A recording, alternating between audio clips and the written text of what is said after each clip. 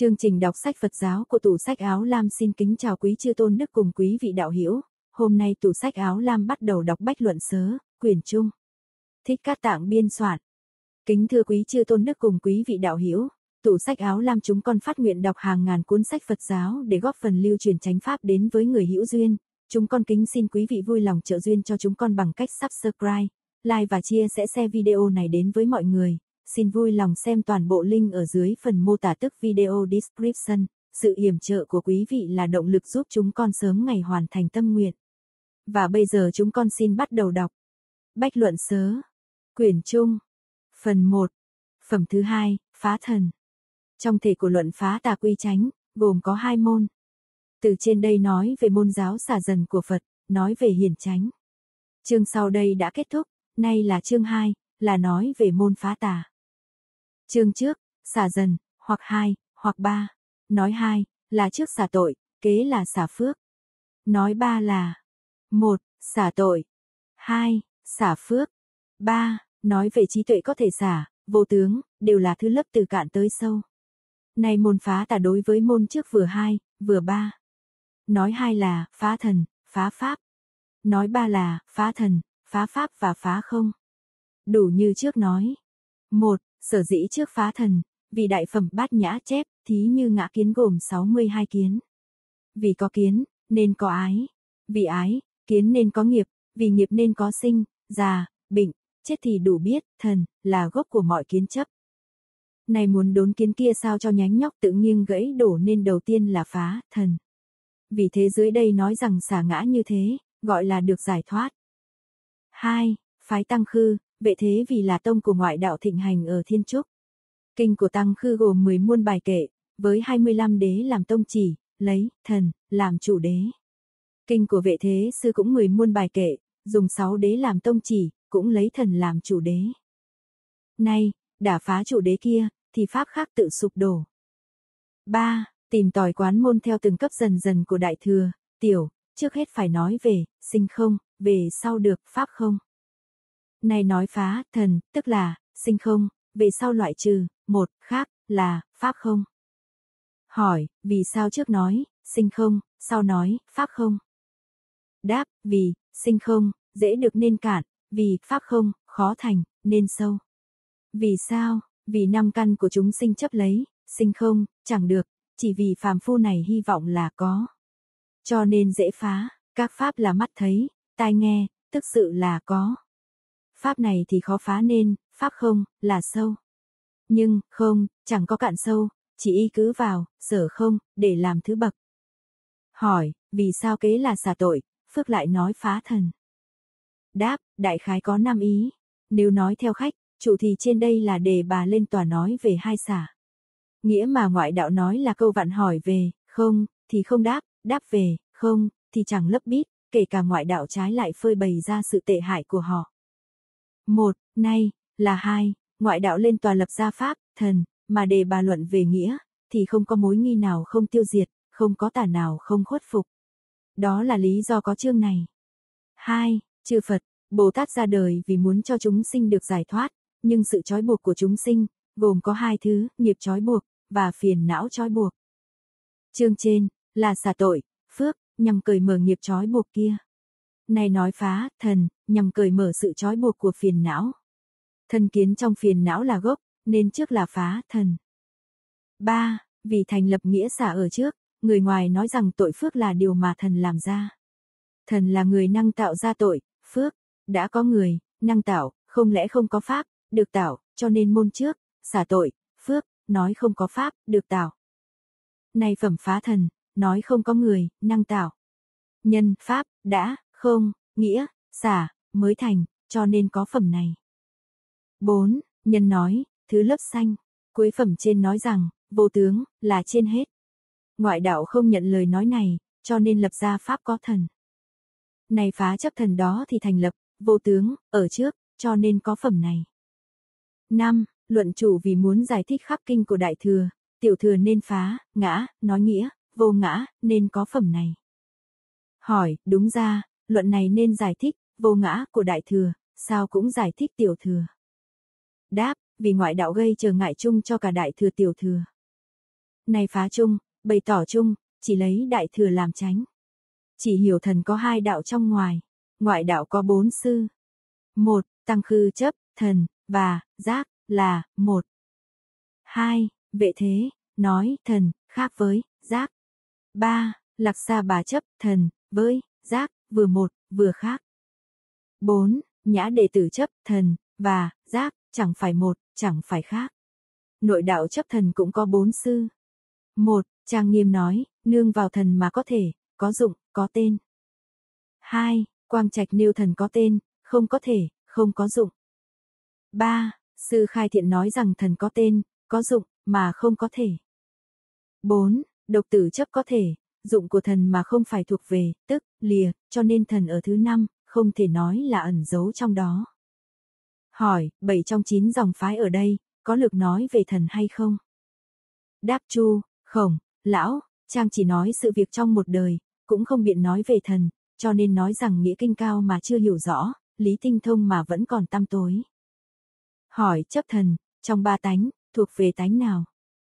Đáp người số luận nói thân kiến là ẩn một vô ký, vì chấp có thần, không gây trở ngại cho thí, giới. Bà Sa nêu ra nghĩa Phật Đà đề bà rằng vì thần là gốc của mọi mê lầm hoặc nên chỉ là bất thiện. Luận câu xá nói, ngã có hai thứ. Một, ngã, sinh đắc. Hai, ngã, tà chấp. Ngã, sinh đắc, nghĩa là dòng chảy của hàm thức, đều có tâm ngã. Sinh mà liền được, gọi, ngã, sinh đắc. Ngã này tức là vô ký. Nếu ngoại đạo chấp, ngã, một, khác, thì gọi là bất thiện. Hỏi, sở duyên, của ngã kiến là gì? Đáp, người của tỷ bà xà bà để nói không có, sở duyên, vì, không, mà chấp là, có, nên không có, sở duyên. Nhà bình luận rằng ngã kiến có, sở duyên, nghĩa là, duyên, nằm ấm. Duyên nằm ấm cho là, ngã, như cho rằng chiếc thuyền là người. Hỏi, trong 20 thân kiến, có bao nhiêu là ngã kiến, bao nhiêu là ngã sở kiến? Đáp, năm là thân kiến, 15 là ngã sở kiến. Như chấp sắc là, ngã. Sắc khác với, ngã, sắc thuộc về ngã, ngã ở trong sắc. Vì một ấm đều có bốn, nên năm ấm nói là 20. Theo văn xuôi của Trung Luận có một câu cho rằng sắc ở trong, ngã. Hỏi, chỉ có 20 thân kiến, hay còn có kiến nào khác nữa không? Đáp, nói tóm tắt thì một ngã kiến. Dựa vào phần vị, ngã, ngã sở, thì thành hai kiến, phần vị ba cõi thì ba kiến. Dựa vào phần vị địa thì có chín kiến. Địa cõi dục, cho đến phi tưởng, nên thành chín. Cho đến xứ phân biệt khởi, đại khái có ngã kiến 936. Hỏi có lúc nào chấp tổng thể của năm ấm là, ngã, không? Đáp, bà Sa nêu ra hai giải thích. Một, không, nếu chấp sắc là, ngã, thì thọ, vân vân còn lại là thuộc về, ngã sở. Hai, cũng có khi chấp cả năm ấm là, ngã, như chấp nội nhập là, ngã, thì chấp ngoại nhập là, ngã sở. Chấp ngoại nhập là ngã, tức chấp nội nhập là ngã sở. Hỏi có khi nào chấp phi trần là, ngã, hay không? Đáp, cũng có hai giải thích. Một, không. Hai, cũng có khi chấp phi trần là, ngã, nhà bình luận theo giải thích đầu. Hỏi tất cả chúng sinh chung một, ngã, hay mỗi chúng sinh đều có, ngã, riêng. Đáp, luận kim thất thập nêu ra hai giải thích, có luận sư nói tất cả chúng sinh đồng một, ngã. Tăng khư nói tất cả chúng sinh đều có một ngã riêng. Nếu tất cả mọi người cùng chung một ngã, thì một người sinh con, lẽ ra tất cả sinh, mà thật sự thì không phải như vậy, nên biết mỗi người đều có một ngã riêng. Hỏi, kinh rằng ngã kiến là gốc của 62 kiến. Lại nói rằng biên kiến là gốc, quyết định thế nào? Đáp, năng sinh các kiến thì thân kiến là gốc, giữ gìn, nuôi lớn, thì biên kiến là gốc. Hỏi, thế nào là thân kiến? Đáp, từ tự thân sinh, tự có thân sinh, không từ tha thân sinh, không từ không có thân sinh, nên gọi thân kiến. Hỏi, biên kiến cũng không từ tha thân sinh, cũng không từ không có thân sinh, vì sao không gọi thân kiến? Đáp, vì thân kiến đã thọ tên trước, biên kiến lại từ nghĩa riêng mà đặt tên. Hỏi, A tỳ đàm vân vân rằng vì trong lìa, nhân, cho nên, không, vì không tự tại, cho nên, vô ngã, với phá ngã của luận này có gì khác nhau không? Đáp, đồng nói không có tà ngã của ngoại đạo, không khác với chỗ này, nhưng số luận phá, ngã, trụ nơi, vô ngã. Luận này nói, ngã, đã không còn, thì, vô ngã, cũng bỏ, cho đến một trong năm quan điểm cũng không còn. Lại, dù không có sở hữu, mà không có gì không hiểu cho nên nói đủ, ngã, và, vô ngã. Như Trung Luận nói chư Phật hoặc nói, ngã, hoặc nói, vô ngã, trong thật tướng các pháp, chẳng phải ngã, chẳng phải vô ngã. Số luận thiếu thể, dụng này, cho nên không đồng, lại kinh tịnh danh nói đối với, ngã, không hai, là nghĩa, vô ngã, cho nên, ngã, rõ ràng là, vô ngã. Không hoại giả, ngã, mà nói, vô ngã. Số luận cũng không có ý này, cho nên không đồng nhau. Hỏi, nếu phá trừ tất cả ngã kinh niết bàn chép, ngã, là Phật tánh, cũng bị phá hay sao? Đáp Phật tánh không hề là, ngã, vô ngã, cho đến bốn trường hợp, tất nhiên nói Phật tánh là chân ngã, cũng phải phá. Đây chỉ dứt trừ chấp trước, chứ thật sự không phá ngã Phật tánh. Lại phàm phu chấp ngã chân thật trong luống dối. Nhị thừa đã nghe nói không có, ngã, luống dối, cũng không có chân ngã Phật tánh, cho nên thành tám điên đảo. Luận này đã phá tan, ngã, luống dối của phàm phu, cũng không có, vô ngã, luống dối của nhị thừa. Ngã, vô ngã, này đều là đối tượng mà Phật tánh đã dứt trừ. Không có ngã kiến của, ngã, này mới được hiển hiện Phật tánh. Không phải, vô ngã của, ngã, mà có, vô ngã của, ngã, mới tiện dụng. Hỏi, vì sao gọi Phật tánh là, ngã? Đáp Phật tánh thì mọi bó buộc đều vắng lặng, các đức đều trọn vẹn, tự tại vô ngại, cho nên gọi là, ngã. Hỏi, chỗ nào trong luận này phá, vô ngã của nhị thừa? Đáp, phẩm phá không, tức là phá ngã. Cho nên luận này bài bác phàm, của thánh, hiển bày trung đạo, sao cho tất cả chúng sinh đều thấy được Phật tánh. Lại số luận cho rằng thần bị che chấp ở đây rốt giáo là không, tâm, năng chấp, thì có pháp. Này nói, năng chấp, như, sở chấp kia, cho nên đại phẩm thường lấy 16 chi kiến để so sánh với môn pháp như sắc, vân vân. Hỏi, chỗ nào trong luận này có chân ngã Phật tánh ư? Đáp, luận này nói trung đạo chẳng phải ngã, vô ngã. Trung đạo là Phật, cũng gọi Phật tánh, nên biết có chân ngã. Trong phẩm này được chia làm 6 phần khác nhau. 1. Ba sư đều lập có thần, luận chủ đều phá. 2. Người tăng khư nêu ra nghĩa luận, luận chủ liền phá. 3. Sư vệ thế nêu ra nghĩa luận, luận chủ phá ngay. 4. Người tăng khư lại nêu ra nghĩa luận, luận chủ lại đả phá. 5. Vệ thế sư lại nêu ra nghĩa luận, luận chủ lại phá. 6. Các ngoại đạo rối loạn nêu ra nghĩa bào chữa, luận chủ phá rối loạn. Dù có 6 chương, nhưng không ngoài chung và riêng. 1. Chương đầu, đều lập, đều phá. 2. Năm chương sau, lập riêng, phá riêng. Sở dĩ nói chung, riêng là vì 1. Muốn bảo cho biết thứ lớp môn quán, như trung luận trước phá cả bốn duyên, sau phá riêng. 2. Trước nói về vô tướng, là phá chung các sư, cho nên các sư đều lập. Đã có lập chung, thì phải phá chung. Lập chung, phá chung thì thành hai khác nhau. Trước người ngoài lập chung, kế là nội giáo phá chung. Y theo phần lập của người ngoài, lại có hai câu. Một, chẳng phải nội, không. Hai, lập ngoại, hiểu Không nên nói tất cả pháp, không, nghĩa là chẳng phải, không, của luận chủ. Các pháp như thần, vân vân là, hiểu nên lập, hữu, bên ngoài. Cũng là đem, hữu, để chứng nói giải thích chẳng phải, không, đều là câu vặn hỏi luận chủ. Đầu tiên luận chủ nói về xả tội, ngoại đạo đặt ra 6 câu vặn hỏi, kế là luận chủ nói xả phước, họ cũng đặt ra 6 câu vặn hỏi. Trên nói, vô tướng, từ đây trở xuống, hoàn toàn là phẩm phá không, chín phẩm đều là lập, hữu, để phá, không, của luận chủ. Luận chủ phá, hữu, của ngoại đạo đều vì thành lập nghĩa, vô tướng. Phần chú thích có hai. Một, y theo gần, trước để, giải thích người ngoài lập hữu. Hai, nói, không, là thế nào? Trở xuống, là giải thích chẳng phải, không, của luận chủ. Giải thích trong lập, hữu, trước là giải thích chung, tức nêu cả hai. Cả tỷ la nói vân vân, trở xuống, là thứ hai, giải thích riêng, tức giải thích cả hai. Hỏi, vì sao nói 25 đế ư? Đáp, có hai nghĩa. Một, 25 đế là, thần, thị, trung, lại thần, đứng đầu 25 đế, thế nên nêu ra. 2. Trong giải thích bổn kệ trên có đoạn nói các pháp như thần vân vân là có, nên 24 đế tức là chủ đế của các pháp, tức là thần, vì muốn cả hai giải thích pháp thần, cho nên mới nêu ra. Nêu 25 đế có hai. một Nêu cảnh của 25 đế hai Nói mê, ngộ thành giải, hoặc từ nói sơ sinh ra giác, nghĩa là nói sơ này có hai công dụng. một Minh làm 25 sơ. hai Từ nói đầu tiên sinh ra giác. Thần đứng đầu, là giải thích chủ đế có năm. một Nói thần là chủ. hai Nêu ra tướng thần. ba Nói chỗ ở. bốn Nói về thể của thần. 5. Nói về dụng của thần. Sở dĩ nói rộng về thần là vì thành lập phẩm phá thần này. Tướng thường, giác, nghĩa là người tăng khư cho rằng một thể của thần giác vì có thần, thì có giác, nên nói rằng tướng thường giác. Câu này nói về tướng thần. Ở giữa là câu thứ ba, nói chỗ ở của thần, nghĩa là thường trú trong 11 căn.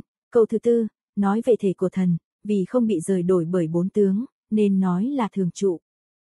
Không hư, không hoại, là giải thích thành thường trụ, phân biệt khác với các căn. Thâu nhận các pháp, là câu thứ năm, nói thần có dụng là thống lãnh, chế ngự. Biết được trở xuống, từ trên đến đây là nói về cảnh, nay nói về mê, ngộ. Sở dĩ nói về mê, ngộ là vì muốn tự lập, phá tha. Tự lập, nghĩa là nói từ cảnh sinh trí đoạn sinh tử, chứng đắc niết bàn. Phá tha là luận chủ nói, không, vô tướng, không có, nhân, pháp, vì không có, pháp, nên về mê hai đế kia. Vì không có, nhân, nên mê thần đế kia. Cho nên người ngoài cho là được giải thoát. Nói luận chủ không lìa sinh tử, yêu lâu ca nói vân vân, trở xuống, là thứ hai, nghĩa của xuất thế sư. Hỏi, sư ban đầu đã nói 25 đế, nay vì sao không nói 6 đế? Đáp, 25 đế nói thần thì chung, nay vì phá thần, cho nên phải nêu. 6 đế là nói trung pháp của thần, chứ không phải chính thức nói về thần, cho nên không nói. Nay sư này chỉ nêu tướng, lập có thần. Đầu tiên lấy thân tướng để chứng nói có thần. Lại nữa, vì dục, sân vân vân trở xuống, là thứ hai, nêu tướng của tâm để chứng minh có thần. Lại trước nêu ngay tướng ngoài để chứng minh có thần. Nay nêu lên, năng y, để chứng nói có, sở y. Lại nói rằng, lại nữa vân vân, đây là nghĩa của lạc sa bà. Nay cho là không đúng, như giải thích trước, cho nên thần là thật có. Giải thích câu đầu của bổn kệ, bác bỏ, ba không, của luận chủ, cho rằng luận chủ bác có, nói, không, chính là vì chê bai chân đế kia, nên không được giải thoát. Nội rằng vân vân trở xuống, là thứ hai, phá chung, nếu, có, mà nói là, không, thì luận chủ lẽ ra có lỗi, vì, không, mà nói, không, cho nên không lỗi. Cũng như sừng thỏ thật ra, không, mà nói, không, cho nên không có lỗi. Kế là trái với lời này, nếu có, mà nói, có, thì ngoại đạo không có lỗi. Nay, không, mà nói, có, nên là ác tà.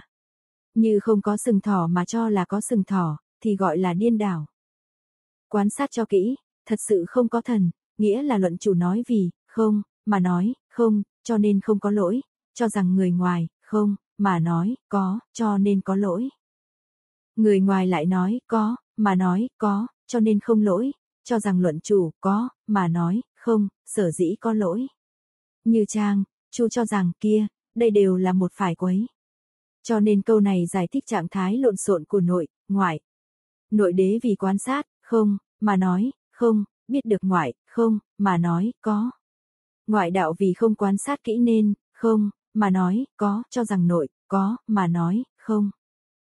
Lại, các ngoại đạo khác lại tự phá lẫn nhau, nếu lấy hơi thở ra vào làm tướng của thần, thì từ đệ tứ thiền trở lên, lẽ ra phải vô ngã, vì không có hơi thở ra vào. Nếu lấy cử chỉ ngắm, nhìn và nháy mắt làm tướng của thần, thì mắt chưa thiên và mắt con cá không nháy, lẽ ra phải vô, ngã. Lại nữa, chúng sinh cõi vô sắc và người không có mắt, lẽ ra đều vô ngã. Nếu lấy mạng sống lâu làm tướng của ngã, thì ngoại đạo lấy hơi ấm, xúc giác làm mạng sống lâu. Nếu vậy thì trời nắng gắt, vân vân có xúc chạm, hơi ấm, lẽ ra cũng có ngã. Người ngoài nói rằng vân vân trở xuống, là thứ hai, tăng khư lập nghĩa riêng, từ đầu đến cuối bảy phen, năm pháp trước nói hai sau là nêu thí dụ. Tăng khư trước nói về nghĩa, gồm có ba ý. Một, thuật của đạo, trước là lưu hành ở đời. Hai, người mê lầm thường cố chấp. Ba, chấp một, là đứng hàng đầu trong bốn trường hợp, vì thế luận thành thật chép, bốn chấp như, một, vân vân đầu tiên cho rằng thật có thần, đối với luận chủ, trên nói về nghĩa, không, không có thần. Ngoại đạo kia cho rằng đề bà vì lập, không, nên tự lập nơi, hiểu. Đó là lý do nội, ngoại chấp chặt, chống đối lẫn nhau. Lại nữa, trên đây luận chủ vừa nói vì quan sát kỹ, nên, không, mà nói, không.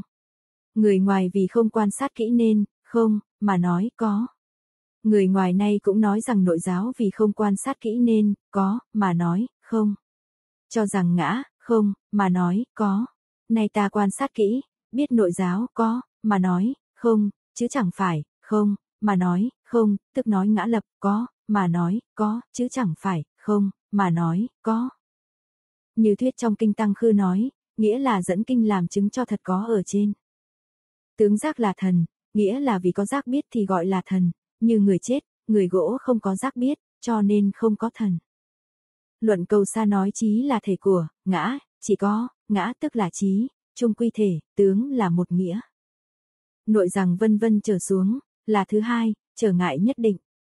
Pháp luận nghĩa cần phải quyết định trước, vì quyết định trước nên mới có hai lần chịu khuất phục. Nhận lãnh nhất định thì có sự co rút lại trụ nơi tông. Như người ngoài kia chuyển đổi thì sẽ có lỗi trái tông. Hỏi, vì sao luận chủ y cứ riêng, một khác, nhất định? Đáp, gồm có tám nghĩa. Một, biết sở lập của bốn ngoại đạo chính là y cứ, một khác, vừa một, vừa khác. Vì cho nên y cứ, một khác, để quyết định. Hai, một khác, là gốc của 14 câu vạn hỏi. Lại là gốc của 62 tà kiến. Nay vì muốn nhổ bỏ gốc kia, nên y cứ, một, khác, để quyết định. Ba, hai câu vạn hỏi, một khác, lời nói ấy rất rõ ràng, cho nên y cứ, một, khác, để quyết định tông nghĩa. 4. Các sư nội ngoại đều lập, một, khác, chẳng hạn như người luận thành thật nói rằng ra có thức thật, gọi là nghĩa, một, giả có khác với thật, gọi là nghĩa, khác. Nay vì muốn nghiên cứu khắp nội, ngoại nên dùng, một, khác, để quyết định. 5. Mượn, một, khác, của thần giác là vì muốn phá khắp các pháp.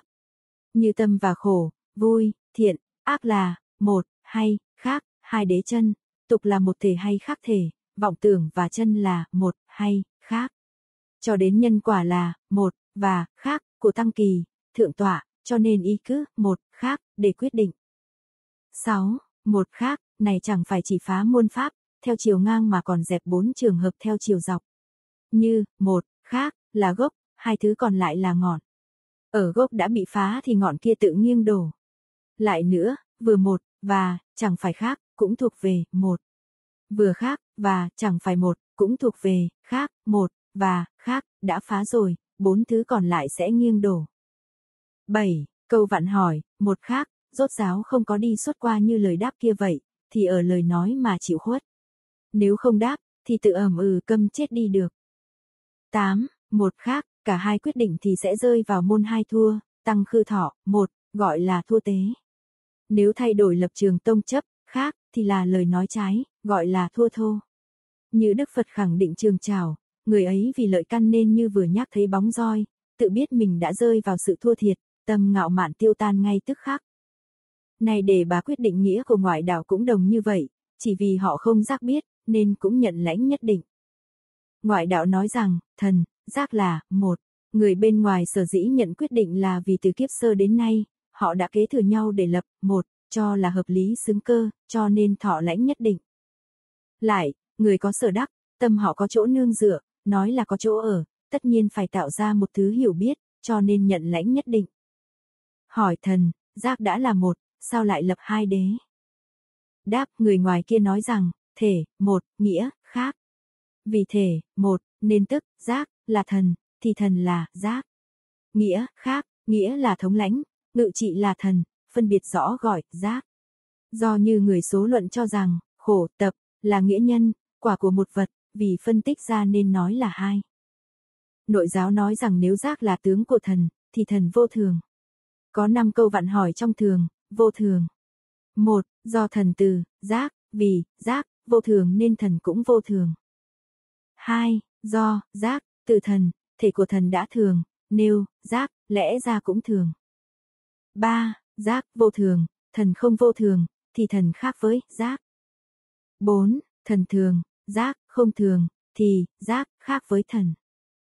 năm Muốn để cho thể của thần, giác là, một, mà không theo nhau, thì thần, giác, đều rơi vào hai tướng, nghĩa là thường, vô thường. Hợp năm câu vạn hỏi này, dùng làm ba nạn. Một, hai câu vạn hỏi đầu, gọi là câu vạn hỏi trụ tông, được một nghĩa, mà thần thì rơi vào vô thường, còn, giác, thì rơi vào thường. Hai, kế đó, có hai câu vạn hỏi được thần thường, được giác, vô thường, rơi vào nghĩa, khác, của thần, giác, trái khuất với tông. Ba, được thần, giác, là, một, lại được thần thường, giác, vô thường, mà rơi vào, vừa một, vừa khác. Thần thường, giác, vô thường thì rơi vào nghĩa, khác. Thể thần, giác, một, tức là nghĩa, một. Lại, hai cửa đầu được, một tông, mất đi hai đế. Mất hai đế, nghĩa là thần, giác đều cùng vô thường, thì mất đi đế của thần, đều là thường thì mất đi đế của giác.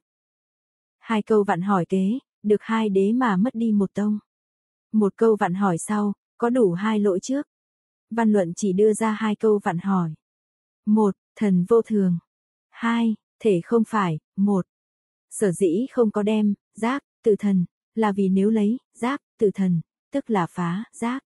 Trong đây không phá, giác, cho nên là không. Dưới đây, có hai tướng trong khắp, không khắp, văn này không có, lại là đơn cử một để so sánh, về nghĩa có thể biết. Nếu phá nghĩa xưa, xưa nói rằng Phật thường trụ chỉ là một viên trí mà dụng chiếu không đồng, biết màu xanh khác với màu vàng, chiếu chân, khác với tục. nay hỏi dụng chiếu với thể là, một, hay, khác. Nếu thể, và dụng là, một, tại thể đã, một, ở dụng cũng, một, thì muôn dụng bèn là, một dụng. Nếu có muôn dụng, thì lẽ ra có muôn thể. Nếu thể, dụng là, khác, thì thể thường, dụng lẽ ra chẳng phải thường. Lại nghĩa xưa nói, tâm là thể, khổ, vui, giải, hoặc là dụng trong tâm. nay hỏi nếu thể, và dụng là, một, thường có tâm, lẽ ra thường có giải, hoặc, đã dứt, hoặc, thì lẽ ra nên dứt tâm. Nếu giải, hoặc khổ, vui, khác, với tâm, thì, hoặc, lẽ ra tư, hoặc, còn tâm thì không, hoặc, mê lầm, giải cũng như thế.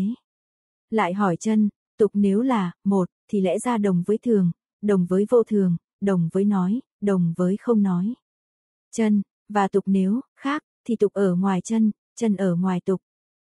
Chú thích nêu nóng là tướng lửa, nghĩa là trong bốn tông luận của đề bà, người tăng khư tự dẫn thí dụ này, nhằm chứng tỏ rằng thể, tướng của thần, giác là, một. Nay Ngài Thiên Thân dẫn sau.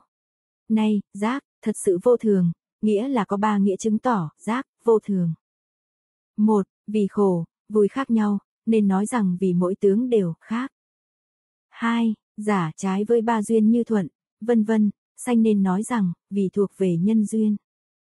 Ba, vì rơi vào ba đời, nên nói rằng xưa, không, nay, có. Người ngoài cho rằng vì bất sinh, nên thường, để bào chữa cho câu vạn hỏi vô thường của thần trên. Nếu thần mới sinh có thể là vô thường, vì thần đã vốn có, cho nên là thường, vì thế 25 đế nói rằng từ, nói sơ, sinh ra, giác. Giác, có ở sinh, cho nên vô thường. Không nói rằng vì sinh ra thần, nên thể của thần là thường. Đây chỉ là đáp câu vặn hỏi về tướng chung, cũng chưa rõ ràng. Nội giáo nói rằng, nếu vậy, thì, giác, chẳng phải là tướng của thần. Trong luận chủ đáp, y cứ vào hai đối để nạn. một Bắt bẽ thường, vô thường. hai Bắt bẽ khắp, không khắp. Nạn về thường, vô thường, như trên đã nói, thần và giác nếu là, một, thì vì, giác, vô thường, nên thần cũng vô thường. Đây là được tông mà rơi vào vô thường. Này nói, nếu, giác, vô thường mà thần là thường, thì thần, và giác là khác. Đây là được thường mà mất đi, một, cho nên hai câu vạn hỏi trước, sau trong thường, vô thường, tới, lui, rơi vào thua thiệt. Này nói rằng, giác, chẳng phải tướng của thần, nghĩa là chẳng phải thể tướng. Người tăng khư lập, giác, là thể, tướng của thần. Người vệ thế lập, giác, là tướng nêu của thần. Người tăng khư như lửa lấy nóng làm tướng. Người vệ thế như lửa lấy khói làm tướng. Cho nên, nay nạn, giác, tự vô thường, thần tự là thường, thì, giác, không phải thể, tướng của thần, cho nên nói rằng, nếu vậy, giác, không phải là tướng của thần. Lại nữa vân vân trở xuống, là thứ hai, y cứ môn khắp, không khắp, cũng có năm nạn. Một, do thần từ, giác, giác không khắp, thần cũng không khắp. Hai, do, giác, từ thần, giác, với thần đều cùng khắp. Ba, thần không từ, giác, thì thần, khác, với, giác. 4. Giác, không từ thần, thì, giác, khác với thần. 5. Nếu muốn cho, một, mà không từ tướng, thì sẽ rơi vào hai tướng khắp, không khắp. Kế là lại hợp năm làm ba. Một, hai nạn được tông mà mất đi nghĩa thần, giác khắp, không khắp. Hai, hai vấn vạn đắc nghĩa thần giác khắp, không khắp mà mất một tông, thứ năm cũng đắc một tông, lại đắc nghĩa khắp, không khắp mà rơi vào, vừa một, vừa khác. Ba, văn này chỉ có ba nạn. Một, được khắp, không khắp mà mất đi một tông. Hai, được một tông mà mất đi nghĩa khắp, không khắp. Ba, rơi vào, vừa một, vừa khác. Trong đôi thường, vô thường, trước lấy thần từ, giác. Vì, giác, vô thường nên thần cũng vô thường. Nay trong khắp, không khắp, vì sao không lấy thần từ, giác, để cho thần lẽ ra không khắp. Đáp trong hai câu vạn hỏi thường, vô thường ở trên, nói thần thường, giác, vô thường, thì sẽ rơi vào thể của thần, giác, khác nhau. Này tiếp theo văn này, lại y cứ nghĩa khắp, không khắp để biểu hiện thể của thần, giác, khác nhau, cho nên không được lấy thần theo, giác. Nếu, giác, là tướng của thần thì nhắc lại chính là phá, không có việc đó, vì đều sai lầm. Chỗ, giác, hành là, một, nghĩa là chính thức phá. Chỉ có một đạo hành trong năm đạo, một trần của giác nghiêng lệch trong sáu trần, một thọ biến hành trong năm thọ, cho đến một xứ biến hành trong một thân, mà thần thì khắp sáu trần, năm đường, cho đến một thân, thì khắp, không khắp, khác nhau, thể của thần, giác, khác nhau. Vì lẽ đó nên, giác, không phải là thể, tướng của thần. Trong chú thích, lấy, giác, từ thần ấy, đây là phá thế, vì trở thành thần, giác, không là, một. Lại nữa, thứ hai, là lấy thần từ, giác, để phá. Nếu quyết định nói thần và, giác, là một, thì thần với giác sẽ ngang nhau. Giác, đã không khắp, thần cũng không khắp. Lời nạn này trái với trước, lại thành nhau, trước được khắp, không khắp, rơi vào thần, giác, khác nhau. Này được thần, giác, là, một, thì mất khắp, không khắp. Chú thích rằng, lửa không nhiệt thì không nóng. Nóng là tướng lửa, chỉ có ở nóng, không có ở không nóng. Thần lẽ ra cũng như vậy, chỉ có ở không khắp, không có ở khắp.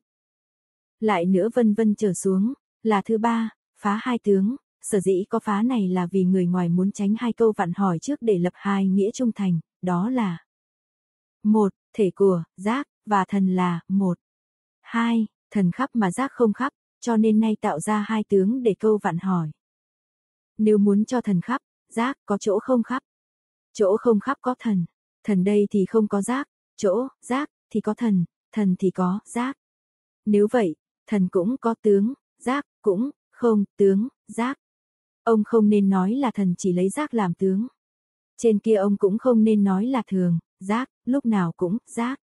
Lại, thần lấy, giác, làm tướng, thì có, giác, có, không giác. Lửa lấy nóng làm tướng, lẽ ra có nóng, có không nóng. Nóng là thể tướng của lửa, không có nóng thì không có lửa.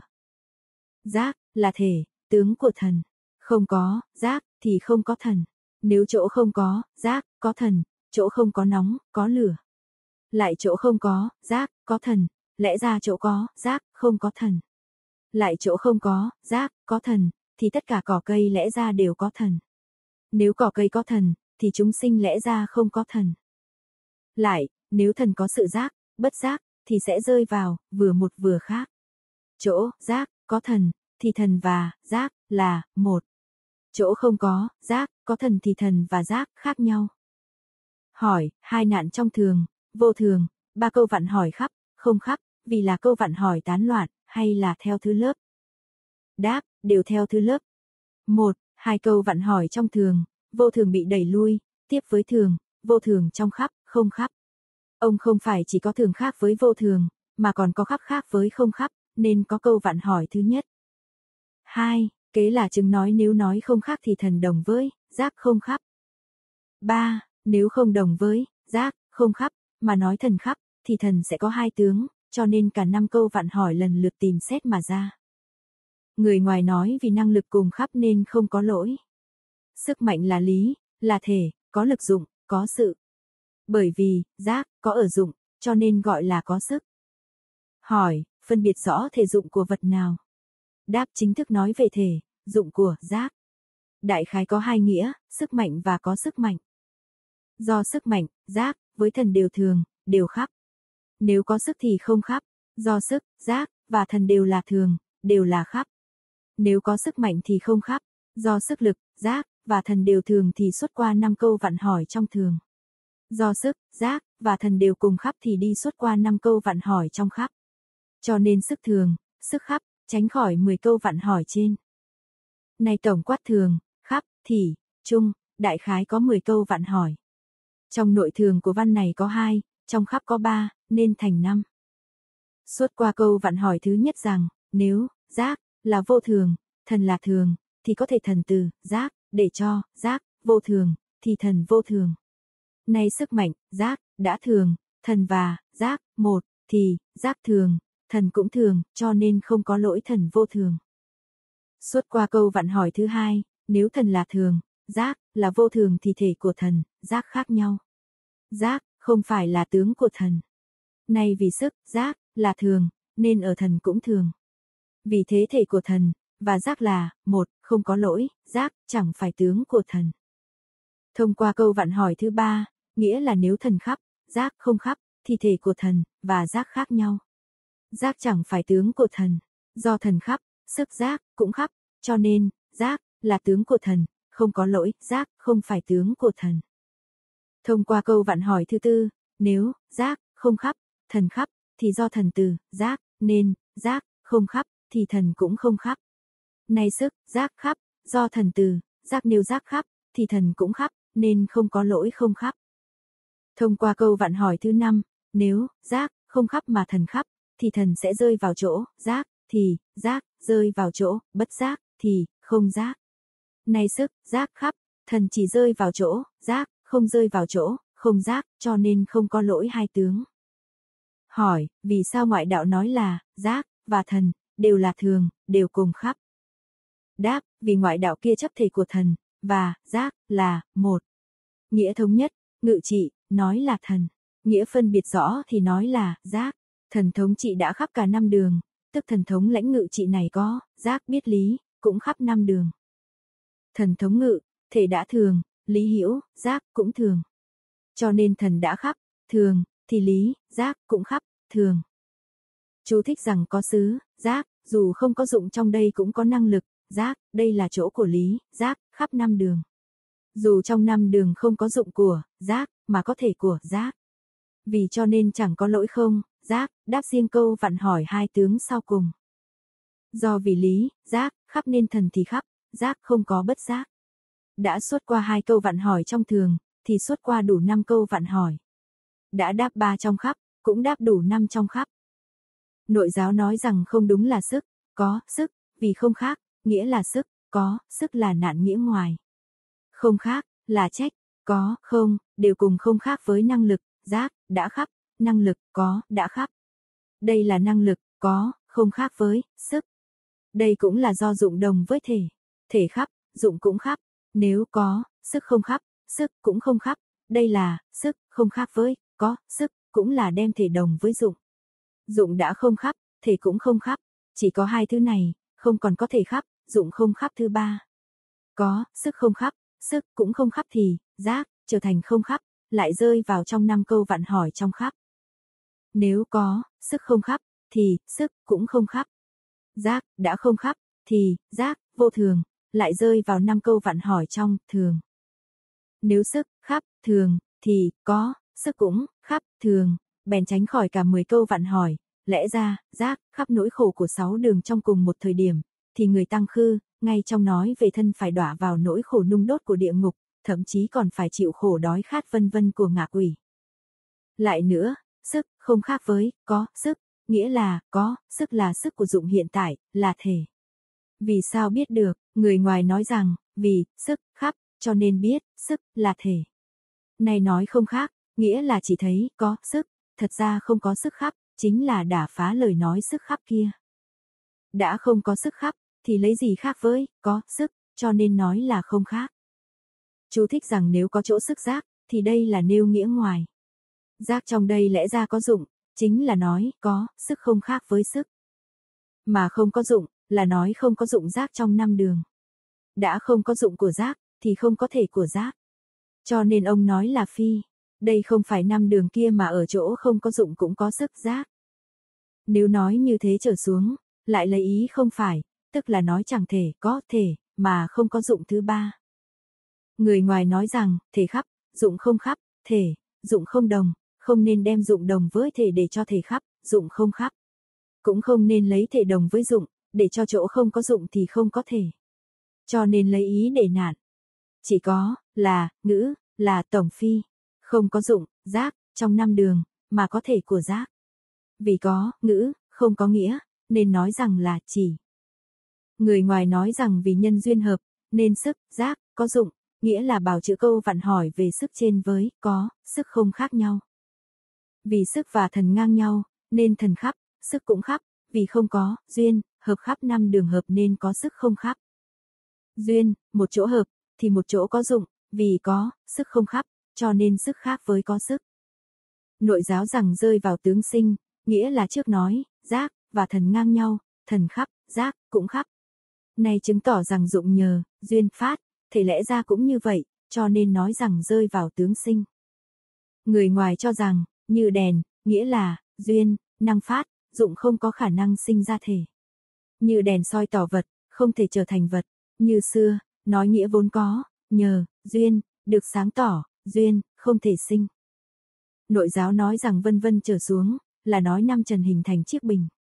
Nếu lúc không có đèn, thân xúc chạm cũng được, lại có dụng của bình. Nếu khi nhân duyên chưa hợp, chấp lấy, giác, không được, cũng không có dụng. Vì hai nghĩa không đồng, nên không phải thí dụ. Người ngoài cho rằng, như sắc, nghĩa là trước kia, y cứ, năng liễu, làm dụ, nội giáo lấy, sở liễu, làm câu vặn hỏi. Này bỏ đèn, y cứ, sắc, để chứng nói bình đủ một phần của năm sắc trần. Nếu đèn chưa soi, lấy sắc không được, lại không có công dụng phát thức, như, duyên, chưa hợp, lấy, giác, không được, lại không có công dụng của giác. Vì hai nghĩa hoàn toàn đồng nhau nên nói rằng, như sắc. Hoặc nói là sắc trên vách, điều này cũng không có lỗi, chỉ y cứ sắc của bình là hơn. Nội giáo nói rằng vân vân trở xuống, là ông bỏ bình, y cứ sắc, dù tránh khỏi lỗi trước nhưng vẫn còn mắc phải lỗi sau.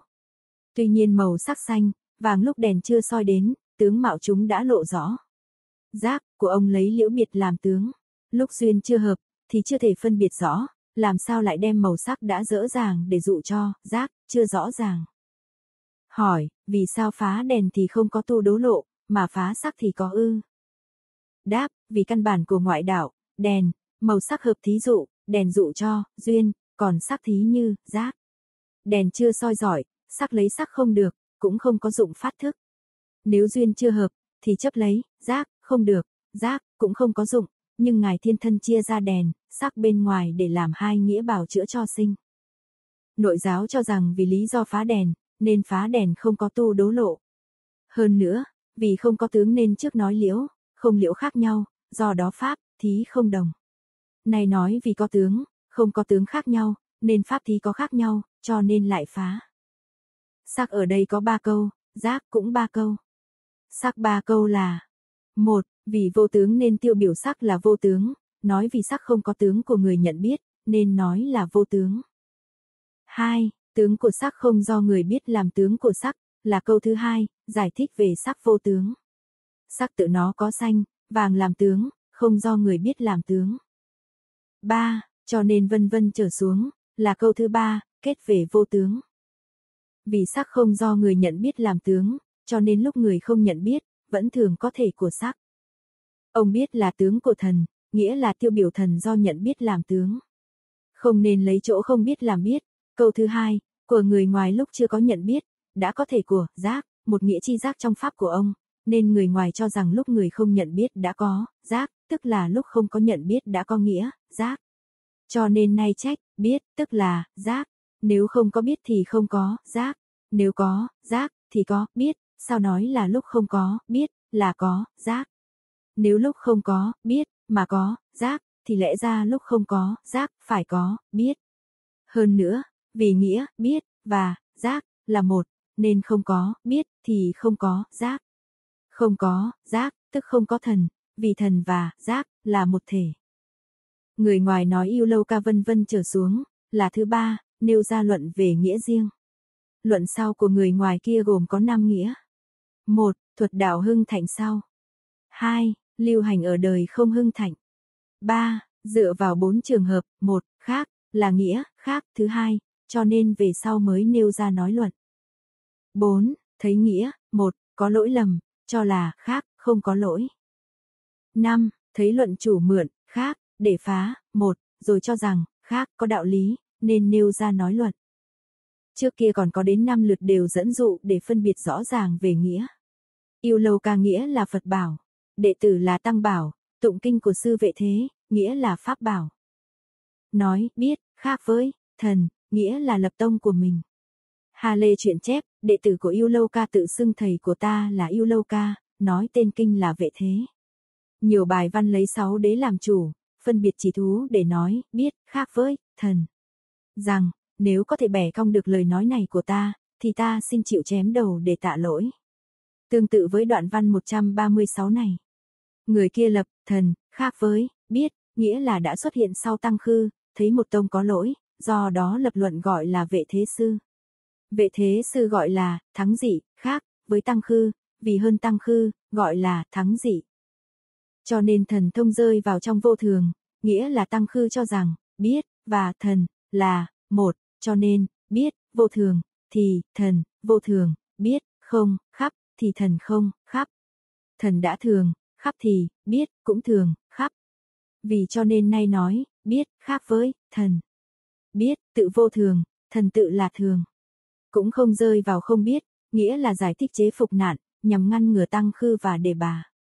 Vì sao, biết, thần, kết hợp, nên như có châu, nghĩa là y cứ, pháp thí dụ, để giải thích không biết, vừa nói trên. Thần, hợp với, biết, thần, được gọi là, biết. Như người kết hợp với châu, tên của người là có châu. Trong giải thích, trước giải thích thí dụ, nghĩa là vì dựa theo văn gần. Bốn hợp biết sinh, nghĩa là vì muốn nói rõ rằng thần được gọi là biết. Nội giáo nói tướng châu trụ trong con châu, chỉ cần phá cái tên, biết, mà thần kia tiếp nhận, thì tông, khác, tự nó tan rã, vì tướng sừng nhọn vân vân chỉ tồn tại ở con châu, dù rằng kết hợp với con người, mà người không có tướng châu. Nếu vậy, thì dù thần kết hợp với, biết, mà, biết lại trụ trong biết, thì thần chẳng phải, biết. Chú thích rằng, ông nói vân vân, trở xuống, là nói bốn hợp sinh ra, biết. Biết, sinh thì biết trần, biết, không sinh thì không biết trần. Đây là, biết, năng biết, chẳng phải thần biết. Thần biết của người ngoài đều lập, luận chủ tóm lấy cái, biết, của thần kia, rồi thả cái, biết, của thần kia ra để nhận biết, dụ như lửa có thể đốt, nghĩa là trong thí dụ này có hai ý. Một, thành cái, biết, trước thì, năng biết. Hai, vì muốn phát khởi bào chữa sau. Người ngoài nói rằng vì là pháp năng dùng. Đây là thí dụ đèn có công dụng. Trước nói người, châu dù kết hợp, mà người không có tướng châu. Thần, và, biết, dù kết hợp, mà thần không có tướng, biết. Ở đây có hai nghĩa. Một, nói thần có, biết. Hai, dụng, biết, mới biết.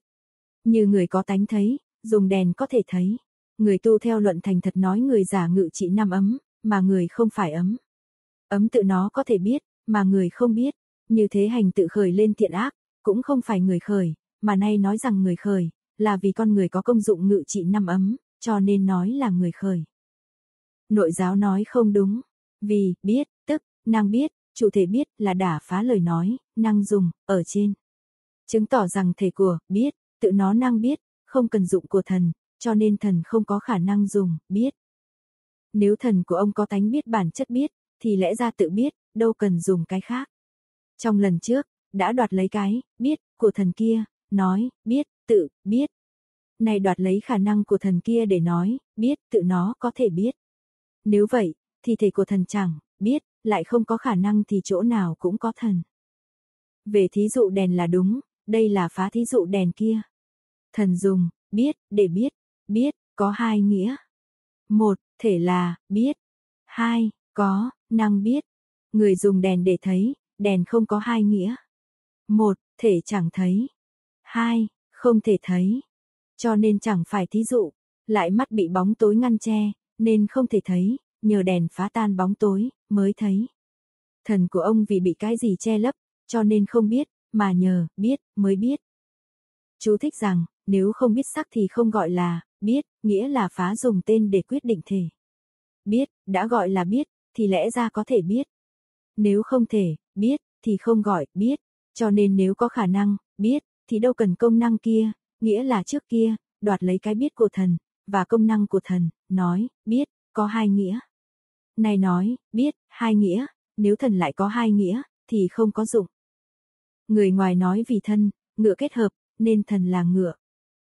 Trong lượt phá đầu tiên ở trên, người ngoài cho rằng, biết là tự biết, thần không biết. Kế là đoạt lấy, thần kia không có khả năng tự biết công năng của mình. Người ngoài nay bảo chữa cả hai nghĩa.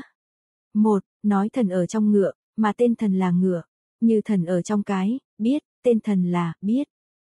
Hai, hình ngựa không thể biết, thần ngự trị mới có thể biết. Như biết không thể biết, thần ngự trị mới có thể biết, cho nên thần có biết, vừa 138 có khả năng thì cả hai nghĩa đều lập. Hỏi thần, ngựa và người, châu có khác nhau không? Đáp, vì hai hình người, châu với hai thần nên xa. Này thần hợp chung với thần, thì gần, lại bị trách ngược lại. Nội ra nếu, biết, thì tự biết không cần thần ngự trị, lẽ ra cũng hình ngựa tự có khả năng, không nhờ thần ngự trị. Nội giáo nói thần trong thân chẳng phải ngựa, là nói người ngoại không biết ngựa. Thế gian lấy hình ngựa để làm ngựa, thật ra không lấy thần làm ngựa. Cho nên, biết, tự biết, thần rốt giáo chẳng biết. Lấy thần dụ cho thần thì rơi vào chỗ thua thiệt, thần ngự trị nơi, biết, thần ngự trị ở ngựa, hai thần không khác nhau.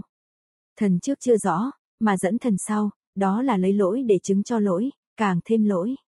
Cho nên rơi vào thua thiệt, lại cái biết bị ngự trị, tức biết, tức năng hình sở ngự trị, không, biết, thì không có khả năng, đồng với thí dụ đèn ở trên. Trước kia, dẫn chứng, không có biết, nhằm bào chữa cho cái, biết, đã do thua thiệt. Nay lại dẫn chứng, gọi là thua thiệt nặng. Người ngoài nói rằng, như màu đen trồng chất. Hỏi, màu đen trồng chất với thần, ngựa có gì khác nhau? Bỏ cả thần, ngựa để dẫn chứng màu đen trồng chất phải không? Đáp lìa thần, có ngựa riêng, thế gian chạm hình ngựa để tạo nên con ngựa, không chạm thần làm ngựa. Sự trồng chất kết hợp với màu đen, trồng chất được gọi là đen, thế gian gọi là trồng chất đen, không thể nói là màu đen, tự màu đen mà trồng chất. Vì không đen nên khác với trồng chất trên. Nội giáo nói, vậy thì không có thần, tự ba phen phá trên thần không có biết, không có khả năng, nghĩa là đoạt lấy hai nghĩa của thần. Nay một phen này buông ra, nếu thần của ông là năng là biết, thì thành cái biết, không còn có thần. Vì sao? Vì, biết, là, biết, lại là, năng. Nếu thần là, biết, cũng là, năng, thì thần này liền thành biết, sẽ không có thần nữa. Cho nên nói rằng nếu như vậy sẽ không có thần. Lại biết là, năng, là, biết, biết ấy đã không phải thần, thần là, biết, là, năng, cũng chẳng phải thần. Cho nên nói rằng nếu vậy sẽ không có thần. Lại đều nói rằng thể của thần chẳng phải, biết, vì hợp với biết nên tên của thần là biết, nghĩa là thể của biết, không phải là thần. Nếu thần không phải hợp với thần, thì lẽ ra gọi chẳng phải thần, cho nên nói rằng nếu như vậy, thì sẽ không có thần. Lại đều là thần, vốn chẳng phải, như, vì hợp với, biết, nên từ tên, biết, mà, biết. Thể của, biết, là vô thường, thần hợp với vô thường, thần gọi là vô thường. Thần hợp với không khắp, lẽ ra gọi là không khắp. Hòa hợp với nhiều, lẽ ra gọi là nhiều. Nếu vô thường không khắp, kể cả nhiều, thì sẽ không có thần. Lại, biết, là, năng, là, chi. Nếu thần không có, năng, không có chi, thì sẽ không khác gì với cỏ, cây, không có khác với hư không. Lại không có thần, lại trái lại đều là thần, ông lấy có, biết, có, năng, gọi là thần, biết đủ hai thứ này, thì lẽ ra là thần. Thần có đủ hai thứ này, thần lẽ ra gọi là biết. Chú thích có ba thứ nạn. Một, giải thích nạn không có thần. Hai, nếu vì hợp với cái khác vân vân, trở xuống, là thứ hai, lẫn nhau từ đều. Nếu thần từ tên, biết, mà biết thì, biết, cũng sẽ từ tên thần, gọi thần. Nếu, biết, hợp với thần, không từ tên thần mà gọi là thần, thì thần sẽ hợp với biết, cũng không từ biết mà gọi là biết. 3. Phá trái với kinh, nói sự trồng sát của người ngoài kết hợp với màu đen ác thì là đen, sẽ trái với dựa vào hai nghĩa của luận chủ. Người ngoài nói, như có cây gậy, đây là bào chữa ba nạn trên, chung cho câu vặn hỏi thứ nhất về không có thần rằng. Người dù kết hợp với gậy, gọi là có gậy, chứ chẳng phải không có người. Thần dù hợp với, biết, tên thần gọi là biết nhưng chẳng phải không có thần. Thông qua thứ hai, câu vặn hỏi về, từ, lẫn nhau rằng. Người dù kết hợp với gậy, chỉ được gọi là người có gậy, không được kết hợp gậy với người, tên gậy có người, vì người có thể ngự trị gậy, chứ không phải gậy ngự trị người. Như thế, thần hợp với, biết, thần gọi là, biết, không được, biết, hợp với thần, biết, gọi là thần, vì thần ngự trị, biết, chẳng phải biết chế ngự thần. Thông qua câu vặn hỏi thứ ba rằng, người, gậy dù kết hợp, nhưng người không làm gậy, nương theo chủ dù hợp với chủ, nhưng không phải chỗ nương dựa. Hỏi, người, gậy, với người, châu, việc này có gì khác nhau không? Đáp, về tông chỉ lớn thì đồng, chỉ về ý sau này thì có khác nhau, người, châu là nói sự, kết hợp kia, còn người, gây là nói sự lìa kia. Trước là nói hợp, nghĩa là người hợp với châu, tên người có châu. Thần hợp với, biết, tên thần có, biết, nay là nói lìa, nghĩa là người hợp với gậy, dù gọi có gậy, nhưng người không phải gậy, cũng như thần mười hợp với, biết, dù gọi là biết, nhưng thần không phải biết. Lại ở trên, chỉ vì ngăn ngừa về câu vặn hỏi người khác để lập tông nghĩa của mình. Này cũng lập tông nghĩa, lại chung cho cả ba câu vặn hỏi, cho nên khác nhau. Trong chú thích, y cứ người hợp với gậy có hai câu. Gậy hợp với người cũng có hai câu. Áp dụng một bỏ ba trong bốn trường hợp, người hợp với gậy, tên người có gậy là dùng câu này. Không được nói rằng, người là gậy, là bỏ đi câu này. Hai câu gậy hợp với người đều không dụng, bởi vì gậy hợp với người, không gọi có người, cũng không gọi người. Cho nên trong bốn trường hợp, lập một, bỏ ba. Lập một chính là tông nghĩa, bỏ ba, là chung cho cả ba câu vạn hỏi trước. Nội giáo nói rằng có gậy không phải gậy, là phá châu đồng với người. Gậy tự nói là gậy, người không phải là gậy. Biết tự là, biết, thần không phải biết. Năm phen của vệ thế, gồm có hai lỗi, trước ba, sau một, được ở nghĩa thần, mà rơi vào không biết. Phá thí dụ trồng đen, được có nghĩa, biết, mà rơi vào không có thần. Người ngoài nói rằng, tăng khư vân vân, trở xuống, là thứ tư, lại nếu ra nghĩa của luận, gồm có hai nghĩa. Một, lỗi lầm của nhà chấp, khác, cho rằng nghĩa, một, không có lỗi. Cho nên lại nêu ra nghĩa luận. Hai, thấy luận chủ mượn, một, phá, khác, ở trên, rồi cho rằng nghĩa, khác, là ngắn, nghĩa, một, là dài, cho nên nêu ra nghĩa của luận. Hỏi, vì sao không phá, một, là một loại, phá, khác, là một loại, mà cách khoảng với nhau ư? Đáp, gồm có bốn nghĩa. Một, trình bày phá có nhiều môn, như phẩm, nhất, dị, so sánh phá giống nhau, này phá lẫn nhau. Hai, vì muốn chứng tỏ đả phá tự tướng của hai nhà, một khác, tức đều là luống dối. Cho nên ra đòn phá cách biệt. Ba, người chấp, một, và nghĩa luận của đề bà. Về lý đương thời chịu khuất, lời lẽ cùng cực mà nhà, khác, nên nêu ra lập nghĩa, một nhà thì còn ngồi lặng lẽ nghe, bèn cho rằng, một, có đạo lý, còn nghĩa, khác, thì bị phạm lỗi. Cho nên lại nêu ra nghĩa luận, vệ thế sư nêu ra nghĩa luận cũng đồng như. 4. Trong bộ tăng khư tự có nhiều người, dù rằng một người rơi vào thua sút mà người khác nêu ra nói luận. Vệ thế sư cũng vậy, cho nên nêu ra sự gián cách nhau. Ba lượt của văn này sở dĩ trước 7, sau 3, vì tăng khư hợp từ đầu tới cuối có 10 phen, chỉ vì thế của nghĩa trước đã cùng cực, thì về lý lẽ của nghĩa sau dễ khuất phục. Cho nên trước bảy sau ba, nếu biết khác với thần thì có lỗi như trên, thì tăng khư sẽ lẳng lặng nghe. Nhà chấp khác, trong năm lượt qua, lại rơi vào hai lỗi. Một, được thần, mất biết. Hai, được biết, mất thần. Trong kinh của ta, nói chấp của mình không lỗi. Vì sao vân vân, trở xuống, là giải thích không có lỗi, vì thần tức là, giác, cho nên chẳng rơi vào lỗi không biết. Giác tức là thần, cũng không rơi vào lỗi vô thần, cho nên tránh khỏi hai lỗi trước. Nội giáo nói rằng, phá có ba. Chỉ cho phá trước ở trên có hai cặp. Thường, vô thường, khắp, không khắp. Hợp với 10 câu vặn hỏi trước đã nói xong, nay sẽ lại nói là chỉ cho cách phá dưới. Nếu thần không phải, một, của tướng, giác, thì tăng khư ở trước sẽ lập nghĩa, một. Trong hai phen đầu cuối, có lỗi của ba cặp. 1. thần là thường, giác, là vô thường. 2. thần là, biến, giác, thì không, biến. 3. thần là, một, giác, không phải, một. Ba cặp này trái nhau, mà nói chúng là, một, nên mắc phải 15 lỗi. Trên đã nói 10 lỗi của hai cặp, này y cứ theo, một, nhiều, lại có 5 lỗi. Một, do thần từ tướng, giác, cùng với, chung là nhiều. 2. do, giác, từ tướng thần cùng với, chung là một. Ba, thần không từ, nhiều, giác, tức thần khác với, giác. 4. Giác không từ, nhất thần, thì, giác, khác với thần. 5. Muốn cho thần, giác kia là, một, mà không từ nhau, thì thần sẽ rơi vào, cũng nhiều, không nhiều, giác, rơi vào, vừa một, không một. Gồm thâu 5 câu vạn hỏi này làm thành ba. Một, hai nạn đầu, từ lẫn nhau, được tông, một, của thần giác, mà mất một, nhiều, của thần giác. Hai, hai câu vặn hỏi kế, lẫn không từ nhau được thần, giác là, một, nhiều, mà rơi vào nghĩa khác của thần, giác. Về sau, được thần, giác không khác nhau, cũng được thần, giác, một, nhiều, mà rơi vào, vừa một, vừa khác. ba Được nghĩa, một, nhiều, của thần, giác thì rơi vào, vừa khác. Được nghĩa, một, của thần, giác là, nhất. Gồm thâu, một, nhiều, làm năm câu vạn hỏi.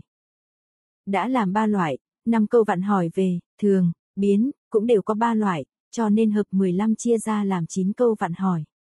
Nhưng trong văn này nói lấy thần từ, giác, khiến cho, giác nhiều, thần cũng nhiều chính là phá một thần để làm nhiều thần cho nên không có một thần, vì một thần thông nên nhiều thần cũng không. Vừa một vừa nhiều thần, chẳng phải một chẳng phải nhiều thần thảy đều không lập. Phá thần đã như thế, phá giác cũng vậy. Giác và thần là một thì mất nhiều giác, nhiều đã không thì một cũng không, bốn trường hợp như thế đều không thành. Người ngoài nói không đúng, một là các thứ như pha lê, chống chế thành hai ý, một là pháp hai là dụ. Trong pháp có hai câu, một là giải thích nạn trước, hai là giải thích nghi.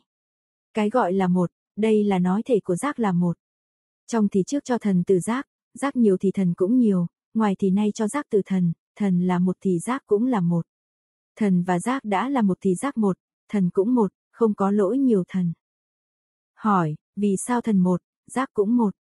Đáp tăng khư lập tông, nghĩa rất xít sao, thần và giác thể là một, cho nên thần thường, giác cũng thường thần khắp thì giác cũng khắp, thần một thì giác cũng một, nhưng y theo nghĩa thì khác nhau, cho nên chia thần và giác làm hai đế. Là các thứ, là thứ hai, giải thích nghi ngờ. Hàng phục nghi ngờ rằng, nếu cho rằng giác từ thần thì thần một, giác cũng một, tránh khỏi lỗi nhiều thần rơi vào lỗi một giác. Cho nên giải thích rằng, tuy thể là một nhưng giác tùy duyên cho nên nhiều, vì không mất nhiều giác cho nên không rơi vào lỗi khổ, vui là một. Như dụ pha lê thứ hai nói, trong dụ nói thể là một, vì tùy duyên cho nên khác. Vì thể là một cho nên tránh khỏi lỗi nhiều thần, vì tùy duyên mà khác cho nên tránh khỏi lỗi một giác.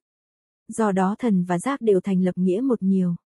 Nội giáo nói rằng, bài kệ ở dưới vốn chỉ có một phá, cũng gồm có năm vạn, một là cho rằng tội phước từ giác, giác một nêu tội phước cũng một, hai là cho rằng giác từ tội phước, nếu tội phước là hai thì giác cũng hai, ba là giác một, tội phước không phải một, tội phước khác với giác, bốn là tội và phước là hai, giác không phải hai, giác khác với tội phước, năm là muốn làm cho một ấy mà tội phước lại khác nhau cho nên rơi vào vừa một vừa khác. Lại nhiếp năm câu hỏi để làm ba khai. Hai câu đầu đắc tông nghĩa một mà tội phước mất ở nhiều, giác mất ở một. Kế là hai được ở một nhiều, hai rơi vào nghĩa khác. Ba được ở một cũng được không khác mà tùy vừa một vừa khác. Hỏi, vì sao tội phước khó giác? Đáp, vì chẳng phải ngoài tội phước mà có giác, chính là nói tội phước tức là giác, nếu tổn giác của người là tội, làm lợi ích cho giác của người là phước, tội phước đã là giác nên giác một, tội phước một. Hỏi, ở trên phá có khác với ở đây phá không? Đáp, ở trên cho là thần tử giác, giác nhiều, thần cũng nhiều.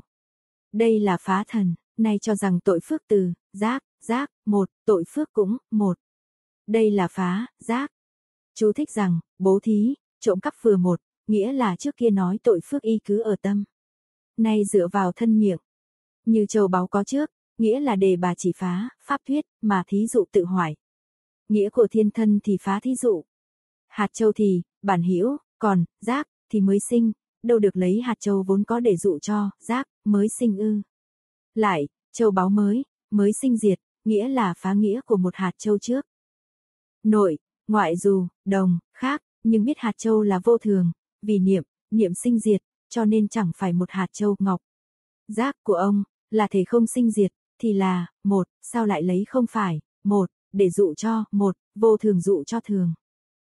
Lìa ngọc không có sắc, rời sắc không có ngọc, sắc đã có năm màu xanh, vàng vân vân bèn thành năm hạt ngọc. Nếu ngọc là, một, thì năm sắc hóa ra, một. Nếu sắc năm, ngọc không năm, ngọc một, sắc không, một, thì tách rời màu sắc, có ngọc, lìa ngọc có màu sắc. Nếu lìa màu sắc có ngọc, thì lìa khổ, vui lẽ ra phải có, giác, cũng lìa ngoài, giác, lẽ ra có khổ vui. Người ngoài nói rằng, quả dù nhiều, tác giả chỉ, một, như thợ gốm, là đáp ba câu vặn hỏi trên. Quả dù nhiều, nghĩa là tội phước nhiều. Tác giả, một, nghĩa là một thể giác, như thể của thợ gốm là, một, mà vì nắn bình, chậu nhiều nên nói là thợ cũng nhiều. Vì không thể lập, giác, là, một, nên tội phước cũng, một. Vì tội phước nhiều nên cho rằng, giác cũng nhiều. Do đó ba nạn của năm câu vặn hỏi trước đều không thành. Bào chữa câu vặn hỏi, có, không, nghĩa là trước có thợ gốm, sau tạo ra bình, chậu cũng trước có thể của, giác, sau tùy duyên khổ vui vân vân, cho nên chẳng phải vốn, không, mà nay, có. Bào chữa câu vặn hỏi, không phải một. Thật sự là một thợ mà nắn ra bình, chậu, thật ra là một, giác, mà có khổ vui. Nếu nói là mới mới sinh, diệt chẳng phải là một hạt ngọc, lẽ ra cũng mới mới sinh diệt, chẳng phải là một người thợ, mà hàng trăm năm nối tiếp nhau, chung quy là một người, hạt ngọc cũng thế. Nội giáo nói rằng, thợ gốm không có, khác, điều này có hai lỗi. Một, có dụ, khác, lỗi, không khác, thợ gốm và bình, chậu thật ra có, khác, mà khổ vui, không khác, với, giác. Vì thế không nên lấy thí dụ, khác, không khác. Hai, lỗi khác, của thí dụ, không khác, thợ gốm là một thể, không có riêng khác, mà, giác, thì thật sự có hai thể khổ vui. Vì vậy không nên dùng, không khác, để dụ cho, khác. Lại nữa, nếu khổ vui tức, giác, thì bình chậu tức thợ gốm, cũng có 5 câu vạn hỏi. Một, khổ vui và, giác, là, một, bình chậu và thợ gốm là, một, thì thợ gốm một, bình chậu một. Hai, giác với khổ, vui là, một khổ, vui, nhiều, thì, giác nhiều, cũng thợ gốm với bình, chậu là, một. Bình chậu đã nhiều, thợ gốm lẽ ra cũng nhiều. So sánh với năm câu vạn hỏi trên, có thể biết. Người ngoài nói rằng thật sự có thần, vì so sánh biết tướng. Phần thứ năm này, vệ thế sư lại nêu ra nghĩa bảo chữa. Ý sau cũng ba. Một, tư duy đạo lại sinh.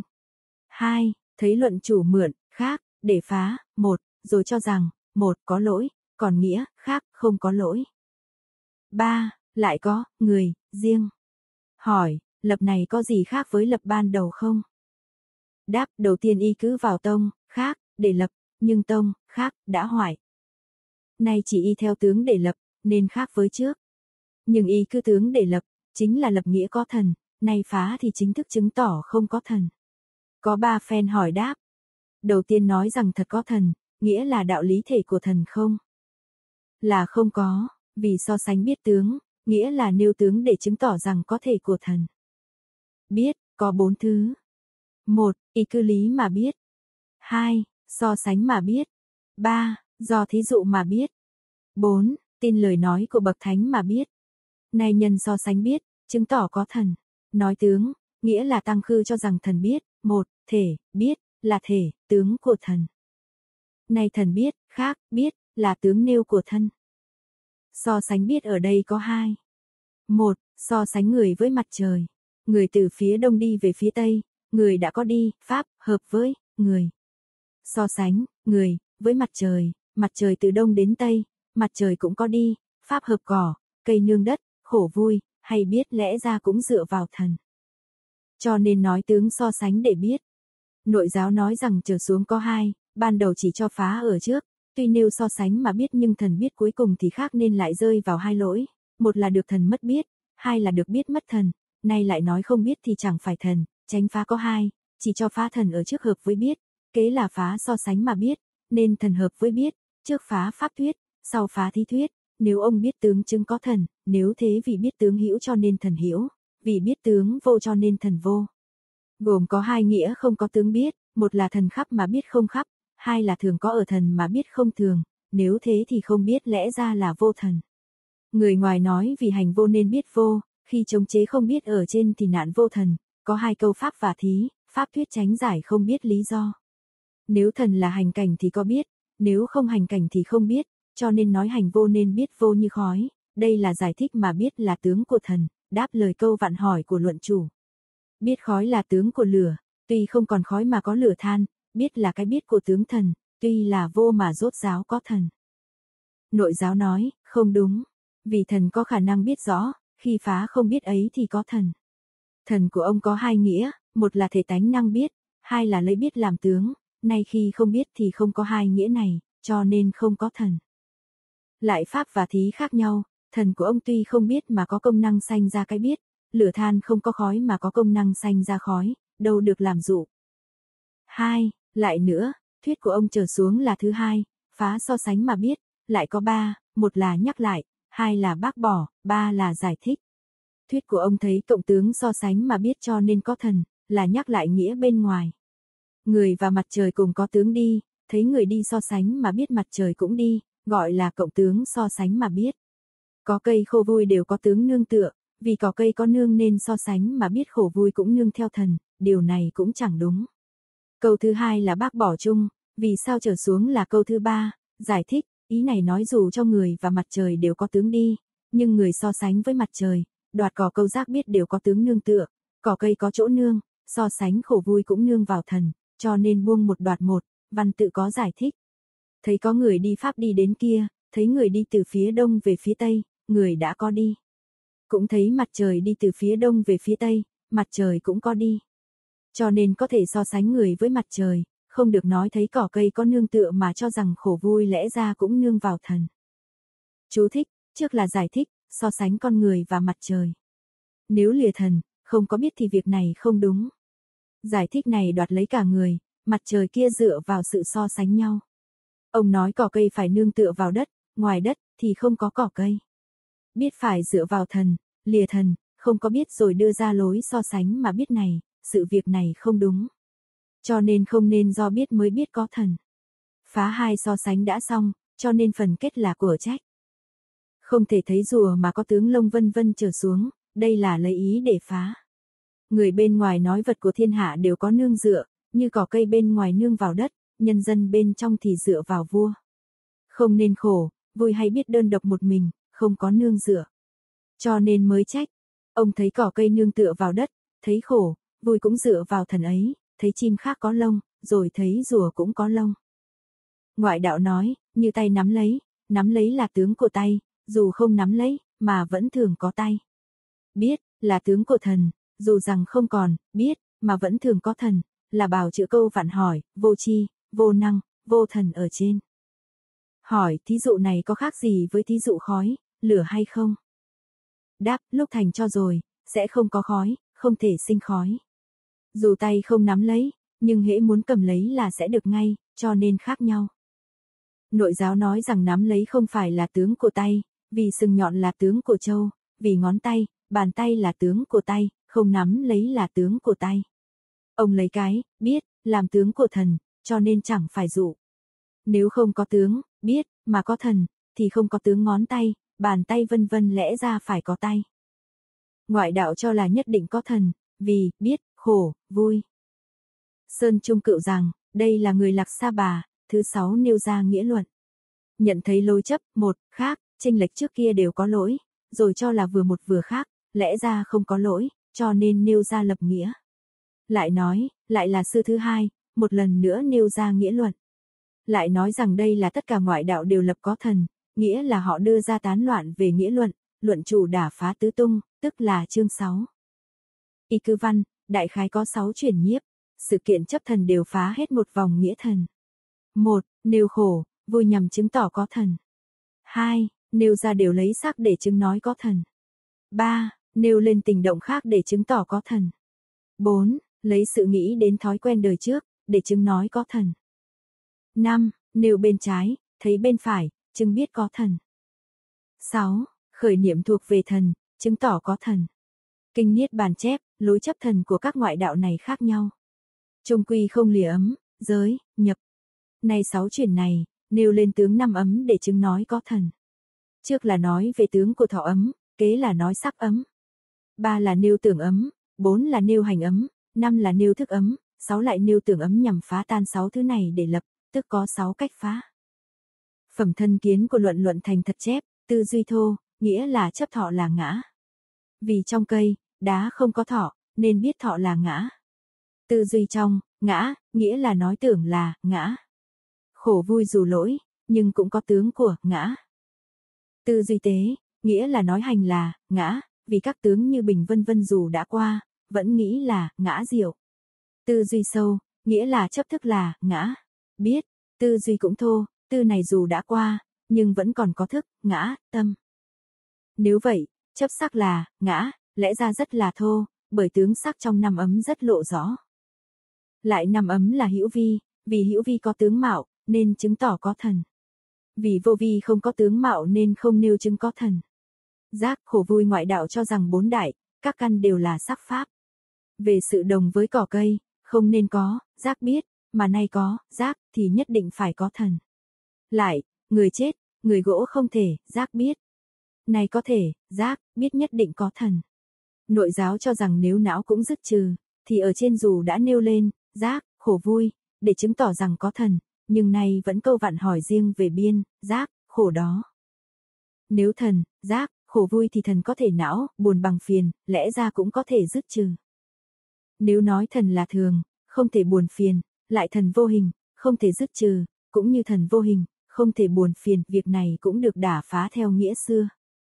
Lúc dứt trừ thân, thân thức có cảm giác buồn bực, thì thức cũng có thể dứt trừ. Thức vô hình không thể dứt trừ, thức vô hình, không thể. Vô hình nương tựa hữu hình, gây bức não hữu hình, cho nên vô hình có thể bức não, cũng dứt trừ hữu hình, vô hình có thể dứt trừ. Ngoại đạo nói rằng không đúng, vì không có xúc chạm, nên như hư không. Và chăng dứt trừ hại, thì sẽ do tướng và sự xúc chạm. Thần có xúc chạm, giao cũng có xúc chạm, nên có thể dứt trừ giao có xúc chạm. Thần không có xúc chạm, sao lại lấy cái có xúc chạm để dứt trừ cái không có xúc chạm ư?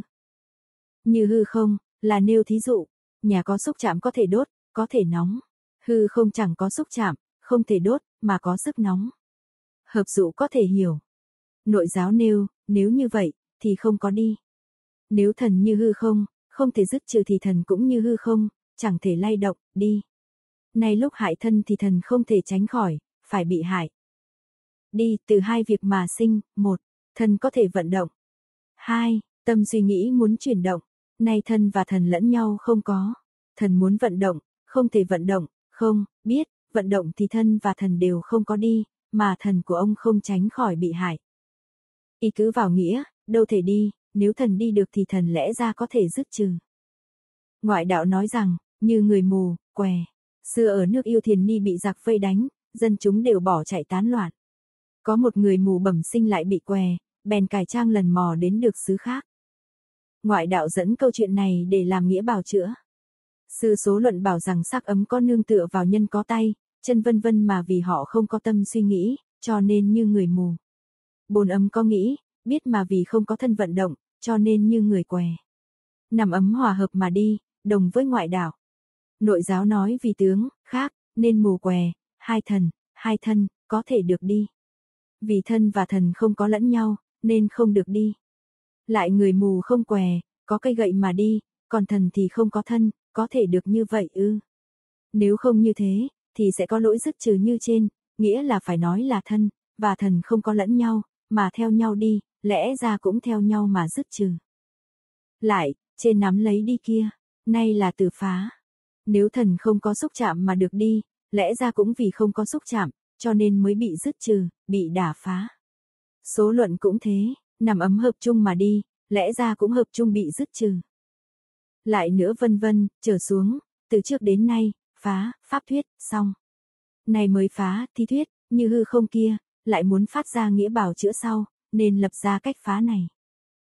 Hư không thật ra không nóng, lẽ ra thần cũng, thật sự không bức não. Hư không bèn có thể nóng, hư không lẽ ra có thể dứt trừ. Về nghĩa thần cũng như thế. Ngoại đạo cho rằng như chủ nhà buồn bực, hư không ở trên chẳng thể dứt trừ, chẳng thể nóng lên. Nghĩa này không thành, vì cho nên bỏ, hư không, dẫn chứng chủ nhà. Nội giáo nói vì vô thường nên đốt, luận chủ tra xét về nghĩa của người ngoài, nhằm phá pháp thuyết của họ. Nhà vô thường, có thể đốt, có thể nóng. Bên trong nhà trống, thường, không thể đốt, nóng. Thần vô thường có thể dứt trừ phiền não. Thần đã thường, không thể dứt trừ phiền não. Lại, chủ nhà, không khắp, có thể được lửa từ xa, thần của ông đã khắp, lẽ ra không tránh khỏi lửa. Nếu thần của ông đồng với hư không là thường, thì sẽ không có cảm giác buồn bực. Nếu đồng với vô thường của chủ nhà, thì đồng với lỗi dứt trừ ở trên. Lại, nếu thần là thường thì không thể tránh lửa, nếu có thể tránh lửa thì là vô thường. Ngoại đạo nói tất nhiên có thần, vì nhận lấy sắc vân vân. Thứ hai, là nêu, sắc ấm, để chứng nói có thần. Năm tình căn không thể mỗi tình đều biết được các trần, mà người có biết, đó là thần năng. Độc tử bộ cũng nói là, người trông thấy, đồng với nghĩa này.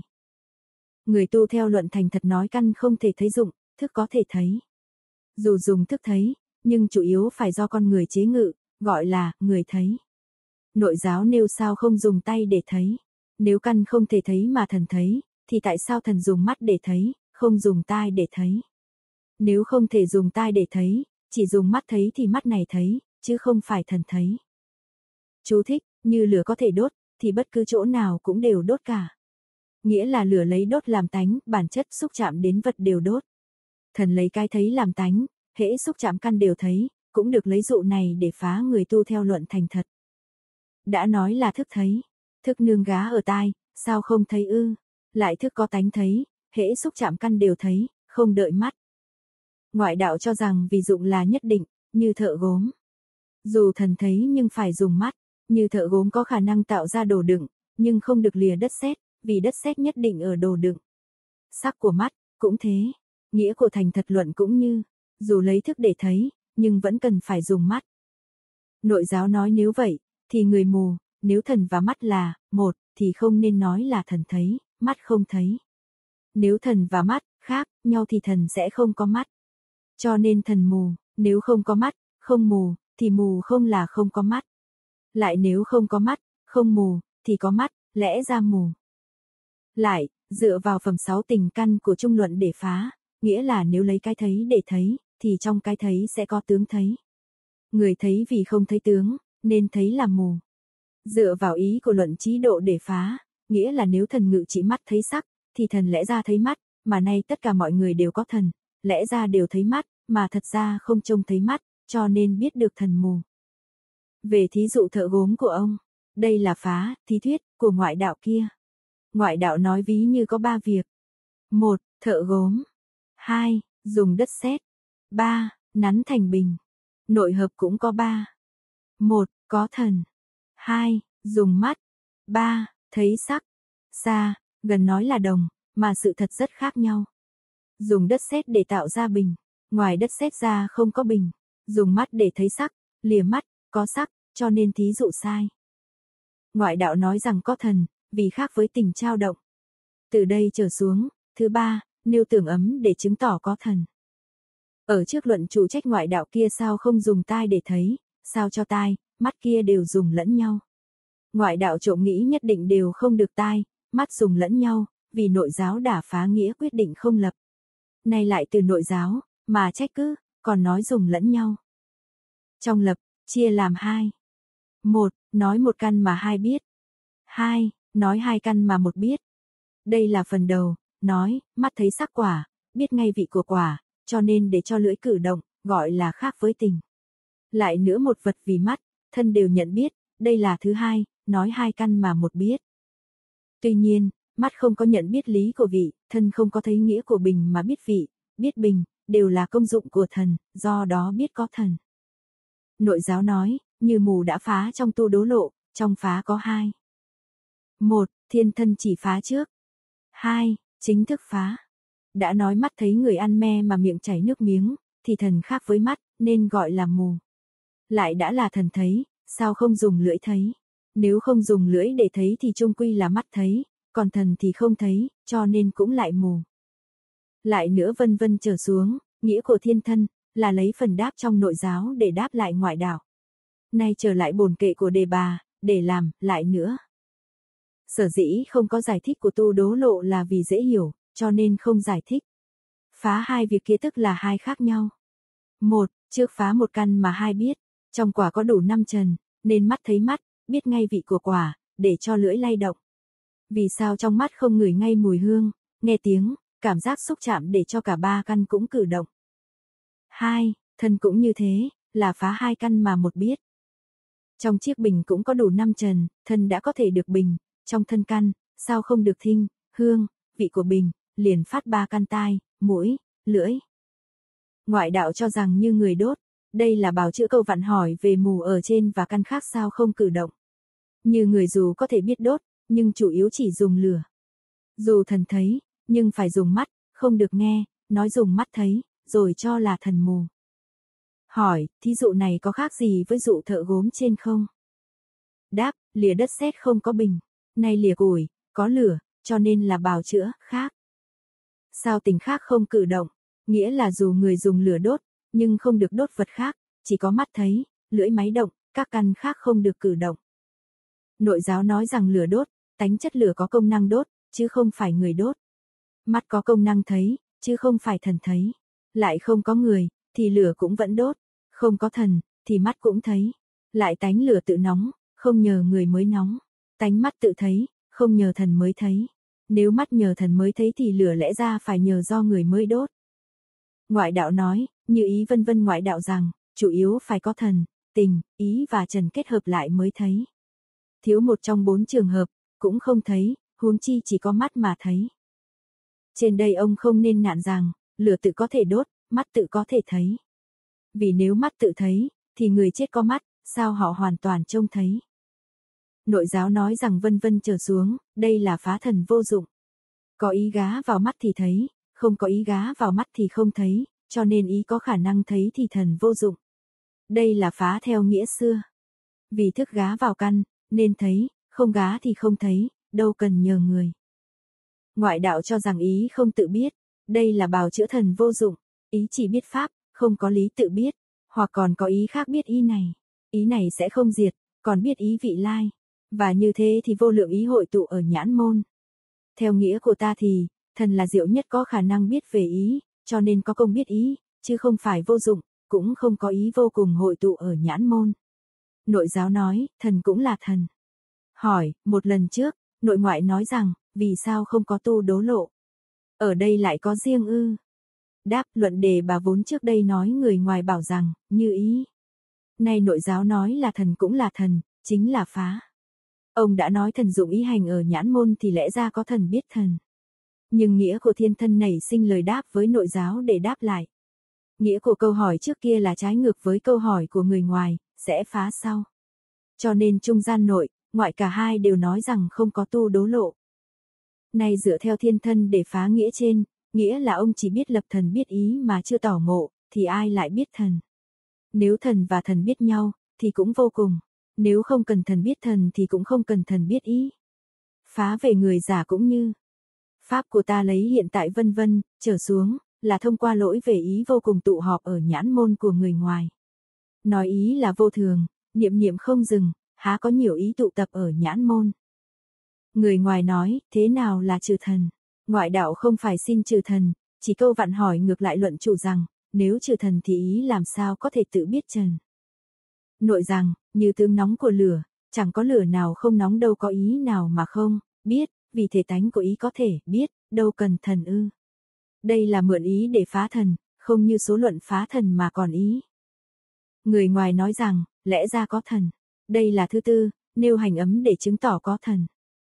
Trước là nêu chung có thần, nghĩ đến thói quen đời trước trở xuống, là nêu ra pháp hai đời để chứng có thần. Túc tập là thói quen tham ở đời quá khứ trở thành tham, sân quen trở thành sân. Nếu không có thần thống ngự, thì ai xui khiến thói quen ư? Lúc mới sinh thì hành lo mừng, là nêu đời hiện tại. Sân quen quá khứ khi sinh, biết lo, tham quen quá khứ lúc sinh, biết mừng. Hai đời liên tục gìn giữ không đứt là công của thần. Lại lúc sinh, không có người nào dạy bảo, khiến họ phải lo mừng, mà mới sinh, hành lo, mừng, đó là do thần xui khiến như thế. Mà nói là nối tiếp nhau sinh, nghĩa là thần khắp cả ba đời, không có tới lui, chỉ niệm lo, mừng có tới, lui. Quá khứ từng sinh, hiện tại mới khởi, vị lai sẽ sinh. Niệm quá khứ diệt, tiếp nối sinh hiện tại. Hiện tại 15 nối tiếp sinh vị lai, cho nên nói rằng nối tiếp nhau. Nội giáo nói rằng khắp, là niệm gì? Nghĩa là nếu thần kia đoạt khắp, niệm sinh, niệm chính là nỗi lo, mừng ở trên thần đã thường khắp. Thường khắp nghĩa là một, khắp năm đường, hai thì khắp sáu trần. Ở thần đã khắp mà khắp thì không có lý sinh ra niệm nữa. Nói về sinh ra niệm, chủ yếu phải đây có, kia không, cho nên bỏ nơi này, niệm ở chỗ khác. Thần đã thường khắp, chưa từng không niệm, nên không còn sinh niệm nữa, sao lại có bỏ ở đây, niệm ở kia. Hỏi, ở trên nêu ba đời để chứng nói về nghĩa có thần. Nay phá đời nào ư? Đáp, thần khắp ba đời. Trong ba đời đều không sinh ra niệm, nên phá trong ba đời sinh ra niệm. Lại nữa, nếu sinh ra niệm ở tất cả chỗ, thì trước kia đề bà mặc cho thần kia đoạt khắp nghĩa sinh ra niệm. Nay thiên thân tha hồ cho thần kia sinh ra niệm, chia ra hai môn để trách. Thần đã khắp, niệm cũng khắp, thì khắp trong năm đường, sáu trần, lẽ ra một lúc sinh ra niệm. Nếu niệm phân ra sinh, thì trước nói do niệm từ thần, thần khắp, niệm cũng khắp. Ở đây, do thần từ niệm, niệm đã phân ra sinh, thần cũng phân ra sinh. Lại nữa, hoặc thần không có biết, hoặc biết chẳng phải thần, là nói biết tự biết, thần không biết, lẽ ra cũng niệm tự niệm, thần không có niệm. Nếu biết, chẳng phải thần, nghĩa là nếu thần có thể biết, thì trở thành biết, không còn có thần nữa. Nếu thần đuổi theo niệm thì trở thành niệm, tức là không có thần. Việc này trước đây đã nói, nghĩa là đầu tiên phá năm lượt trong vệ thế sư, có hai lỗi này. Có người nói, nếu thần không có, biết, thì sẽ không thể biết. Nếu, biết, thì chẳng phải thần, nghĩa là, biết, không phải là tướng của thần. Lại giải thích việc này, trước là phá, như trong thí dụ khói. Nếu lúc không, biết, cũng có thần, thì nay đem cái, biết, kia để phá thần này. Nghĩa là lúc thần không sinh niệm, bấy giờ đã không có tướng niệm, cũng không có năng niệm. Ngoại đạo nói rằng, vì hợp nên niệm sinh, bào chữa cho khắp trên, làm sao niệm. Thể của thần thật khắp mà sinh ra niệm, nghĩa là thần tác ý tư lương về pháp này thì nảy sinh ra niệm. Đối với pháp kia, thần không để ý suy lường, thì không sinh ra niệm. Vì cho nên cho dù thần khắp mà có thể sinh niệm, thì vì sao thần khắp mà không sinh ra niệm ư? Chung cho câu vạn hỏi thứ hai, niệm do duyên phát, chứ không phải ngang bằng với thần, cho dù ở chỗ khác có thần, vẫn phải đợi, duyên, đầy đủ, mới được sinh ra niệm, vì lẽ không có tất cả duyên họp đủ trong cùng một lúc, cho nên không được khắp một lúc. Niệm thần dù phân tán, nhưng niệm niệm tự chúng có phân tán mà thần thì không phân tán. Chung cho câu vặn hỏi thứ ba, nghĩa là thần khiến cho niệm sinh, gọi là thần niệm, cho nên thần tiếp nhận tên niệm trong khi niệm thì thường chẳng phải là thần, cho nên không rơi vào vô thần. Chú thích vì thế lực phát, nghĩa là ý suy tính sự việc trước kia, gọi là thế phát. Dù thần phù hợp với ý, nhưng nếu chưa để ý suy gẫm việc trước kia thì niệm không sinh. Nội giáo nói rằng dù trước đả phá, nghĩa là, khắp, trên kia làm sao niệm cả ba môn để phá thần đã xong. Nay sẽ nói lại lần nữa. Dù thừa nhận sinh ra niệm, vẫn phải tra xét để trách cứ. Nếu thần biết được tướng, thì tự thần biết, đâu cần phải hợp với, ý, mới sinh ra niệm ư. Nếu chẳng phải, biết, tướng thì cũng như gỗ, đá, đâu thể sinh ra niệm. Lại, nếu niệm, biết, thì văn này đã phá, khắp, trước đâu cần niệm. Đúng ra là bổn kệ của đề bà, mà các lỗi đả phá ở trạng giữa đều là nghĩa của thiên thân lập ra hai kệ. Xưa là khác nhau, nghĩa là trước là đoạt phá, nói thần là thường, khắp, không nên sinh niệm. Nay nếu khai phá, cho dù thần sinh ra niệm, có thể, biết, trần đi chăng nữa, nhưng niệm sinh thì, biết, còn niệm không sinh thì không biết, cho nên niệm, biết, thần vô dụng. Người ngoài nói rằng, lẽ ra có thần bên trái, thì thấy, bên phải thì biết. Vì thế thứ năm, là nêu trái thấy, phải biết, tức là nêu thức ấm để chứng cho thần. Tuy nhiên, y theo mắt bệnh, mắt không bệnh đều được làm thí dụ cho thần. Một, như mắt bên phải bệnh, không nhìn thấy người, chỉ mắt trái thấy. Về sau, mắt phải lành, lại biết người mà mắt trái ở trước thấy. Nhưng thể của hai mắt khác nhau, không nên thấy bên trái, biết bên phải, nhờ có thần thống nhất, ngự trị, cho nên có thể như thế. Nội giáo, hợp chung hai mắt, mắt phải nhận biết, tức là nhận biết mắt, này đáp, mắt trái tự nó thấy, chứ không phải thần biết. Chỉ phá thấy mắt, tức phá, biết mắt, không cần đến hai phen phá, cho nên nói rằng hợp chung hai mắt. Hai, dùng kia để đáp đây, lấy đáp một để đáp ở hai lập, gọi là hợp chung, ở trước nói niệm sinh thì biết được niệm, không sinh thì không biết. Đây là niệm biết, không gọi thần biết, tức lấy đáp này để đáp ở hai mắt. Nếu có hai mắt thì có thể thấy thức, không có hai mắt thì không thấy thức. Đây là mắt có thể thấy thức, đâu cần thần, cho nên nói rằng hợp chung hai mắt. 3. Dựa vào ý của thiên thân lại không chia riêng môn phá, chỉ sau 2, trước 4, hợp thành 6 môn phá chung thấy phía trái, biết phải, cho nên nói rằng hợp chung hai mắt. Sở dĩ không còn đáp riêng mà chỉ đáp chung trước sau, vì gồm có hai nghĩa. Một, vì phá thần sắp xong. Từ trước đến nay, người ngoài lấy năm phen để bào chữa về nghĩa. Nay vì e rằng họ sẽ dẫn việc vô cùng, nên định ngăn ngừa lối bào chữa ở sau. Cho dù ông có đặt ra hàng ngàn manh mối đi nữa, cũng đều bị rơi vào các phá. 2. Muốn nói các môn ngang, dọc thông suốt vô ngại, nên nói bốn trường hợp sau. A. Lập 1, để phá 1. B. Lập nhiều, để phá nhiều. C. Lập 1, để phá nhiều. D. Lập nhiều, để phá một. Cho nên, chỉ tổng quát là phá nhiều, để lập một. Phần biết, không gọi là, biết, nghĩa là 7 lần lại nữa được chia làm 3, hai cách phá đầu dùng cho sau, bốn cách phá kế dùng cho trước. Một phá kế, sẽ phá, tức nói lên sau được phá trước, trước được phá sau. Lại nói rõ rằng sẽ phá. Một bộ luận có nghĩa phá của ba thế này. Thể của thần đã khắp, còn, biết, chỉ ở một phần. Chính có thể gọi là, phần biết, không gọi thần, biết, phối hợp. Này cũng như vậy, ở thần đã, khắp thấy, biết cũng, khắp, mà nay thấy nơi này, biết nơi kia, chỉ nên nói là phần thấy, phần biết, không nên nói thần thấy, thần biết. Lại nữa, nếu như vậy, thì không có biết phá thứ hai này. Nếu vì nói là, phần biết, nên gọi thần, biết, thì phần thấy biết, gọi thần thấy biết, lẽ ra từ phần nhiều không biết, gọi là không biết, từ phần nhiều không thấy biết, gọi là không thấy biết. Hai lần, lại nữa, này chỉ cho ở sau. Lại nữa, khắp, thì làm sao niệm, vì thần đã, khắp, không có lý vô niệm, lý thần cũng khắp, không sinh thấy biết. Lại nữa, nếu niệm biết là phá thứ tư. Nếu vì niệm, cho nên biết, không niệm thì không biết. Đây là niệm biết thần thì vô dụng, vì mắt nhìn nên thấy, không có mắt nhìn thì không thấy. Đây là mắt thấy, thần hóa ra vô dụng. Hai làm, lại nữa, này chỉ cho hai phá buông đoạt trong truyền thứ tư. Lại nữa, sao không dùng tai để thấy? Nghĩa là nếu nói là thần thấy, thần nhận biết thì tại sao không dùng tai trái để thấy cái, biết, của tai phải? Lại nữa nếu vậy là mù, nếu nói phải dùng mắt thấy, mắt biết, thì chẳng phải thần thấy, thần biết, nên thần không thấy. Đây là dẫn hai cách phá trong truyền thứ hai. Lại nữa, như mắt trái thấy trở xuống, là thứ bảy, nhà chú thích chính thức phá. Mắt có chia ra trái, phải mà không có thấy biết, thần có thể thấy, biết. Thần đã thường, khắp, không nên có phần này thì thấy, phần kia thì biết. Lại nếu dùng mắt trái để thấy mà không biết nhằm biểu lộ rõ công năng của thần, thì là thần không biết. Nếu dùng cái, biết, bên phải mà không thấy, rồi cho là có thần, thì đó chính là thần không có thấy. Như thế, thì sẽ có lỗi nhiều thần. Người ngoài cho rằng vì, niệm, thuộc thần, nên thần, biết, đây là chuyển thứ sáu, nêu, niệm, thuộc thần, do, thức, có thần. Có người nói, lại nữa thứ lớp trong bảy, lại nữa, của phần bào chữa. Nay cho rằng không đúng, vì bảy lần lại nữa, đều do thiên thân dẫn, không nên bào chữa. Lại nữa, đã có bảy lần phá thì đâu còn phần bào chữa riêng thứ tư. Nay nói đây là bào chữa sau cùng trong truyền thứ tư. Lại nữa, nếu có câu vạn hỏi về, niệm, biết, ở trên câu vạn hỏi rằng.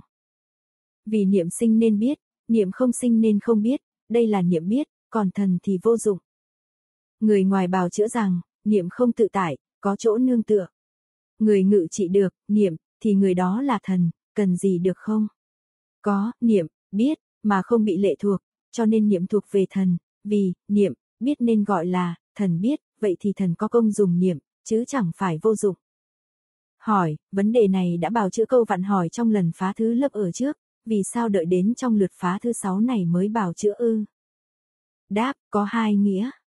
Một, vì lượt phá lần thứ sáu này nên tiếp theo đợt phá thứ lớp ở trước.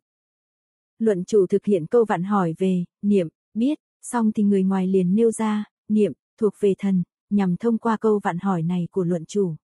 Luận chủ đả phá, niệm, lệ thuộc thần vừa xong, thì người ngoài liền nêu lên vấn đề thay bên trái, biết bên phải để chứng nói có thần. cho nên đáp chung hai mắt sau cùng để phá họ. Sở dĩ sau cùng, nói đáp chung về hai mắt, là vì hai nghĩa bào chữa của ngoại đạo vô cùng. Cho nên, sau cùng chỉ chung các cách phá để phá người ngoài. Dù ông lập lý rất nhiều đi nữa, vẫn không thoát khỏi sáu môn phá trước đây, mà nay đáp chung về hai mắt ở phen thứ năm là trái với sự ngộ nhận của luận giả. Không như thế, văn phạm là sai lầm. 2. Về lý, niệm, thuộc về thần, thật ra là lối bào chữa, nếu niệm biết, trong phen phá thứ tư trước, chỉ về lý đương thời bị khuất phục, lời cùng, chưa có dấu vết nào được bào chữa. Có riêng người khác nêu trái thấy, nhận biết phía phải, lại còn lập nghĩa. Phá lập nghĩa này xong, người kia lại nảy ra lối lo nghĩ khác, cho nên họ lại bào chữa lần bị phá trước kia. Để bà đối diện với người ngoài, lời qua tiếng lại. Trong phá lập, hay có hình thế đoạn, tục này, cho nên soạn ra để chỉ bày cho đời sau. Đó là lý do cuộc hỏi đáp không liên tiếp. Nội giáo nói rằng, không đúng, vì, phần biết, không gọi, biết, thể của thần đã, khắp, một phần sinh ra cái biết. Một phần nghĩa là năm đường, sáu trần, một xứ sinh. Đúng ra có thể là, phần biết, không gọi thần biết. Người ngoài nói cái biết của thần không phải là biết một phần. Điều này chứng tỏ rằng dù còn biết một phần, nhưng tên thần là biết. Như một thân, dù tay có làm bất cứ chuyện gì, cũng gọi là thân làm. Nội giáo nói rằng, nếu vậy thì không biết, ông lấy phần nhiều từ phần ít, thì thần gọi là, biết, lẽ ra cũng lấy ít từ nhiều, không biết, gọi là không biết. Người ngoài nói rằng, như áo bị đốt một phần, chữa thì lấy nhiều từ ít. Như một chiếc áo, nếu đốt một lỗ thì gọi là đốt áo, thần biết một phần gọi là thần biết. Nội giáo cho rằng đốt cũng như thế. Có hai thứ so sánh với trước. Một, nên gọi đốt một phần, không gọi là đốt. Hai, nếu đốt từ ít, thì gọi là đốt áo, thì cũng nên từ nhiều không đốt, gọi là không đốt. Hỏi, vì sao so sánh với phá? Đáp lấy ít theo nhiều, lấy nhiều theo ít, so sánh giống nhau vô cùng. Sợ người ngoài cứ dẫn dụ mãi không thôi, cho nên ngăn ngừa họ cứ bào chữa cho cái sau mãi mà so sánh phá. Phần 2. Phẩm thứ 3, phá 1. Môn phá tà có 2. 1. Phẩm phá thần nói, chúng sinh không, văn phần này đã trình bày xong. 2. Nay là phẩm thứ 27 là phá pháp, nói về pháp không. Nếu người lợi căn đã biết không có, người, thì liền ngộ vô pháp. Vì sao? Vì người là gốc, pháp là ngọn. Vì gốc không thật có nên ngọn không thật có. Hai, thứ người, pháp, đối đãi nhau. Không có người để đối đãi thì biết không có pháp. Chỉ có người độn căn chưa ngộ, dù biết không có, người, vẫn nói là có pháp, cho nên kế là phá pháp. Lại bệnh chấp thần của ngoại đạo chưa dứt, trên y theo phần bào chữa về thần, nghĩa thần đã không lập, từ đây trở xuống, là nêu pháp để chứng tỏ có thần.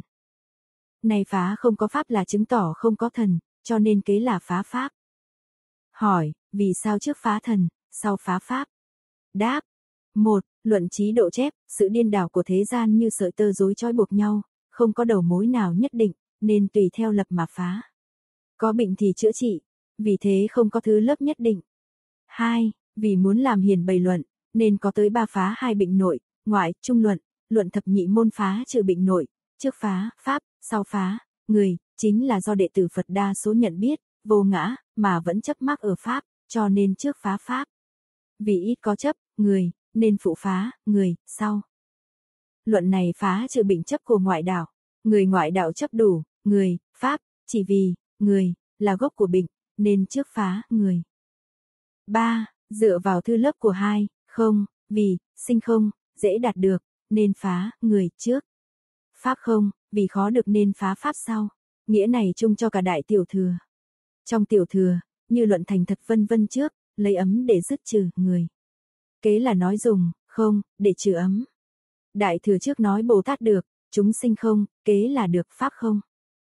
Lại trước phá, người, sau phá pháp, như các kinh đại phẩm, phương đẳng, vân vân phần nhiều lấy, ngã, để dụ cho muôn pháp. Nay cũng thế, trước vì, ngã, không thật có, nên sau nêu, ngã, để so sánh với pháp. Hỏi, hai, không, của đại, tiểu đồng khác ra sao? Đáp tiểu thừa cho rằng vì có, người, giả danh, có, pháp, ấm thật, nên do thật hơn giả, do, không, hơn thật, cho nên sư luận thành thật nêu, hạnh không vô ngã, dẫn văn luận rằng, không thấy chúng sinh trong năm ấm là không hạnh. Thấy ấm cũng không, là, hạnh vô ngã. Đại thừa nói, người, pháp, chưa hề, có, cũng chưa hề, không, cũng có, cũng không có, năm quan điểm như thế, chỉ vì chúng sinh chấp mắc nghiêng về bệnh có. Cho nên, nói không, nếu bệnh có trừ, nghĩa không cũng bỏ. Giáo hóa thích nghi, giáo không có tướng cố định. Lại hỏi, luận này phá, người, pháp, vì chỉ là đại thừa, hay là chung? Đáp, đủ ba nghĩa. Một, theo các kinh như lăng giả vân vân, các luận sư nhiếp đại thừa, vân vân, nói nhị thừa chỉ được, người vô ngã, Bồ Tát được, Pháp vô ngã, thì trước kia phá, người, là nói tiểu thừa, nay phá, Pháp, là nói đại thừa.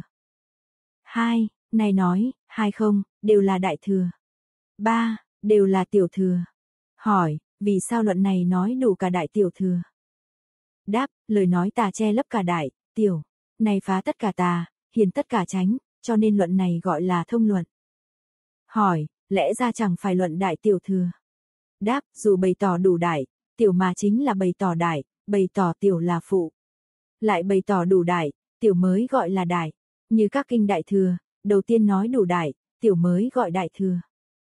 Hỏi, luận này phá, người, pháp, có khác gì với trung luận không?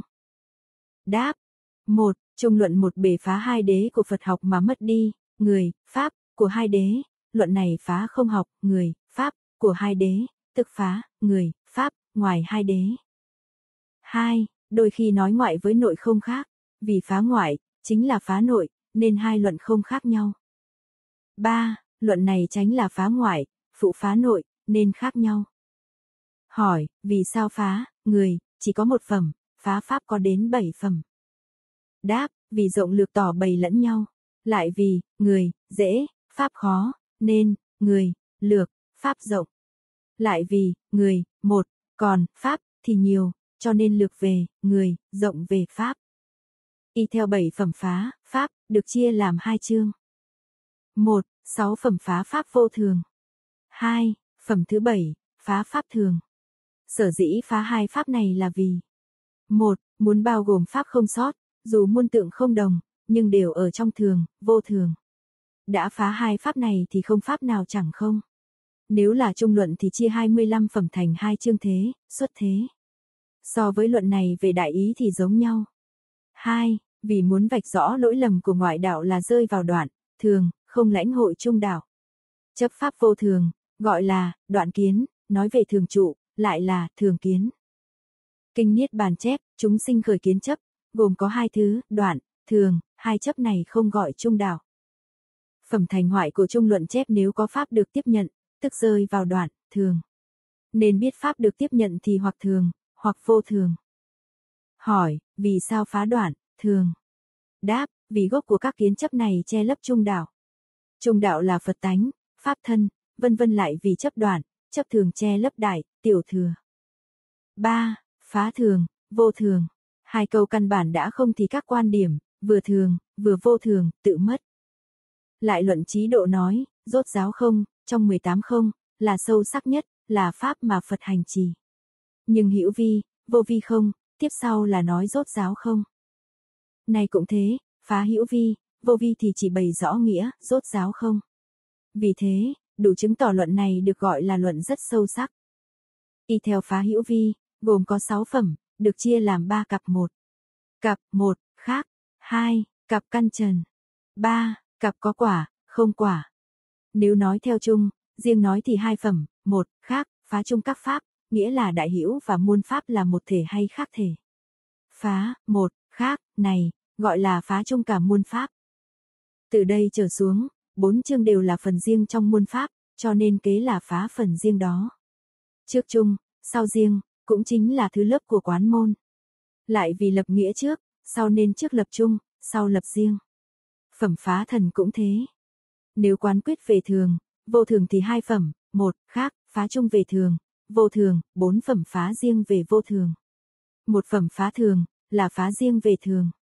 Đầu tiên phá chung về thường, vô thường, nghĩa là hai nhà chấp đại hữu là thường, muôn pháp vô thường. Này phá một thể, khác thể chung, riêng, tức là phá một thể, khác thể của thường, vô thường, nên gọi phá chung về thường, vô thường. Tình căn trần, có quả, không có quả là pháp vô thường, này dễ biết. Năm thứ pháp thường gọi là thường, nên năm phẩm kế, phá thường, vô thường. Trước chung, sau riêng là lập nghĩa của thể thường, lại vừa là thứ lớp của quán môn. Hỏi, luận này tự phá, một khác, của ngoại đạo, đối với người thời này có ích gì? Đáp quan điểm, một khác, của ngoại đạo ở Thiên Trúc rất thịnh, chính là trở ngại cho chánh giáo của Phật. Nhờ đề bà đả phá ngoại đạo, nên Phật giáo mới phục hưng ở đời, gọi là lợi ích lớn. Hỏi, đó là lợi ở Thiên Trúc, chứ có ích gì cho Trung Quốc? Đáp, người thời nay lập nghĩa đại thể đồng với ngoại đạo. Như lập thế đế là chung, môn pháp là riêng, đã đồng với ngoại đạo thì chính là chướng ngại cho pháp Phật. Này đã phá thế đế về chỗ chấp có sở đắc, vì chung riêng đều không thành, nên cũng không có chân đế. Tánh này vô tận, mới bày tỏ được hai đế nhân duyên của Pháp Phật. Lại sư thập địa có sở đắc, chấp nghĩa của sáu tướng, nghĩa là tướng, đồng, tướng, khác, tướng chung, tướng riêng, tướng thành và tướng hoại, cũng đồng với việc phá ở đây. Lại, ngoại đạo thế gian chấp về có sở đắc, đại tiểu thừa đều nói nội thân là chung, đầu chân là riêng. Bình là chung, bốn trần là riêng. Vì có chung, biệt riêng này nên sinh ra nghiệp khổ phiền não. Này tìm chung, riêng không từ đâu phát sinh thì nghiệp khổ phiền não sẽ không khởi, gọi là được giải thoát, đây chính là lợi lớn. Hai phẩm đầu tức hai khác nhau, trước phá, một, sau phá, khác, gồm có bốn nghĩa. Một, một nhà xuất hiện ở đời trước nhất. Hai, sự thạnh hành ở thiên trúc. Ba, nêu nghĩa khéo léo. Bốn, một, là đứng đầu của các câu. Riêng về, một, có hai thứ, A, một chung, tức số một chung cho hai nhà. B, một riêng nghĩa là một thể của chung, riêng. Này phẩm này chính là phá một thể của chung, riêng. Vì phá, một riêng, nên gọi là phẩm. Hỏi, luận thành thật phá đủ bốn chấp như, một, vân vân nghĩa là, một, khác, và không thể nói, kể cả chấp không nay vì sao chỉ phá, một khác? Đáp phẩm phá, không, đã phá đủ về, không thể nói, và phá cả, không. Cho nên hai phẩm này chỉ phá, một khác. Hỏi, nếu vậy, thành thật phá đủ bốn thứ có khác gì với việc phá của phẩm này? Đáp, thành thật kia y theo ở môn tiểu thừa để phá bốn. Này y theo môn đại thừa để phá bốn. Thành thật kia phá bốn xong, thì lập nghĩa tiểu thừa. Luận này nói mà không giữ lấy, phá mà không có gì để lập cả. Phẩm này chia làm hai. Một, lập chung, phá chung. Hai, lập riêng, phá riêng. Ngoại đạo cho rằng, phải có thần, có một bình, vân vân, thần là sở hữu. Ở phẩm trước, lấy nghĩa thần để bào chữa cho thần đã không lập, nay lấy pháp để bào chữa cho thần. Có, là chung, nơi muôn pháp đều có. Bình, đây là riêng. Lại, trên đỉnh đầu của ngoại đạo có chu la tròm tóc chấp là, cây gậy kỳ lạ. Người tu pháp tịnh, phần nhiều mang bình đi, nên nêu bình, để khởi sự biện luận. Một, là tên số, lấy số một ở muôn pháp. Hỏi, đại hiểu, thuộc đế nào trong 25 đế? Đáp lấy chung, riêng để phân tích, thì đại hiểu là chung, 25 đế là riêng, lấy, người, pháp, để phân tích thì thuộc về pháp. Vì cho nên văn này nói rằng, có một bình, vân vân là sở hữu của thần. Hỏi, đại hữu mà ngoại đạo lập có gì khác với nội giáo? Đáp, người khác môn pháp chung bên ngoài, gọi là hữu, mà thể của hữu là thường, đồng một thể với môn pháp. Về nghĩa của nội giáo cũng gồm môn pháp gọi là thế đế, nhưng không có một thế đế riêng là thường, đồng một thể với môn pháp. Cho nên, là khác, nghĩa của nội giáo, gồm bốn vị giả nói là bình, không có bình thật riêng là một với hữu. Nay trách, nắm cả bình, áo thành thế đế, không có thế đế riêng chung. Cũng nằm ấm để thành, người, không có, người, riêng. Nhờ bốn trần để thành cột, lẽ ra không có cột riêng, mà theo nghĩa của trang nghiêm thì người giả thể của cột riêng, lẽ ra thể của thế đế giả riêng. Khai thiện lẽ ra cũng có dụng của thế đế giả riêng. Lại dù nói là giả, nhưng trung quy có cái giả này đâu có khác gì với ngoại đạo. Lại tăng khư chỉ bình là, có, chỉ bình là, một.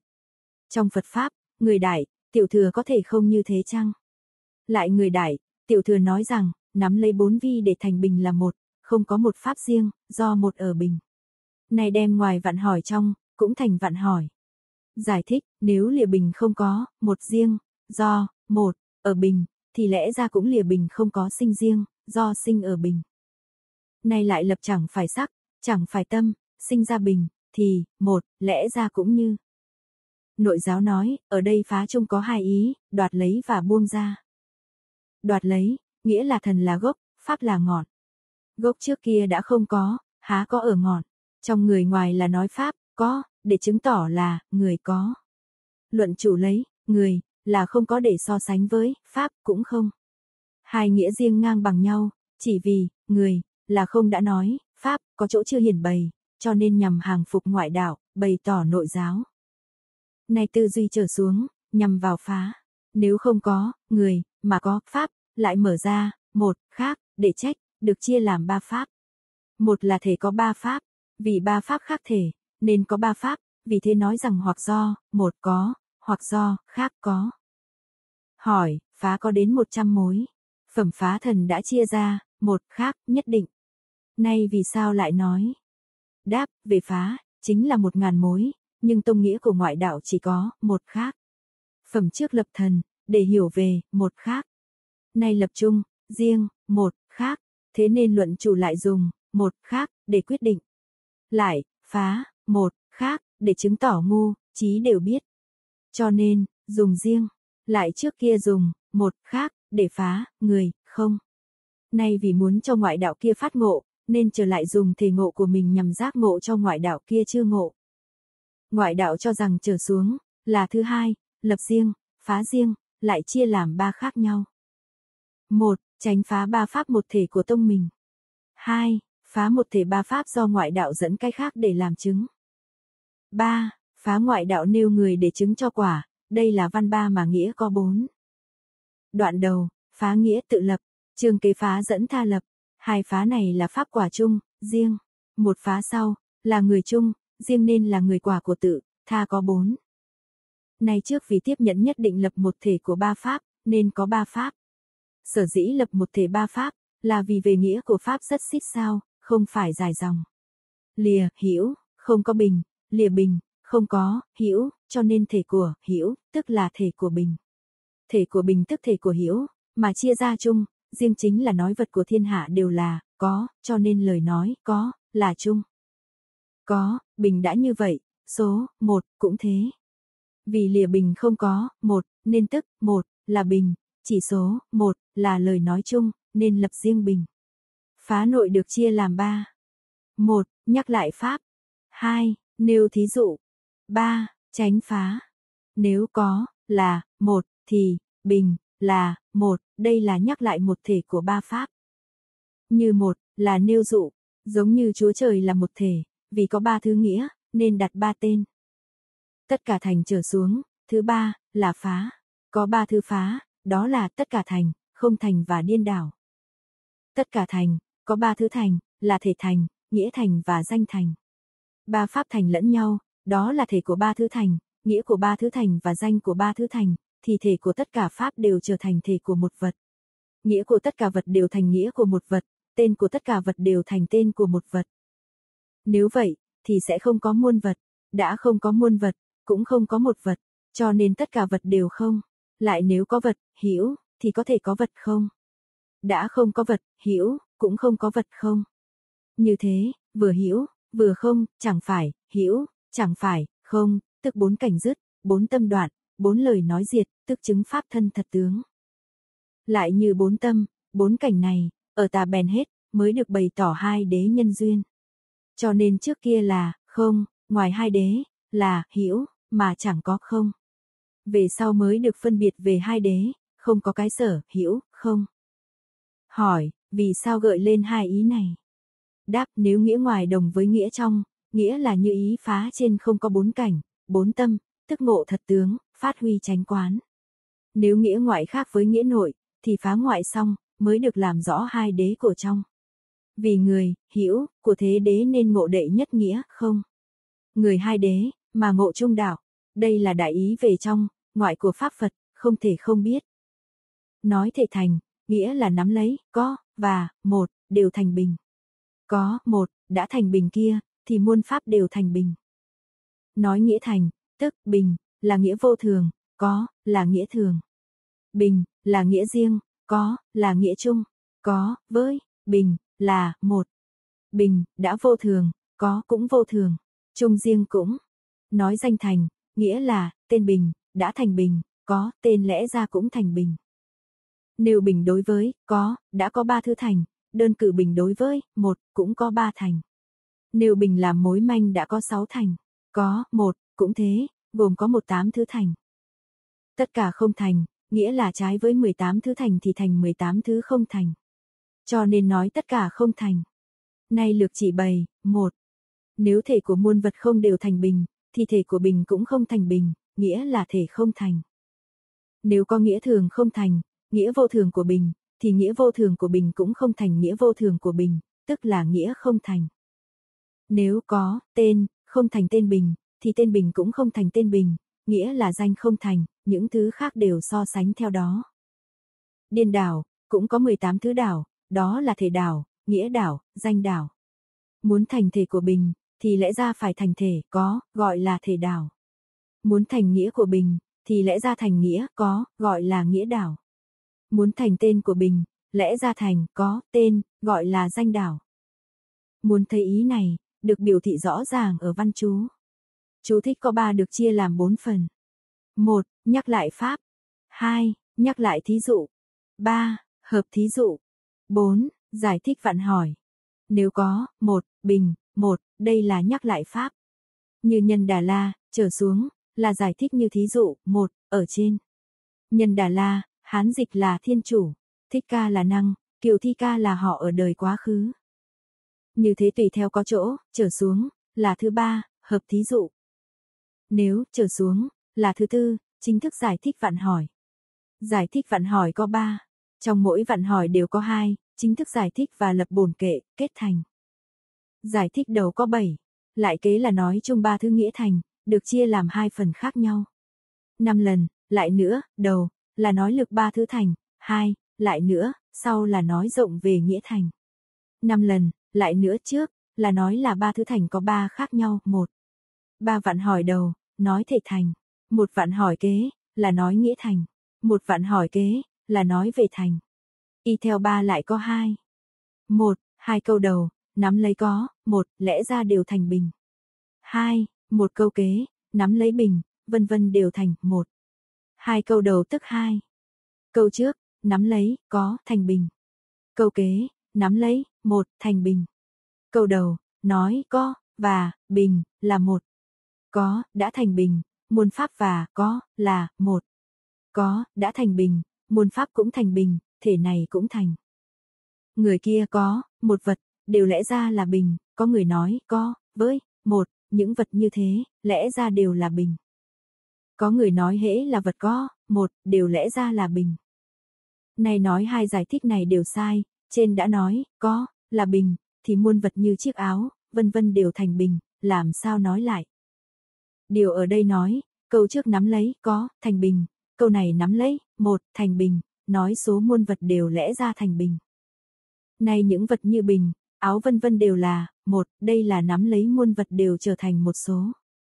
Lại, vì có thường nên muôn vật lẽ ra cũng thường. Đây là nắm lấy muôn pháp đều trở thành, có, tức là nghĩa thành, chỉ vì ngoại đạo cho muôn vật thành, có, không gọi là lỗi. Này y theo, đại hữu chỉ nói nghĩa thành, có, lấy, thường, khắp, làm nghĩa. Một chiếc bình đã là, có, lẽ ra cũng, thường, khắp. Lại nữa, nếu nói, có, thì nói, một, bình. Đây là nói về thành. Này muốn đổi vật, chỉ nên đổi, có, tức được tất cả vật, bởi vì có, không khác với muôn vật. Sở dĩ ở đây là, nói thành, nghĩa là, thuyết nói có tức trở thành lý do thuyết nói bình. Lại nữa, một, là số, từ trên đến đây có 5 lần, lại nữa, nói lực ba thứ thành xong. Hai lần, lại nữa, này, y theo lần nữa một bình, để nói về nghĩa thành kia. Một, đã là nghĩa số, có, bình cũng là nghĩa số. Lại nữa thứ hai, y theo bình, câu kết làm ba đều, hai pháp đầu là một với, bình, thì đồng với bình, đều có đủ năm thân. Kế là đồng với bình đều có hình. Ba là, đồng với, bình, đều là vô thường, sẽ có, một, đồng với, bình, đã có ba thứ này, do, bình, có, đồng với, một, cũng có ba thứ này, cho nên ba pháp đều không có số, đều không có hình, đều không có năm. nay chỉ vì lấy điều thiết yếu, nên nói riêng về, bình. Là gọi như, một, trở xuống, là thứ hai, nhắc lại bổn kệ, để tổng kết, là gọi như, một, là nhắc lại lập. Tất cả thành, nhắc lại phá. Trong phá không thành có bốn lần, lại nữa, là nói ba không thành. Hai, lại nữa, đầu, là nói thể không thành. Một lần, lại nữa kế, là nói danh không thành. Một, lại nữa, sau là nghĩa không thành. Lại vì trái với ba thành trên, nên có ba không thành.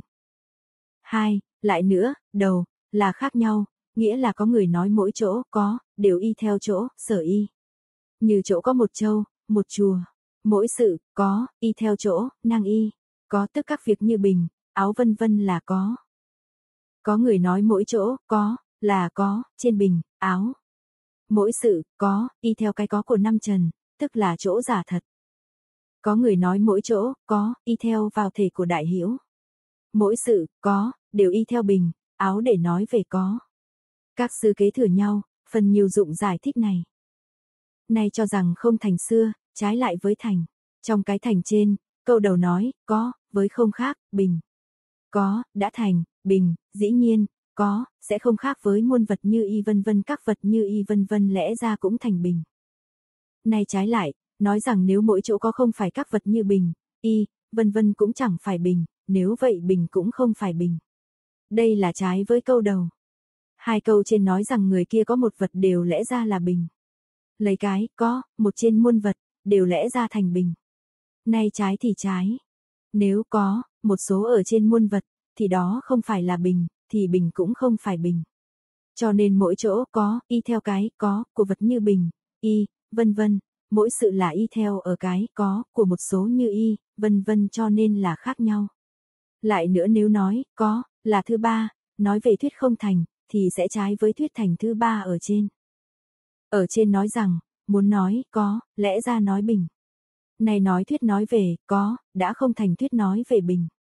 Này thuyết nói về bình cũng không nên trở thành thuyết nói về bình. Lại nữa nếu, có, chẳng phải bình trở xuống, có người nói câu này quá dườm già. Thông thường, nói về cái, có, không ngoài hai điểm. Một, chỗ chỗ, có, gọi là có chung. Hai, sự sự, có, tức là có, riêng.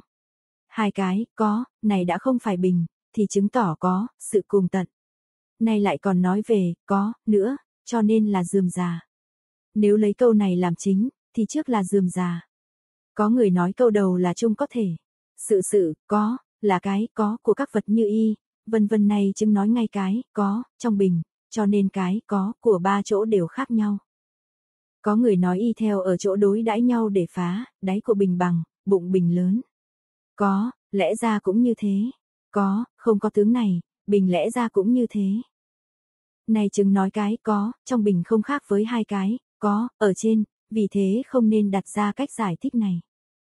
Này nói y theo về nghĩa không thành này để nạn họ, trái với nghĩa thành trên. Có, là nghĩa thường. Về nghĩa chung đã chẳng phải bình. Bình là nghĩa riêng của vô thường. Cũng chẳng phải bình. Thứ hai, là tổng kết như văn. Trong giải thích về điên đảo có hai câu vặn hỏi. Phần đầu 7, giữa 4, sau 2, nghĩa là giải thích rộng hẹp bày tỏ lẫn nhau. Lại chỉ bày ba môn. 1. Môn rộng. 2. Môn xứ chung. 3. Môn nói lược. Hai câu vạn hỏi, tức có hai. 1. Nói danh đảo. 2. Biện chung về nghĩa thể có hai đảo. Danh đảo, nghĩa là muốn gọi bình, lẽ ra gọi, có, muốn gọi, có, lẽ ra gọi bình. Lại nữa, bình của ông Thành là thứ hai, hợp nói về hai đảo của nghĩa thể, thì thể của bình mới thành. Ngoài bình, có, một, lẽ ra đều thành. Về nghĩa riêng của nghĩa bình vô thường đã thành. Ngoài bình ra, có một nghĩa thường chung lẽ ra cũng thành. Ngoài bình ra, có, một thể đã thành bình lẽ ra cũng thành. Nghĩa thường chung của có, đã vốn thành, nghĩa vô thường riêng của bình lẽ ra cũng thành. Lại nữa, bình vô thường mới thành, đại hiểu cũng vô thường mới thành, có, đã là thường, gọi là vốn thành, bình lẽ ra cũng như thế. Ngoại đạo cho rằng vì vật có một, nên không có lỗi. Văn này có hai câu. Một, vật có, một, tự lập tông. Không có lỗi chung cho ba vạn hỏi. Tự lập tông, nghĩa là thuyết của nghĩa ngoại đạo, đều không được bao gồm riêng. Như người trong miệng, nói thẳng cần gì phải bao gồm bình, vì tất cả vật đều có, trong miệng nói thẳng một cần gì phải gồm cả bình, vì tất cả vật đều có một. Nói riêng, tất nhiên là bao gồm chung. người ngoại đạo kia đã nói là bình thì biết ngay vì phải không có, nên ắt là có. Người ngoại đạo kia đã nói bình, há là hai vật thể, nên phải là một. Hai, thông qua vạn hỏi trên, nghĩa là trên vạn hỏi rằng, có, không khác với bình. Có, không khác với muôn vật. Có, đã thành bình thì cả muôn vật đều thành bình, việc này không đúng. Vì lẽ nếu, có chung, bao gồm bình riêng, có chung đã thành bình, thì muôn vật đều thành bình. Do có, chung không bao gồm bình, thì có, chung không thành bình. Có chung đã không thành bình, thì muôn vật cũng không thành bình. Cho nên không có lỗi, tất cả thành. Thông qua vạn hỏi không thành, vạn hỏi rằng, có chung đã không thành bình, bình cũng không thành bình thì không đúng, vì bình bao gồm được, có, vì bình, có, tự thành bình, nên thể của bình được thành. Do đó không có lỗi tất cả không thành, cho nên lấy, hai, không bao gồm bình thì xuất qua vạn hỏi tất cả không thành. Thông qua vạn hỏi thứ ba, trước vạn hỏi rằng, nói, có, lẽ ra nói bình, nói bình lẽ ra nói, có, ấy là không đúng, vì có chung không bao gồm bình, nên nói, có, khi không được bình. Tất nhiên, bình gồm ở có, cho nên nói vì, bình tự được bình, thành thử không có lỗi tất cả điên đảo. Cả hai dùng hai, không bao gồm bình, bình không bao gồm hai. Đáp vạn hỏi thứ ba. Ba vạn hỏi về tông chỉ lớn đã thông suốt qua, trong đó các chi tiết không nói, vì chúng tự dứt trừ. Phần chú thích chia làm hai. Một, y theo thể chung riêng, thể riêng bao gồm chung, thể của thể chung không bao gồm thể riêng. Hai, y theo vào chung riêng, nói riêng, thì bao gồm chung. Nói chung không bao gồm riêng. Nêu lược về danh của thể, muôn nghĩa đều bao gồm. Nội giáo cho rằng bình có hai, vì sao hai không có bình? Trước kia nhất định ba vật một thể, ông nói là hai trong ba vật thể chung cho, một riêng. Riêng được bao gồm chung, chung không bao gồm riêng. Nhưng chung, riêng này cuối cùng là, một thể. Đã là một thể nên với lấy bốn vạn hỏi. Nếu, một, thể ba vật thì cả ba vật đều bao gồm nhau. Một, nói, đều cùng không thuộc nhau. Hai, nói, bình bao gồm hai, có thể là một thể với hai, hai không bao gồm bình, lẽ ra khác thể với hai. Ba, nói, bình không khác với hai, hai không khác với bình, mà nói là bình gồm hai, hai không gồm bình, lẽ ra cũng hai bao gồm bình, bình không bao gồm hai. Trong phần giải thích chia làm hai, là nhắc lại và trách. Nếu có, một, bình một câu này nhắc lại một thể của ba vật, từ câu, vì sao, trở xuống, là thứ hai, trách cứ, lại có hai. Một, trách cứ thể bao gồm, không bao gồm. Hai, lại nữa, trở xuống, là trách thuyết bao gồm, không bao gồm. Trên đã nói hai chung, nay lại trách cả hai. Ngoại đạo nói có bình trong bình, là nhất định. Đáp, bình ở trên có hai, hai lý do không có bình, nay trước là chia ra bốn câu. Bình, có, gồm hai, không gồm hai. Có, bao gồm bình, không bao gồm bình, nên thành bốn câu. Người chấp bình bao gồm bình, hai không bao gồm ở chung cả hai, cho nên nói là bình bao gồm hai, không bao gồm hai.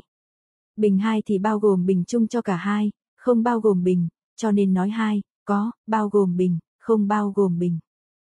Hỏi, nếu như vậy, hai bao gồm bình, không bao gồm bình. Bình bao gồm cả hai, không bao gồm hai. Sao lại đáp rằng bình bao gồm hai, hai không bao gồm bình ư? Đáp, người chấp bình bao gồm bình có hai, nên bình được thì ở hai. Vì chung cả hai không bao gồm bình nên hai không tức ở bình. Cho đến văn này đã đi suốt qua ba vạn hỏi trên, mới được rõ ràng.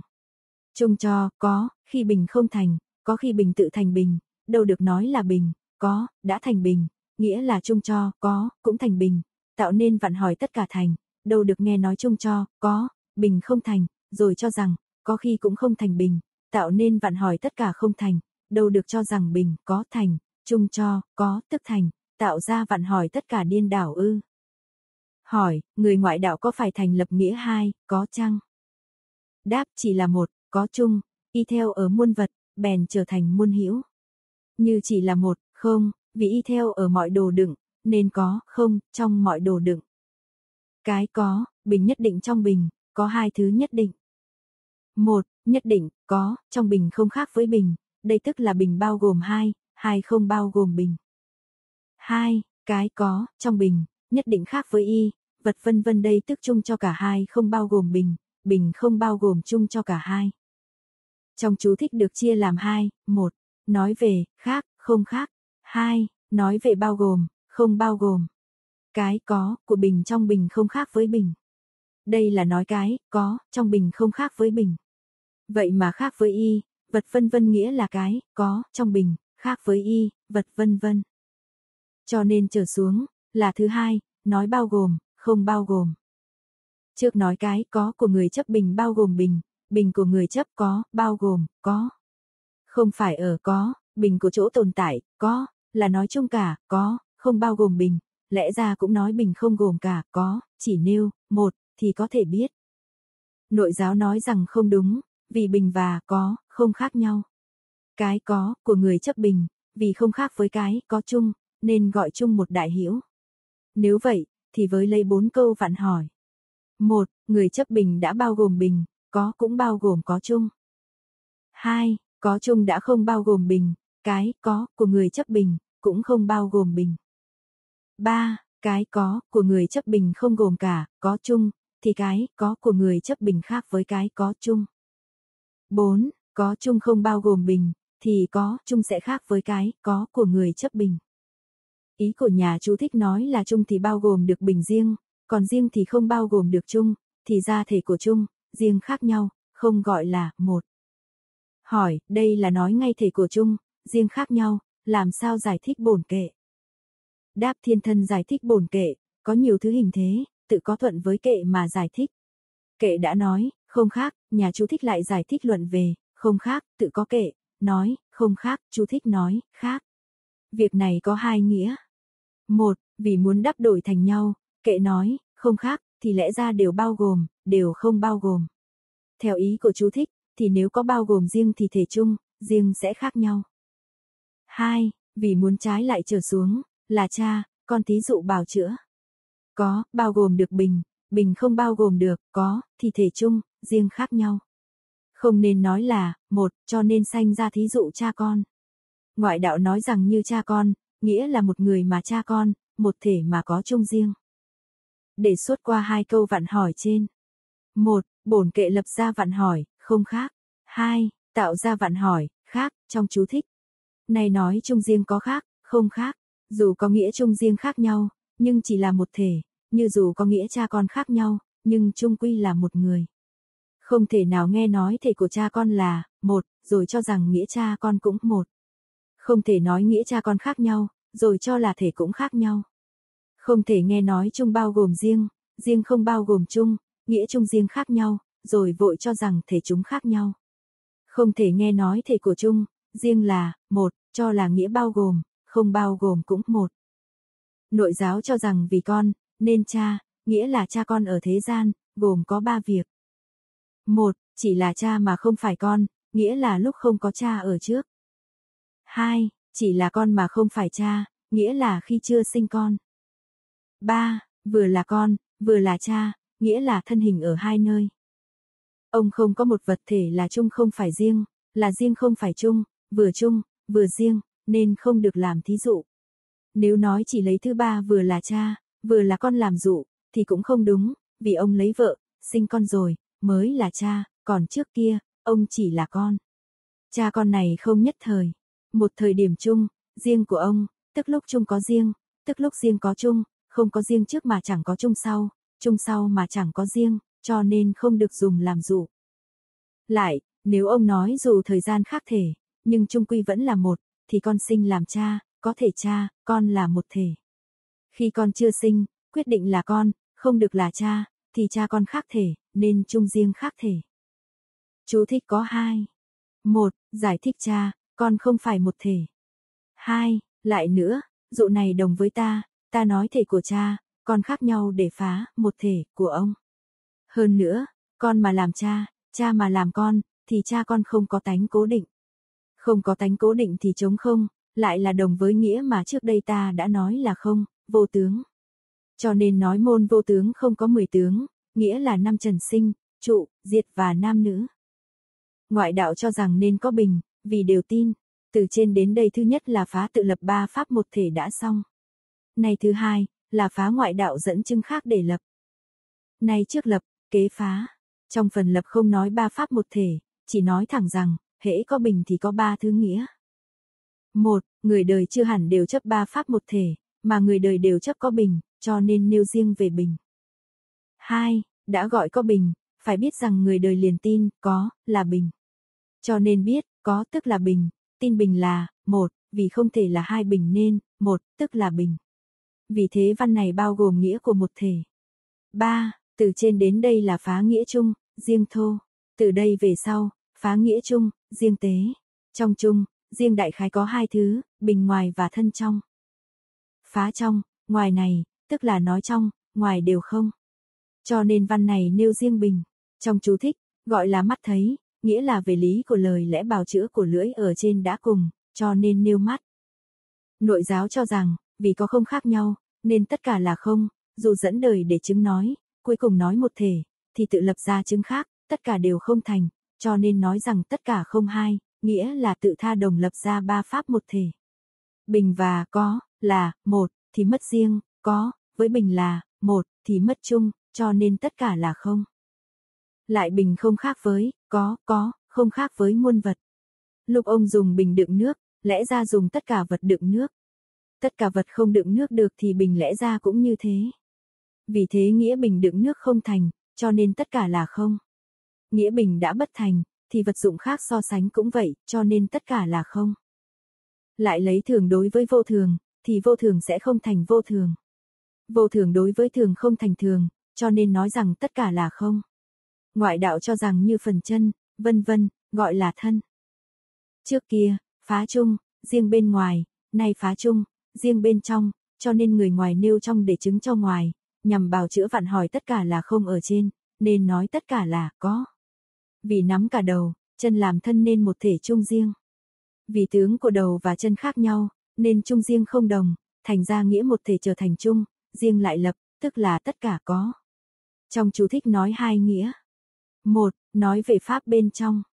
Hai, so sánh với pháp bên ngoài. Nói pháp bên trong có hai, trước nói một thể chung, riêng, nên nói rằng các bộ phận đầu, chân vân vân dù không khác với thân, nhưng không phải chỉ chân làm thân, đây là nói nghĩa chung, riêng khác nhau. Ở đây nói rằng không phải chỉ, nghĩa là không phải là. Vì chân là riêng, nên không phải chung. Vì thân là thân chung, nên có nghĩa chung, riêng khác nhau. Như thế, bình trở xuống, kế là nói pháp ngoài cũng có hai. Một, riêng chẳng khác với chung, là nói một thể chung riêng, mà bình thì chẳng phải tướng chung. Thứ hai, là nói nghĩa chung, riêng khác nhau. Hai, nội giáo nói rằng trở xuống, là phá nghĩa một thể chung, riêng khác nhau ở trên. Trước nhắc lại một thể, vì sao phá một thể của chân không là đầu? Vì chân với thân đã là một, thì đầu với thân cũng là một. Thân đã, một, thì đầu và chân vẫn là, một, thì mất đi tướng riêng. Tướng chung đã là, một, mất riêng thì mất chung, trở lại tùy theo tất cả là không. Ngoại đạo cho rằng vì các phần khác nhau, nên không có lỗi, nhằm bào chữa vạn hỏi về đầu chân không khác nhau ở trên. Tôi nói đầu, chân không khác với thân, không nói đầu, chân tự không khác nhau, cho nên đầu chân đối nhau, thường là riêng, không phải chung. Cái riêng của đầu, chân để thành thân chung, vì thường chung chẳng phải riêng, nên cả hai nghĩa đều thành, không nên vạn hỏi riêng. Nội giáo nói rằng, nếu vậy thì không có thân. Giả sử đầu, chân khác nghĩa, thì chỉ thấy các bộ phận không có thân riêng, chung. Xét chung văn trước, sau có thể có 6 trường hợp một Lấy riêng từ chung, chung, một, thì riêng, một, được chung mà mất riêng. 2. Lấy chung từ riêng, chung trở thành riêng thì được riêng, mất chung. 3. Riêng không từ chung, riêng và chung khác nhau. 4. Chung không từ riêng thì chung khác riêng. 5. Vì muốn cho thể của chung, riêng là, một, mà không từ nhau, thì sẽ rơi vào, vừa một, vừa khác. 6. Trái lại, chung riêng của ông là một thể mà chung thì là, một, riêng không phải, một, lẽ ra cũng riêng, một, chung, không phải một. Ngoại đạo nói rằng trở xuống, là bào chữ vạn hỏi trên không có thân. Trước, là pháp sau thí dụ. Nhiều người, nghĩa là đầu, chân. Một, quả biểu hiện một thân chung. Nắm cả đầu, chân là nhiều người để hình thành quả của một thân chung, vì sao nói là không thân. Như sắc, vân vân là bình, trước nêu nội để chứng minh ngoại. Nay, nêu ngoại nhằm chứng minh nội, chú thích cho rằng không phải chỉ sắc là bình, nghĩa là sắc đối với hương là riêng mà không phải chung, cũng không liệt sắc thành bình, nghĩa là nắm sắc thành bình, nắm sắc thành bình là nói một thể chung, riêng chứ không phải chỉ sắc làm thành bình, là nói nghĩa chung riêng khác nhau. Cho nên y theo ở thể thì thường, một cứ theo nghĩa thì thường, khác. Nội giáo nói rằng, như sắc vân vân bình cũng không phải, một, ở trên nêu ngoài để chứng minh nội. Này phá ngoại đồng với nội, cũng có sáu câu vạn hỏi. Một, lấy chung từ riêng, được riêng, thì mất chung. Hai, lấy riêng, từ chung, được chung, thì mất riêng. Ba, lẫn không từ nhau, lẽ ra khác lẫn nhau. Năm, vì muốn cho một thể mà không từ lẫn nhau, thì, vừa một, vừa khác. 6. Chung, riêng một thể, riêng, nhiều, mà chung, một, lẽ ra cũng chung, nhiều, mà riêng, một, kết hợp với 6 vạn hỏi này làm thành 4 lỗi. Hai lỗi đầu, được một tông mà mất chung, riêng. Hai lỗi kế, được chung riêng mà rơi vào nghĩa khác. Lỗi thứ ba, đều được mà trở thành lạc sa bà. Lỗi thứ tư, điên đảo đều mất cả ba tông. Tìm tòi cái chung, riêng của tăng khư, thường có hai nghĩa. Một, nắm cả riêng thành chung, chung riêng không khác nhau. Hai, mỗi tướng riêng so sánh với nhau thì là nghĩa khác, như không phải chỉ có sắc là bình. Đây là các tướng riêng đối nhau, thường là nghĩa khác, không lìa sắc mà thành bình. Đây là nghĩa riêng, không khác với nghĩa chung. Luận chủ đầy cuối lại dùng hai nghĩa, để phá hai nghĩa kia. Nếu riêng không khác chung, thì chung một, riêng cũng một, nên mất nghĩa riêng, khác. Nếu riêng riêng thường khác thì sẽ mất đi nghĩa chung. soi một phẩm của hai điều này, đều hiểu rõ. Ngoại đạo cho rằng như đoàn quân, đám rừng để bào chữa cho vạn hỏi bình không nhiều ở trên. Theo quân tượng của nước ngoài, trên có bốn người, dưới một người. Quân mã trên một người, dưới hai người. Quân xa cũng bốn người, quân bộ bốn người nối tiếp nhau. Từ đầu phẩm đến đây, gồm có bốn ý. một Lập chung một thể chung, riêng. hai Từ bên ngoài nói rằng nên có bình vì đều tin, nên lập riêng một thể chung riêng của Pháp bên ngoài. 3. Từ như các bộ phận chân vân vân, gọi thân lập riêng một thể chung, riêng của Pháp nội. 4. Này văn này lập cả hai nội, ngoại, trong quân, ngoài rừng, nên là lập riêng, cũng là một loại, mà ngược lại ngăn che bốn chương, nghĩa là chỉ vì người mê lầm Pháp nội ngoại, vì ngu nhiều nên tùy theo chấp mà phá. Lại kinh tịnh danh chép, thế nào gọi là gốc bệnh? Nghĩa là duyên bám, thế nào là dứt bỏ duyên bám? Đó là không có sở đắc, không có sở đắc là sao? Nghĩa là thấy nội, thấy ngoại là không có sở đắc, vì muốn cho dứt gốc bệnh kia, nên trải pháp để phá trừ. Nội giáo nêu, chúng cũng như bình, câu này có thể nói lên hai ý. Một, các âm cuối cùng, nói ngoại đạo dẫn việc không có cứu xét. Nay vì muốn ngăn ngừa họ sẽ bào chữa về sau, nên chứng nói số nhiều như thế cũng là một loại, đều đồng với thuyết nói về bình. 2. Ngoại đạo cho rằng trong đoàn quân, đám rừng, nói tóm tắt là quân, rừng. Hai lời nói đều gọi là chúng, đều đồng với bình, mắc phải sáu lỗi. Trong văn chú thích có có hai ý, từ đầu là chúng âm. Như dưới cây thông, là âm đọc cuối cùng. Ngoại đạo cho rằng thọ nhiều là bình. Từ trên đến đây, nắm lấy lập làm lập, nay nắm lấy phá để làm lập. Ở trên ông không hứa cho tôi một bình, tất nhiên muốn cho tôi thọ nhiều bình. Nếu nhận nhiều bình, há không có, một, bình ư. Nội giáo nói rằng vì chẳng phải sắc vân vân nhiều, nên bình nhiều. Chẳng phải nghĩa của ta lập sắc nhiều, bình nhiều, mà đây là ông lập. Ông chưa biết người kia và ta, rồi gọi ông là ta. Há không mê lầm sao? Lại ông nói, ta nói rằng sắc nhiều, bình cũng nhiều, đây là vạn hỏi hay là lập? Đây thật là vạn hỏi, mà ông lại cho là lập, vì ông không biết phá lập, thì đâu hiểu được nghĩa chung riêng. Lại, ông đã nhận, một, cũng nhận nhiều, do vì phá, một, nên chấp nhiều, vì phá nhiều nên chấp một. Vì phá cả, một nhiều, cho nên ông chấp, vừa một, vừa nhiều, cho đến chấp chẳng phải một, chẳng phải nhiều. Như hễ phá, có, thì chấp, không, phá, không, thì chấp, có, vân vân cho nên đều là lỗi của ông. Còn ta, một, không nhận, một, cũng không nhận, nhiều, cả năm câu đều như thế. Lại y theo ấy tìm, một, không được, chỗ nào có nhiều ư. Năm câu như thế, có, không, cũng như. Ngoại đạo rằng hạ phẩm được chia làm ba chương, hai đoạn đã xong, nay là thứ ba, phá người chung riêng. Nếu là nghĩa giả thật, thì từ trước đến nay, là phá giả. Nay kế là phá thật, trước hỏi, kế đáp, ngoại đạo nói rằng ở trên ông chỉ nói trần nhiều, nên bình nhiều. Vì bộ phận nhiều nên thân nhiều, chỉ là phá quả. Nay đã có người tất nhiên nên có quả. Hai chữ, lại nữa, trong phần chú thích, là nói sắc vừa là người, vừa là quả. Đối với mình là người, đối với Trần là quả. Nội giáo nói rằng, nếu quả không thì người cũng không, có hai nghĩa. Một, ông cho rằng vì người, có, nên quả có. Ta chứng nói vì quả, không, nên người, không có. Quả, không, đã phô bày, người có, chưa hiển hiện, cho nên chế ngự ngoại, bày tỏ nội. Hai, gạn tông để phá, người, quả của ông đã là, một, thì quả không, tức người không. Lại nữa, ba đời là, một, ở trên lập người, quả là, một, thì thể của Pháp hư hoại. Nay lập người quả là một, thì ba thời hư hoại. Ở trên phá người thành, nay phá nối tiếp.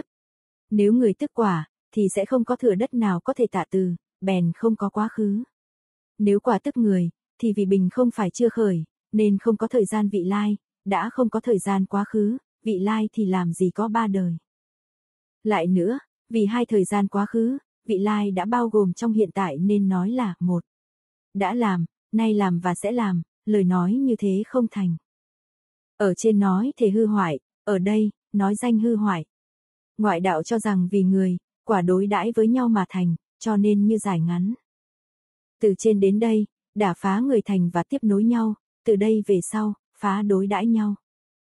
Nếu lập ra phần chương ba giả, thì trước, phá người, thành ba đời là, một, là phá tiếp nối. Này phá đối đãi nhau, ngoại đạo nêu tướng dài ngắn để bào chữa cho ba đời là, một. Như thân hình cao 5 mét, một trượng là ngắn, còn 3 mét thì dài.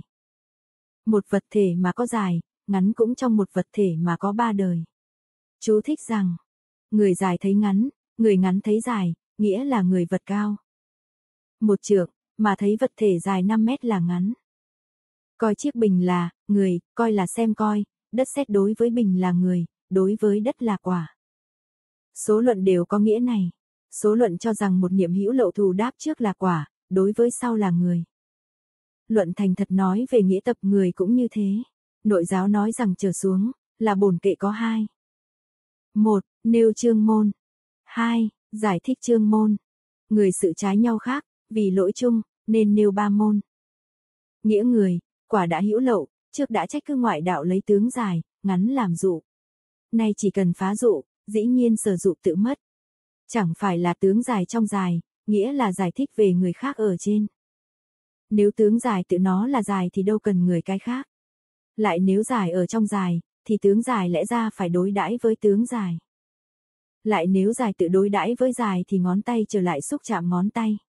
Lại nếu dài tự đối đãi với dài, thì dài không đối đãi với ngắn.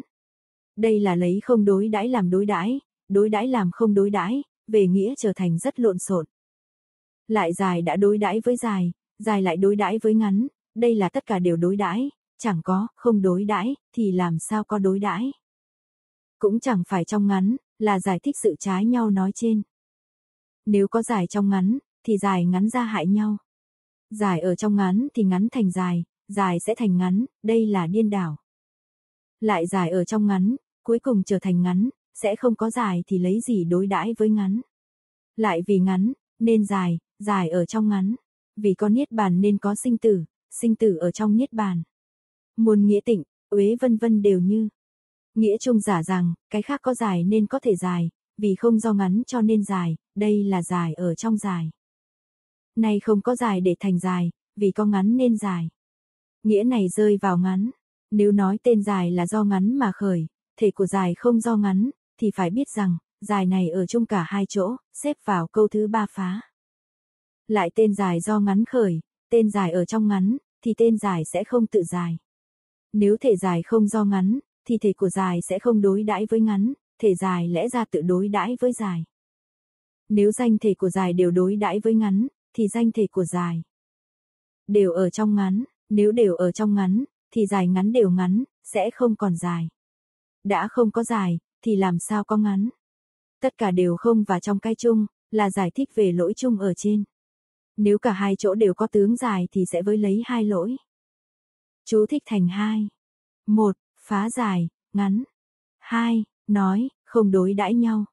Giải thích đầu, lại có hai. Một, phá dài. Hai, so sánh với ngắn. Phần phá giải lại có 4. 1. Nhắc lại. 2. Quyết định. 3. Bác bỏ. 4. Giải thích. Nếu thật có giải, câu đầu, là nhắc lại. Nếu trong giải, có, là thứ hai, quyết định, là không thể được, thứ ba là bác bỏ. Vì sao là thứ tư giải thích? Văn còn lại dễ hiểu. Sư khai thiện cho rằng có quyết định đối đãi như sắc, tâm, không có quyết định đối đãi như dài ngắn. Trang nghiêm cho rằng có khuynh đảo, lân át, đối đãi nhau, như dài với ngắn, đều rơi vào chỗ bị trách cứ của môn này. Phẩm thứ tư, phá dị.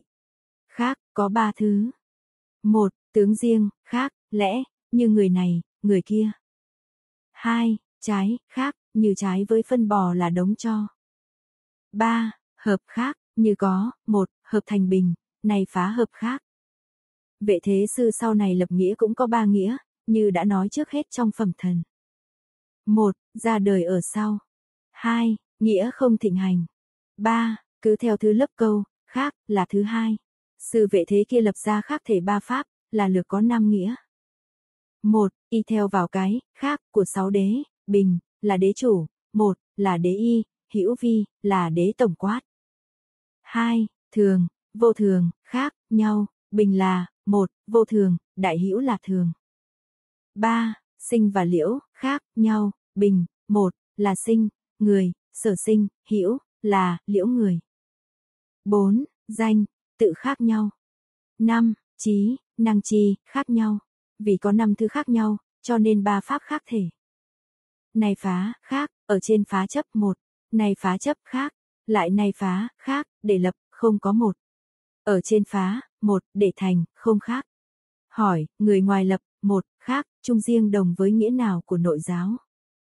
Đáp, đồng với nghĩa thể một, chân tục một thể, khác thể của nội giáo, đồng với đại hữu là thường mà ngoại đạo nêu, nhưng pháp riêng vô thường. Thường, vô thường, một thể, khác thể, đâu khác gì chân thường của nội giáo, vô thường của tục mà thể của chân, tục, một, khác, ư. Lại ngoại đạo cho rằng, đại hữu khắp, với thể, một, khác, của muôn pháp. Chân của nội giáo cũng hiện khắp thể, một, khác, của muôn pháp. Lại nữa, tăng khư chấp một, ở trước, vệ thế sư lập khác, ở sau. Như sư khai thiện lập thể, một, ở trước, long quang nêu thể khác, ở sau. Lại, nếu khiến cho nghĩa, khác, để bà dùng, một, khác, để phá ngoại đạo, cũng dùng, một, khác, để phá nội giáo. Luận sư thập địa bản cựu dịch cho rằng, chân thì thường vọng vô thường, cũng được dùng, một, khác, để phá, cho nên đắc ý. Phẩm chia làm bốn phần. một, Phá nghĩa khác thể chung, riêng của ngoại đạo. 2. Phá thể khác của chung, riêng. 3. Phá người chung, riêng của nội ngoại. 4. Luận chủ phá lỗi chấp ngang trái của người ngoài. Bốn phần này tức thành thư lớp, trước người ngoài lập. Luận chủ nói thể, khác, của ba pháp là lỗi, xin bày tỏ lỗi đó. Lại người ngoài cho rằng ba pháp thể, một, đây là có lỗi. Ba pháp thể, khác, là không có lỗi. Ông nói, có, là nêu ra. Lại ở trên mượn, khác, để phá, một. Người ngoài cho rằng, pháp một, có lỗi, nên pháp, khác, không có lỗi, cho nên mới hỏi. Lại, một, khác, đối đãi nhau có lỗi, một, đối đãi nhau không có lỗi, vì có lỗi, nên tông khác không có lỗi. Hỏi, người ngoài này nói vì sao không có tu đố lộ. Đáp 100 bài kệ của đề bà, thường giữ lấy yếu chỉ sơ lược, chỉ nói phá, khác, thì biết lập khác. Cho nên tóm tắt lập ở ngoài. Thiên thân vì muốn phát khởi nghĩa, nên nảy sinh câu hỏi ngoài, cũng có thể thật là câu hỏi gốc, nhưng vì dễ hiểu, nên không giải thích vì thế không có tu đố lộ. Nội giáo nói rằng, nếu có, vân vân, khác thì mỗi mỗi là vô, trước phá ba pháp thể, một, so sánh lẫn nhau có ba lỗi, đó là thành, không thành, kể cả điên đảo. Này phá ba pháp thể, khác, cũng ba pháp so sánh nhau, cũng có ba lỗi, nghĩa là đều không có ba pháp. Nếu bình và hai công dụng, khác, nhau thì cái gì là bình? Một, và, hai, khác nhau, thì lấy gì làm, một. Có, và hai dụng khác nhau, thì cái gì là có? Cho nên đều không có ba pháp. Chú thích phẩm trước, nhiều, một, đã qua, lại giải thích. Phẩm này đa số lấy song song đối nhau, nay có ba câu vạn hỏi. Một, vạn hỏi đều mất. Hai, lại nữa trở xuống, là thứ hai, vạn hỏi mất lẫn nhau. Ba, thể khác của Pháp có đi, ở lẫn nhau. So sánh với trước, nên có bốn câu. Đều đi, đều ở, có đi ở lẫn nhau. Người ngoài nói rằng, không đúng, bào chữa đều có lỗi. Thể của ba pháp khác nhau, nếu không kết hợp chung thì cả ba pháp đều có lỗi. Vì lẽ ba pháp dù khác nhau, mà vì kết hợp chung nên ba pháp đều thành. Người ngoài là chấp không được lìa nhau, là kết hợp chứ không phải mỗi ba vật thể đều lìa nhau rồi về sau kết hợp chung. Chú thích chia làm hai. Một, nói ba pháp kết hợp chung, để bào chữa vạn hỏi đều có lỗi. Ông nói bình mất, trở xuống, là bào chữa vạn hỏi, có lỗi lẫn nhau. Lại chia làm bốn khác nhau. Hai, nhắc lại vạn hỏi, lời này không đúng, là thứ hai, bác bỏ. Vì sao, trở xuống, là thứ ba, giải thích bác bỏ. Do vì khác nhau hợp, trở xuống, là thứ tư, kết thành nghĩa ấy. Người ngoài cho rằng luận chủ không hiểu nghĩa, khác, chấp ở vạn hỏi riêng khác, kết hợp với khác kia. Cho nên nay kết hợp nêu với khác, để phân biệt với trừ riêng khác. Nội giáo cho rằng nếu vậy, sẽ có nhiều bình, trước nói ba pháp, nếu khác nhau, thì đều không có ba pháp. Này nói, ba pháp, nếu kết hợp thì sẽ rơi vào nhiều ba. Có, và bình kết hợp, gọi là có bình. Một, với bình kết hợp, một, lại là bình, ngay bình lại là bình, cho nên thành ba bình. Sở dĩ lập ra vạn hỏi về ba bình, là vì người bên ngoài kia có ba vật thể. Do hai vật kết hợp với một vật, từ một vật được tên, nên thành ba. Ở bình đã ba, có, một, cũng ba, thành chín pháp. Trong chú thích chia làm hai. Một, giải thích vạn hỏi nhiều bình. Ông nói, trở xuống, là thứ hai, phá kết hợp khác ở trên. Dù có hai, khác, không đồng, nhưng cuối cùng là ở khác. Nếu kết hợp thì không gọi, khác, nhau, đó là không khác. Này kết hợp vẫn là khác nhau, dùng, khác, để bào chữa cho, khác, như lấy thần để bào chữa cho thần. Lẽ ra lại nói là người, nghĩa là nhân gọi là lý do. Ngoại đạo cho rằng vì chung nên tìm vì gần, nên có, một, không phải bình, bào chữa vạn hỏi nhiều bình. Hai trong ba pháp là hợp nghĩa, cho nên không phải bình. Bình là đế chủ, vì chỉ có bình là bình, nên không có nhiều bình, cũng không có nhiều có, một. Lại đáp, ở trên lẽ ra lại nói về người, là nói hai không phải bình, tức là về nghĩa lý, gọi là nói người.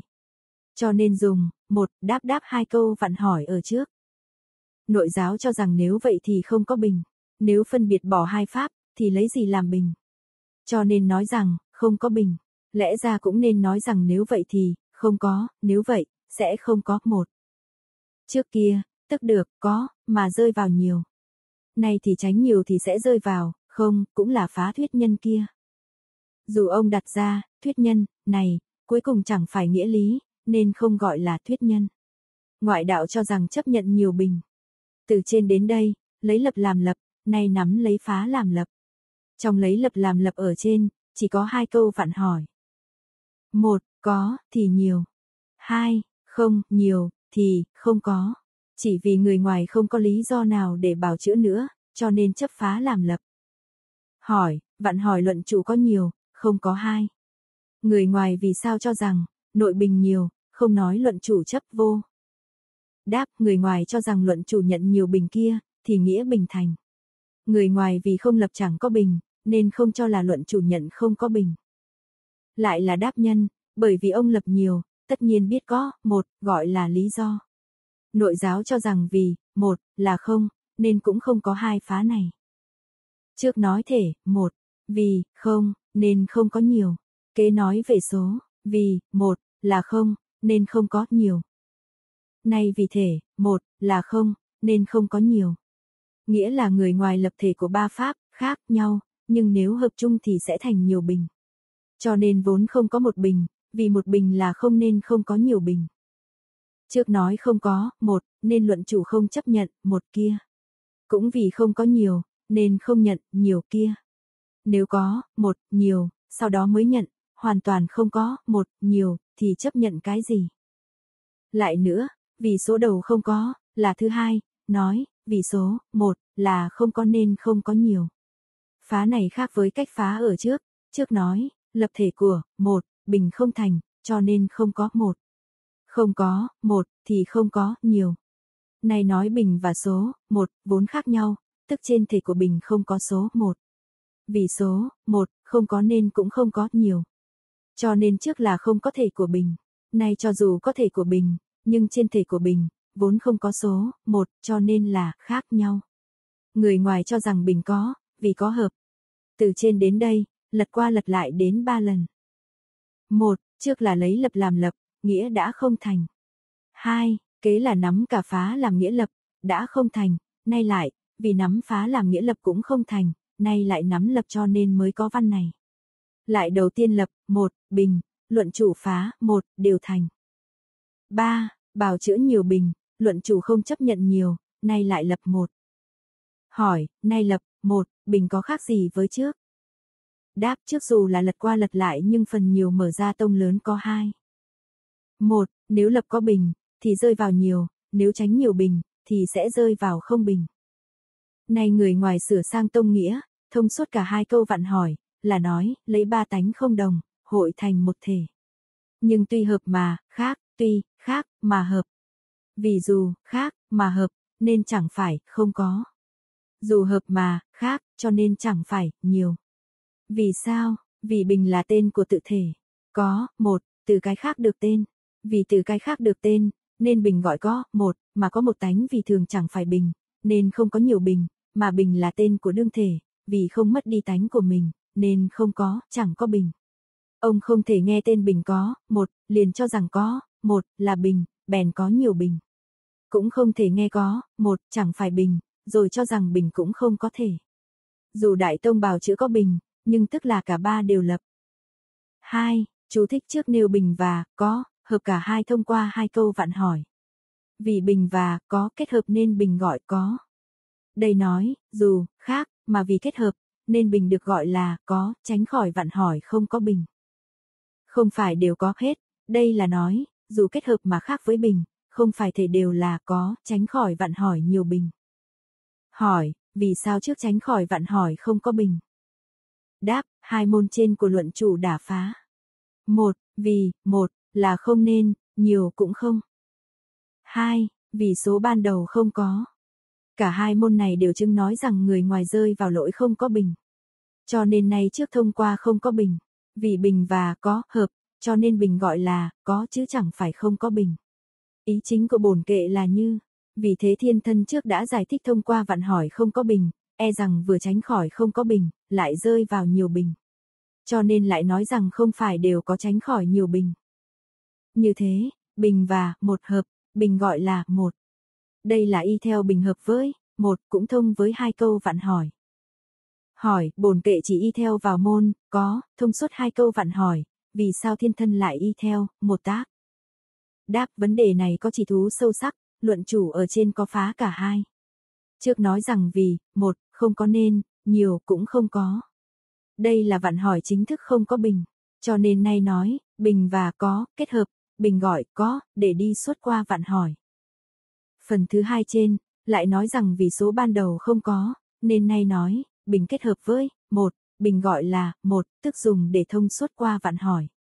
Dù bình khác với số, một, nhưng vì bình kết hợp với số, một, nên bình gọi số, một, chứ chẳng phải số đầu không có.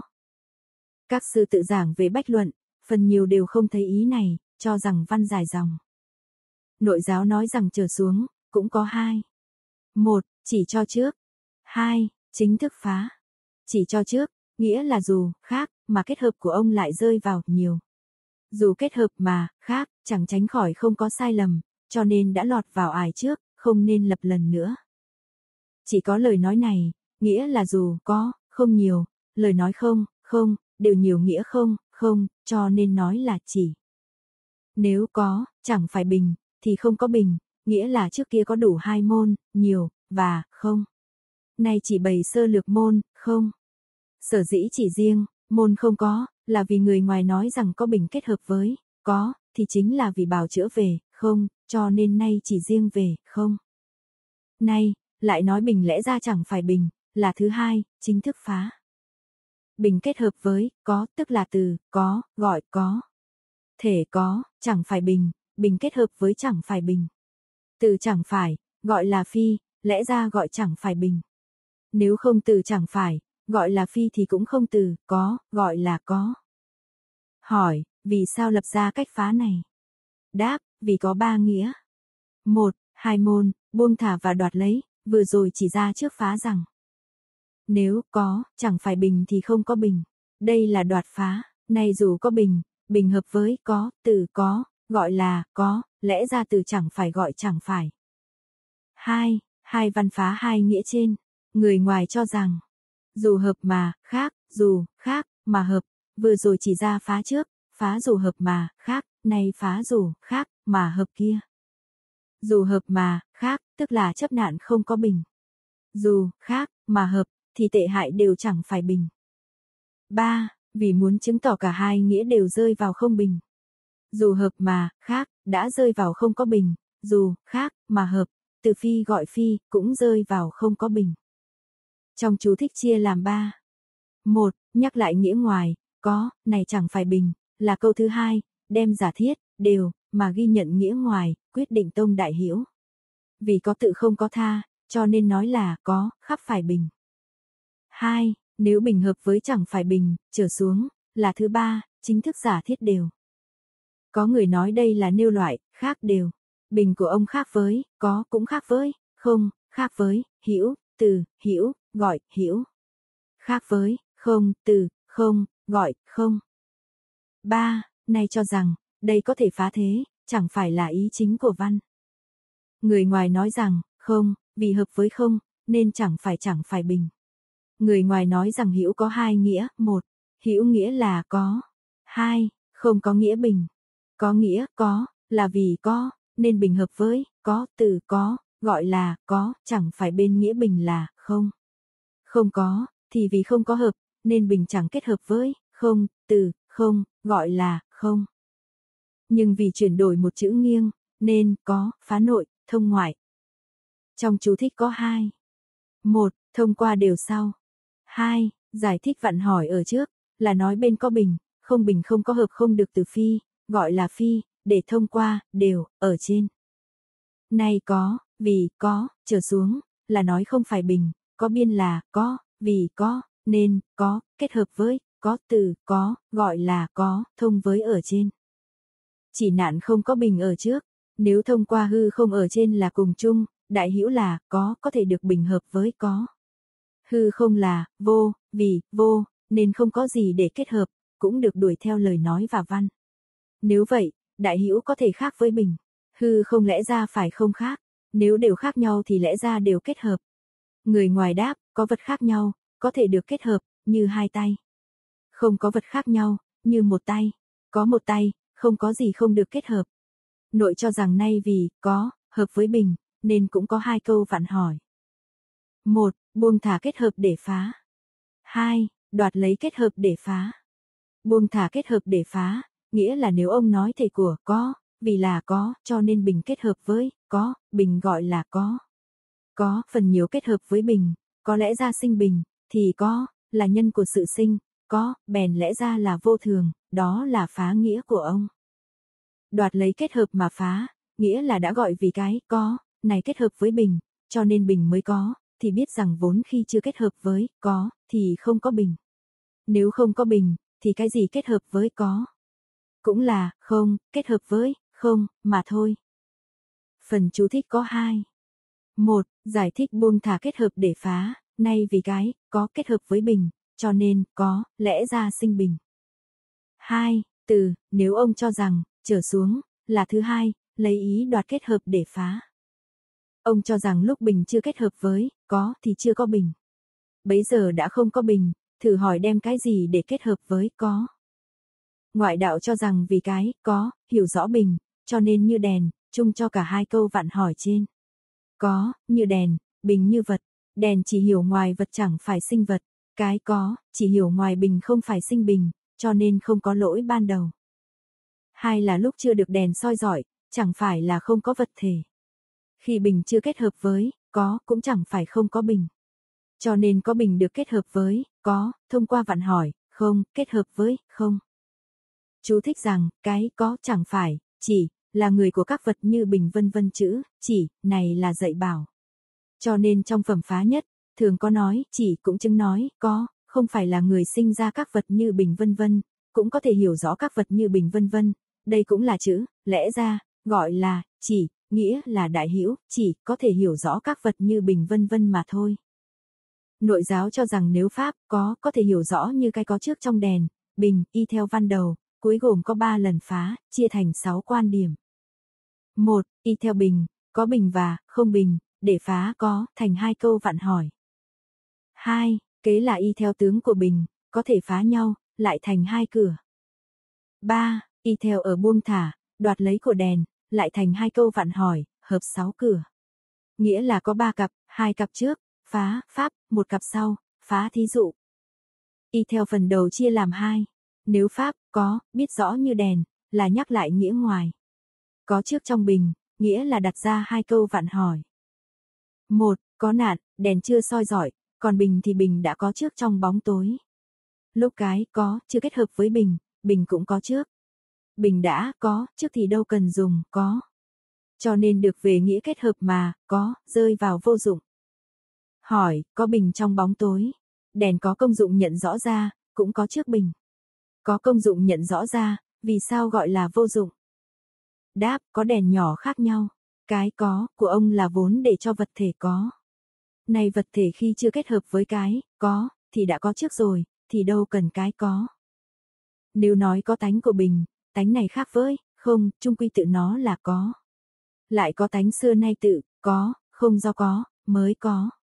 Cũng là sự, có bản lại tự, có, cũng không do có, mới có. Lại nữa, liễu tánh của, đại hiểu, là có trở thành có. Thợ gốm cũng có thể như thế. Thợ gốm đã là người của sinh, đại hiểu cũng là nhân của sinh. 2. Y theo vào vạn hỏi, không, nếu khi chưa kết hợp với, có, thì. Chưa có bình, lúc kết hợp với, có, rồi, mới có bình, thì ra cái, có, là người của sinh đã được hiểu rõ lúc trước, sẽ rơi vào lỗi vô dụng, về sau được công dụng là rơi vào nhân của sinh. Hỏi, bồn kệ phá đèn ở đây, có khác gì với phá đèn của phẩm phá thần ở trước? Đáp, bình trong bóng tối vừa nói trên, vốn có, mà thể giác vốn không có. Vì có, và, không, khác nhau cho nên không phải thí dụ. Này kệ giả dụ cho pháp bình kia, có trước, mà có, lại rơi vào lỗi vô dụng. Hỏi, vì sao trước kia y theo phá, không, nay lại y theo phá có? Đáp, vì, duyên, trong đạo lý khi chưa kết hợp, thì thật không có thể giác ở năm đường, cho nên phải y theo ở phá, không có. Trong đạo lý, khi bình chưa kết hợp với đại hiểu, chẳng phải không có bình, cho nên y theo ở phá có. Bổn kệ được chia làm hai. Một, y theo ở chỗ bình, đã có, để phá. Hai, y theo ở bình lúc, chưa có, để phá. Y theo bình đã có để phá, thì pháp thí mới đồng nhau, mà cái có, bị rơi vào lỗi vô dụng. Nếu khi cái có chưa hợp trở xuống, y theo ở nghĩa, chưa có, để phá. Pháp, thí không đồng nhau, được ở chỗ có công dụng, mà có, rơi vào lỗi, nhân của sự sinh. Lại nữa, nếu lấy tướng, khả tướng, thành, thì vì sao là một, không là hai? Nghĩa là y theo, tướng, khả tướng, để phá. Nếu lấy tướng, khả tướng, để thành, là nói theo nghĩa ngoài. Đại hữu là tướng, bình là khả tướng, chủ yếu do tướng của đại hữu, bình là khả tướng. Sau đó bình mới được thành, nên nói rằng nếu dùng tướng, khả tướng thành. Vì sao là một, không là hai, là thứ hai, chính thức phá, bình đã có tướng, lại có khả tướng, cả hai nghĩa mới thành. Vì đại hữu chỉ là một năng tướng, không hội đủ cả hai, năng tướng và sở tướng. Nhắc lại văn là như nếu vặn hỏi dọc, ngang, nghĩa là lấy cái có đồng với bình thì lẽ ra đều phải có hai. Nếu đều có hai thì có lại phải có. Như thế là vô cùng, kế là lấy bình đồng với cái có cái có, nếu tự nó có thì không cần có nữa, nghĩa là bình cũng tự có, không cần có cái có, bình, hai câu vặn hỏi đều điên đảo. Nếu cái có, không cần có của ông, mà bình lại cần có, thì lẽ ra cũng bình không cần có, mà trong khi cái có, lại cần có. Cho nên phải tạo ra vặn hỏi điên đảo. Tất cả các pháp chủ yếu cần nghĩa, tướng, khả tướng, mới được thành, trong khi bình của ông lại cần cái, có, của tướng, khả tướng, mà không cần tướng, khả tướng. Về nghĩa này vì đã khắp nên với lấy lỗi điên đảo. Về ví dụ đèn mà trước kia đã phá, là thứ ba, kế là phá đèn. Trước kia, phá, pháp thuyết, nay kế là phá thí dụ, cũng có hai. Một, đoạt lấy mà phá, là nói trước đã phá đèn. Ông đã dẫn gì? Lại nữa, trở xuống, là thứ hai, buông thả để phá. Người ngoài có đèn đều đã phá. Người ngoài đem đèn dụ cho cái, có. Hai, nội giáo nói, trở lại với đèn thí dụ cho bình. Đèn tự soi, không nhờ bên ngoài soi. Bình cũng tự, có, không đợi ngoài mới có. Đây là nắm cả bình đồng với đèn. Nếu bình không thể tự có, thì cần cái, có, mới có bình. Cũng như đèn không thể tự soi, cần cái soi để soi đèn. Kế là vạn hỏi, có, điên đảo, nếu bình không tự, mà đèn tự, thì lẽ ra đèn không tự, mà bình tự. Người ngoài cho rằng như tướng của thân. Từ trên đến đây, là phá chung, riêng của ngoại. Nay là thứ hai, phá chung, riêng của nội, tức làm rõ nghĩa, không, của nội, ngoại. Trên có ba lần phá, sáu cửa. Nay chuẩn bị để bào chữa. Cần phải có chân là tướng của thân. Chân thì có công dụng, chẳng phải chân vô dụng. Có chân, năng liễu, ngoài thân, không phải sinh ở nơi thân, cho nên không có vạn hỏi về sanh nhân. Như chân là tướng của thân, vì thân là, khả tướng, nên thân có đủ hai, năng tướng, khả tướng, mà không phải một. Nhưng chân lại không tìm tướng, riêng chân chỉ, một, mà không phải, hai. Cái có, của bình cũng như vậy, cho nên không có vạn hỏi thứ hai, mà đèn có thể tự soi, không nhờ ngoài soi, nhưng thân không thể tự có, phải có chân làm tướng. Như bình không thể tự, có, cần cái, có, mới có bình. Vì thế không có vạn hỏi thứ ba. Nội rằng trở xuống, văn này chỉ phá thí dụ kia, thì pháp thuyết tự mất. Lại chỉ phá thí, chính là tìm tòi, tra xét thân này rốt ráo không được. Quán thật tướng của thân, quán Phật cũng như thế, để cho người ngoài đạt được Phật đạo. Y theo nội để phá, có hai. Một, phá có thân phần. Hai, phá các phần. Sở dĩ phá hai cách này là vì người ngoài cho rằng thân đã đủ cả, năng tướng, khả tướng. Các phần chỉ là, năng tướng, không có, tướng, và, khả tướng. Này phá thân và các phần, tức là phá nghĩa, năng tướng, khả tướng, của ngoại cùng tận. Y theo phá thân chung, có hai. Một, phá thô chung. Hai, phá tế chung. Phần đầu lại có hai. Một, phá cụ tải. Hai, phá phần tải. Trước là nhắc lại cụ tải, vì sao trong đầu không có chân là chính phá, một thân đã ở đủ trong đầu, cho nên trong đầu lẽ ra phải có chân. Hỏi, vì sao trước kia thực hành phá cụ tải? Đáp, người ngoài lấy các bộ phận như chân vân vân làm tướng của thân chung. Đã thấy các bộ phận, thì biết có thân phần, nếu thế thì thân hữu phần lẽ ra đủ ở trong các bộ phận. Nhưng trước kia người ngoài nêu chân làm tướng của thân, nay lẽ ra phải nói rằng trong chân có đầu, mà nói trong đầu có chân ấy, nghĩa là tùy theo mượn một chỗ để nói. Phần chú thích có hai. Một, trước chia ra hai cửa để xác định. Nếu có pháp thân trở xuống, là nhắc lại nghĩa của người ngoài. Người ngoài nêu rằng các phần hòa hợp, có riêng pháp của thân chung khác với các phần. Như nghĩa của nhà thể giả có, có riêng lẽ thể giả khác với thể thật, cũng như bốn đại hòa hợp, có riêng pháp nhãn của độc tử. Nằm ấm hòa hợp, có riêng, người, pháp, cho nên có đủ ở phần, ở phá thân giả có tự thể và nghĩa độc tử, đối với các phần như chân, vân vân là có đủ ư. Hay có phần ư.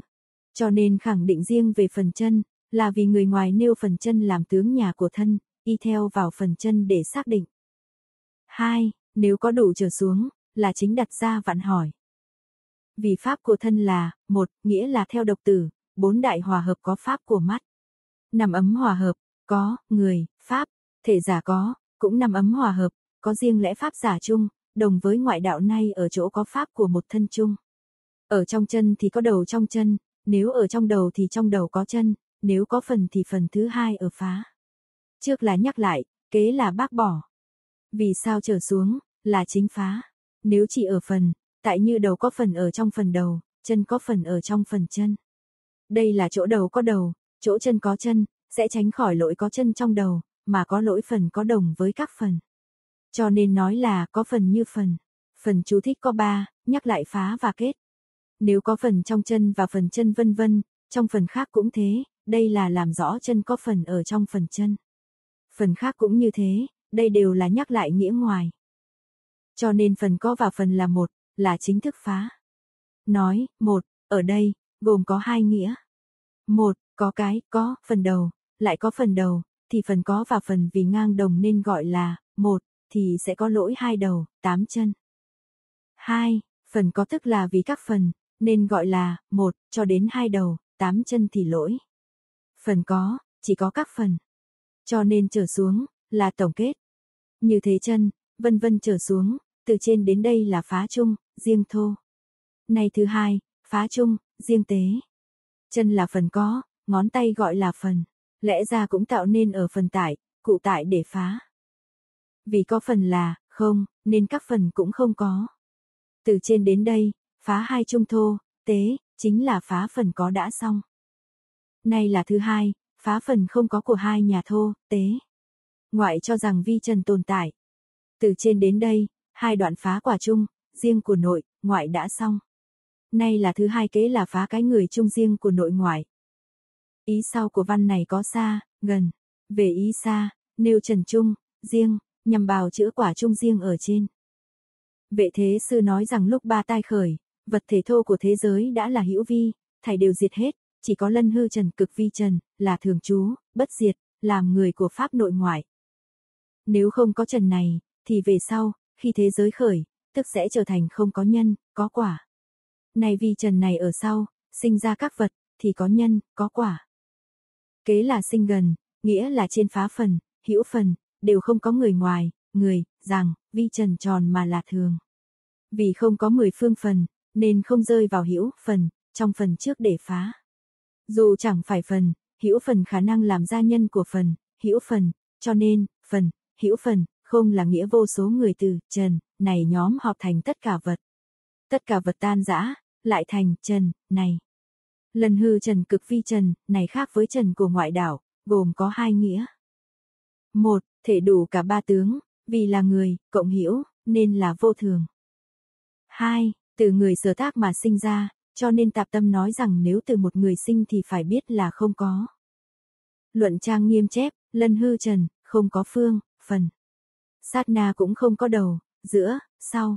Sư khai thiện nói rằng, lân hư trần cực vi trần có phương, phần, sát na có đầu, giữa, sau mà đồng chứng nói tử tế thành thô, thô thành thế giới.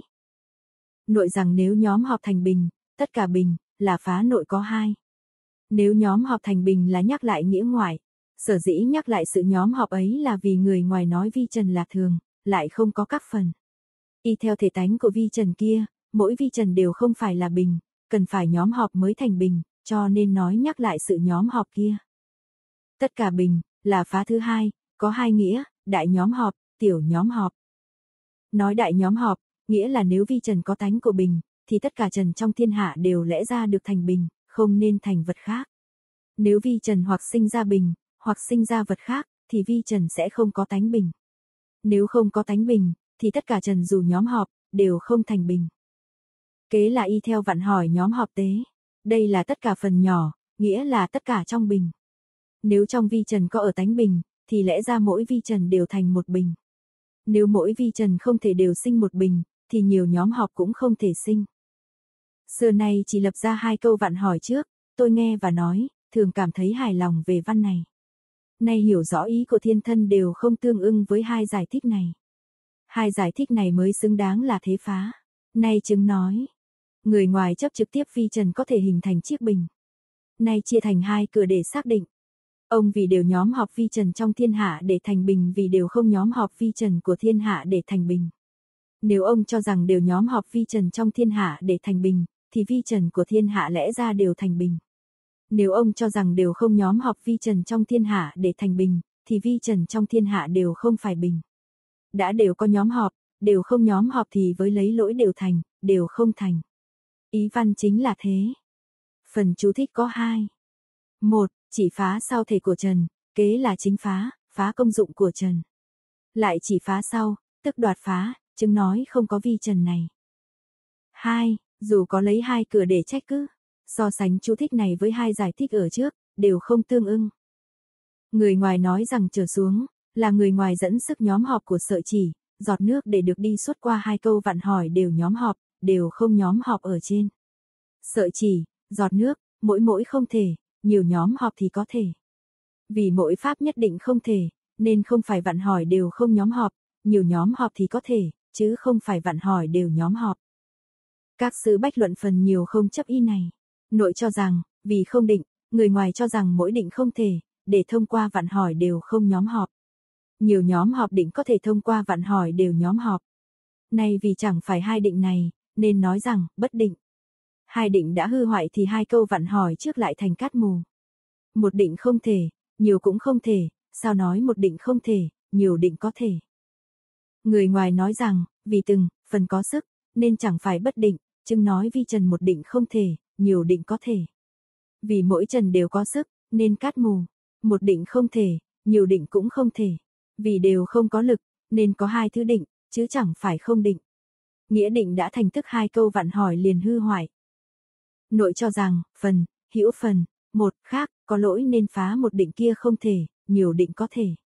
Ông nói, phần, không thể, hữu phần, có thể, nếu, phần, và hữu phần, là, một phần, đã không thể, thì, hữu phần, cũng không thể. Hữu phần, đã có thể, thì, phần, lẽ ra cũng có thể. Nếu, hữu phần, có thể, mà, phần, không thể, tức là nghĩa khác. Lẽ ra cũng nên có năm vạn hỏi, như cho rằng thần từ giác vân vân. Lại, hữu phần và phần là, một, như các sợi tơ kết thành tấm thảm là, một. Thảm một, mọi sợi tơ một, như thân một, đầu chân một. Nếu tấm thảm với các sợi tơ là một, các sợi tơ đã nhiều, ở tấm thảm cũng nhiều. Cũng tức năm vạn hỏi, như phẩm phá, một nói. Nếu phần khác với hữu phần thì lìa các sợi tơ, lẽ ra có thảm riêng. Các sợi tơ đã tiêu mất, mà thảm lẽ ra còn. Nếu sợi tơ tiêu diệt thì tấm thảm tiêu diệt, không được nói khác. Lại, nếu lìa các sợi tơ, mà có tấm thảm riêng. Tấm thảm là ở cả trong một sợi tơ hay ở một phần trong một sợi tơ. Nếu ở cả trong một sợi tơ thì tức trong một sợi tơ sẽ có các sợi tơ. Lại, ở khắp trong một sợi tơ, thì trong sợi tơ khác, lẽ ra không có thảm. Nếu sợi tơ khác đều có thảm, tức có nhiều tấm thảm. Nếu một tấm thảm phần tại trong các sợi tơ, tức hữu phần như phần. Chú thích chia làm hai. Một, giải thích kệ, một khác, là lỗi. Hai, lại nữa, trở xuống, là phá nghĩa sinh, có, không. Trước hết y theo, môn không có, để phá. Đang lúc các sợi tơ chưa có ở tấm thảm, thì đợi cái gì nên gọi đó là phần. Nếu khi mọi sợi tơ đã có ở tấm thảm rồi thì đâu cần sức của phần. Người ngoài nói, ông là người phá pháp. Từ trên đến đây đã ba phen phá nghĩa khác thể chung, riêng của người ngoài xong. Nay là thứ tư, phá lỗi chấp ngang của người ngoài. Luận chủ phá lỗi của người ngoài ở trước, đồng với phá, pháp, người, điều này có gần, xa. Một, nói về xa, từ phẩm thần đã xong. Đối với văn này hoặc pháp, hoặc người, một, và, khác, đều phá cho nên gọi người phá hoại pháp. Đây là các sư đều của, chẳng riêng gì vệ thế giận, của. Hai, nói về gần xanh, từ trên đến đây, văn ba, nghĩa bốn. Văn ba là phá chung, riêng bên ngoài. Phá chung, riêng bên nội. Phá vi trần, phá người chung riêng. Nghĩa bốn, là người quả trong ngoài. Bốn nghĩa này bao gồm chung các pháp, ông đều phá cả, nên gọi là người phá pháp. Đáp bên trong có hai. Một, thiên thân đáp về nghĩa sinh, tránh khỏi lỗi. Hai, để bà đáp đổ lỗi. Đáp khỏi lỗi, ông cho rằng thể chung, riêng khác nhau.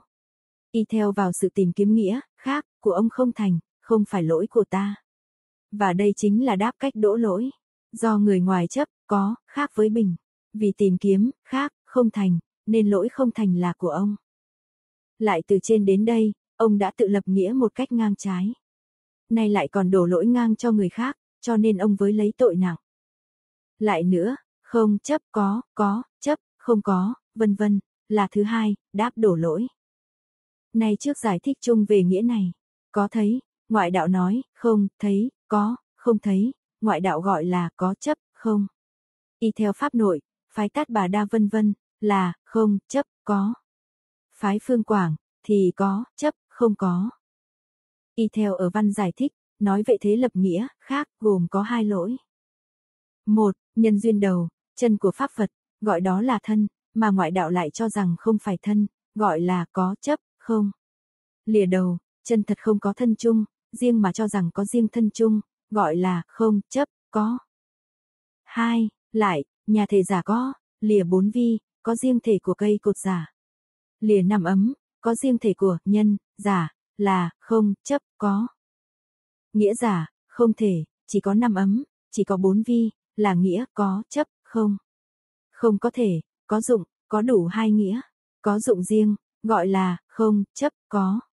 Không có thể, là có, chấp, không. Chú thích có hai. Một, nêu hai môn. Hai, giải thích hai môn. Nêu rõ hai môn, ông đồng với người phá pháp, nghĩa là chương môn phá pháp, lại là lắm lỗi, nêu chương môn lắm lỗi. Người phá pháp đồng là, có chấp, không, lại là lắm lỗi, nghĩa là, không, chấp, có. Vì sao trở xuống, là giải thích hai môn, lại chia làm hai trước, y theo pháp nội, kế là y theo pháp ngoài. Y theo pháp nội, giải thích pháp có hai. Một, giải thích người phá pháp, đồng với chương môn, nêu rõ nhân duyên hòa hợp thành thân, ông nói chẳng phải thân, tức là nhân duyên phá pháp. Nếu phá nhân duyên tức phá nghĩa, không, cũng phá chung, giả. Cho nên tất cả đều phá. Phẩm tứ đế trong trung luận chép lìa, là đã có thân riêng, giải thích chương môn lắm lỗi thứ hai, nói người phá pháp, chỉ bác bỏ, có, khiến cho, không, không chấp, vô, là, hiểu. Ông bèn bác bỏ, có, để thành, không, lại chấp, không, làm, có, há chẳng phải là lắm lỗi hay sao? Hai, kế là y theo pháp ngoài để giải thích, như văn. Phần 3. Phẩm thứ 5, phá tình. Phá hoại pháp có ba cặp, trước phá, một khác, kế phá tình căn trần. Một, vì trải pháp quán hạnh, dù biết, một, khác, đã không, nhưng chưa nói tình trần chẳng thật có. Nay vì muốn trải pháp, nói không, để cho tâm quán tiếp xúc cảnh tịnh này, nên kế là, phá tình trần. 2. Điên đảo luống dối sinh khởi không có căn bản, nhiễu loạn mà sinh, bị bệnh thì chữa trị. Tùy theo sự chống chế, liền phá. Cho nên trước phá bệnh, một, khác nay, rửa sạch chấp tình trần. 3. Bồ Tát soạn luận, vốn để giải thích kinh, mà các kinh phương đẳng đều nói sáu tình bản tánh là không tịch, chỉ nói giải rác trong kinh, lợi căn có thể ngộ, kẻ căn trí độn chưa hiểu rõ. Nay vì giải thích rộng sáu tình nên có phẩm này. Tất cả chúng sinh vì có tình này, nên giấy khởi các phiền não. Người tại gia do tình trần mà khởi ái, ngoại đạo xuất gia, do tình trần mà sinh chấp, pháp Phật có sở đắc, nghĩa của người đại, tiểu thừa cũng như thế. Này quán tình trần này vì rốt giáo không từ đâu có nên ái kiến của đại tiểu, trong ngoài liền dứt, cho nên có phẩm này. Lại các kinh phương đẳng vân vân đều nói sáu căn sám hối, ngộ sáu vốn không, tội của sáu căn liền diệt. Dựa trên nền tảng muốn vì đời sau sám hối, nên quán sáu căn là không. Lại kinh pháp hoa, vân vân nói sáu căn thanh tịnh. Nay ngộ sáu vốn không nên sáu căn thanh tịnh. Này muốn giải thích các kinh như thế, nên phá bỏ sáu tình, đều có cả ý sau này. Kế là phân biệt về ý, nghĩa là phẩm trước phá, một khác, phá chung các pháp. Vì muôn pháp và đại có nghĩa một thể, khác thể đều không thành. Một, từ đây về sau, phá riêng các pháp, nghĩa là có nhân quả tình trần trong muôn tượng. Trước chung, sau riêng, về thư lớp của quán môn cũng là lập nghĩa trước sau, cho nên có phẩm này. 2. Ở trước phá, một khác, giải thích pháp phá thường vô thường. Này kế là phá riêng pháp vô thường, cũng là trước chung, sau riêng làm thứ lớp. 3. Vì lý, một, khác, ẩn, còn nghĩa tình trần thì hiền, cho nên bỏ, một, khác, để lập tình trần, nên có phẩm này. 4. Một khác, chỉ, là điều mà ngoại đạo chấp, còn tình trần thì trong ngoài đồng chấp. Vì chấp riêng không thành, nên dẫn cái sau chung để bào chữa nên có phẩm này. 5. Trong phần cuối của phẩm phá, khác, ở trên, luận chủ của trách người ngoài rằng, không mà chấp có, có, mà chấp, không. Nay vì tiếp theo phẩm này nên nói thật sự có tình trần mà, có, thì thấy là, có, chẳng phải, không, mà chấp, cũng chẳng phải, có, mà chấp, không. Nếu luận chủ phá tình trần thì, có chấp đối với, không, mà lập riêng pháp Phật, nghĩa là, không mà, chấp, có, nên có phẩm này. Trước phá tình, kế phá trần, nghĩa là tình trong trần, ngoài, vì gần, xa bất đồng cho nên phá trước sau. Hỏi, này phá, một khác, bằng với nghĩa phá tình trần phải không? Đáp theo nghĩa chung thì bằng, nhưng vì ngoại đạo chấp ngang trái một, khác, nên họ cho rằng đại hữu và muôn pháp là, một, thể, khác, thể. Cũng ngoại đạo chấp ngang trái rằng tình tạo riêng, tạo riêng tạo khắp và các trần như bình, vân vân có thể thấy mà thật thì không có pháp này, cho nên về nghĩa phá là bằng nhau, mà có chút khác nhau. Đại hữu là, một thể, khác thể, chỉ ngoại đạo chấp, cho nên ở chỗ khác nói rằng, về đại hữu của ngoại đạo, kinh nói đây là nên phá, không chấp nhận. Nếu là tình trần có cả trong ngoài, cho nên vừa chấp nhận, vừa bác bỏ. Nếu ngang trái cho là, có, thì dứt trừ, mà không chấp nhận. Nhân duyên giả gọi tình trần thì nhận lấy mà không phá bỏ. Hỏi, phẩm phá tình này có gì khác với phẩm phá tình của trung luận hay không? Đáp trung luận chỉ phá tình, mà không phá nghĩa, biết sinh, còn phẩm này thì phá cả hai. Trung luận phá trung nghĩa, kiến, không chia ra đến, không đến, còn luận này thì phá riêng nghĩa đến, không đến. Vì sao? Vì trung luận phá nội học, người đại, tiểu thừa nội học chỉ nói không đến, năng kiến, cho nên trung luận phá thẳng chấp đó. Ngoại đạo chấp cả đến, không đến, cho nên luận này phá cả hai mê. Nói về tình, luận trí độ cho rằng 96 thuật không nói, ý thức. Vì ý thức, khó hiểu, nên chỉ nêu năm tình, và đối với ý. Thần ngự ở ý, vận hành trong mắt vân vân nên thấy được sắc. Hỏi, đã gọi ngoại đạo không nói về ý thức, vì sao nói ý vận hành ở mắt? Đáp, ngoại đạo không nói từ, ý căn, sinh, ý thức, chỉ nói có gốc bình đẳng của tâm, gọi là ý. Thần ngự ở ý này, đi qua mắt vân vân. Này nói phá tình, có hai nghĩa. Một, chính phá ngoại đạo không có sáu chấp có sáu, phụ là phá người của nội giáo ngang trái cho là sáu. Hai, hoặc nội, hoặc ngoại có tên của sáu tình này, đều khởi pháp Phật. Luận thành thật cho rằng ở kiếp sơ, mọi vật chưa có tên gọi. Vì thọ dụng, nên bậc thánh giả đặt tên, như bình, y, vân vân. Hỏi, vì sao bậc thánh nói sáu? Đáp, về đạo môn chưa hề nói sáu, không sáu, chỉ vì điên đảo nên thọ sáu căn này. Vì muốn cho họ ngộ, sáu là không cho nên bậc thánh nói sáu. Như kinh nói vì giúp chúng sinh ngộ nghĩa bậc nhất nên nói thế đế, cho nên khiến ngộ sáu là không. Sáu nghĩa là chư Phật ba đời xuất thế đều vì một việc lớn, đó là khai thị ngộ nhập chi kiến chư Phật. Chi kiến chư Phật, tức là bốn trí quan sáu tình này xưa nay vắng lặng, gọi là trí như lai. Dù là vắng lặng nhưng đối với chúng sinh điên đảo, thì rõ ràng có sáu, tức là trí Phật. Ngộ, sáu, không thật có, sáu, rõ, không thật có sáu, mà sáu, nhậm vận hiện tiền, gọi trí tự nhiên, ba trí này không từ thầy truyền dạy, gọi là trí vô sư. Bốn trí này là trí kiến của Phật, chư Phật ba đời vì muốn khai thị ngộ nhập trí kiến này cho nên xuất hiện ở đời. Bốn trí này tiếp xúc bất cứ chỗ nào cũng đều được sáng tỏ. Chỉ theo ở tâm chúng sinh được ý chính đáng, nên nói theo phẩm tình để nói. Phẩm này có hai phần. Một, phá nhãn tình. Hai, so sánh năm tình còn lại. Phần đầu lại có hai. Một, phá tình để sinh ra biết. Hai, chính là phá tình. Trước là phá quả, kế gọi là phá nhân. Nhân quả đã phá, sự tình sẽ tiêu tan hết. Ngoại đạo cho rằng nhất định có ngã, pháp sở hữu của ngã, hiện tiền có. Phẩm phá, một, trước là dùng pháp để chứng cho nhân. Nay phẩm này đầu tiên dùng pháp để chứng pháp, nhất định có ngã sở, nghĩa là có một chiếc bình. Có pháp hiện tiền có, nghĩa là năm tình sinh ra sự hiểu biết, chứng tỏ có pháp ngã sở như bình vân vân. Hiện tiền nghĩa là năm thức biết pháp hiện tại, lại hiện sự đáng tin. Ai là người không biết màu xanh, màu vàng ư? Nói biết nghĩa là sáu căn đều bốn hợp, trong bốn hợp đều sinh ra biết, mắt hợp với trần, biết xanh vàng, cho đến ý hợp với pháp biết được pháp. Nay chỉ lấy năm biết, không nói ý biết, có hai nghĩa. Một, ngoại đạo không nói ý thức, như trên đã nói. Hai, ý biết cả ba đời, vì không phải pháp hiện tiền, nên không nêu. Năm tình đối với năm trần, sinh ra năm biết, vì là pháp hiển hiện, cho nên nêu riêng. Hỏi, xem văn này nói sinh ra biết, tức giống với nghĩa mà vệ thế sư đã phá riêng phải không? Đáp chính là phá vệ thế, để tiếp theo phẩm phá khác, ở trên. Cho nên thế sư lập bốn hợp sinh ra biết, giải thích vạn hỏi, không, mà chấp có, mà chấp không, ở trước, trong khi tăng khư nói vì duyên hợp nên có tác dụng của chi giác. Y theo nghĩa dụng, cũng được nói về sinh, nhưng thể thì bất sinh. Hỏi, vì sao trong đây chỉ nói ba hợp? Đáp, người ngoài nêu pháp để chứng cho pháp, không giữ lại thần. Nếu giữ lại thần thì lại rơi vào thua thiệt, nên họ chỉ lập ra pháp. Nếu nghĩa pháp thành thì nghĩa người tự lập, cho nên văn nói rằng nhất định có ngã sở. Nội giáo nói rằng thấy sắc đã biết, thì đâu cần dùng sinh. Nội giáo phá biết, sinh có ba môn, đó là trước, sau, cùng lúc. Nay là phá trước thấy, sau biết, vốn là chưa thấy sắc xanh, vàng có thể phải biết màu xanh, vàng. Nay mắt thấy màu xanh, vàng đã rõ ràng, thì biết sinh vô dụng. Đây chính là bác bỏ nghĩa của số luận. Nhãn căn đã thấy được sắc, thì đâu cần dùng thức.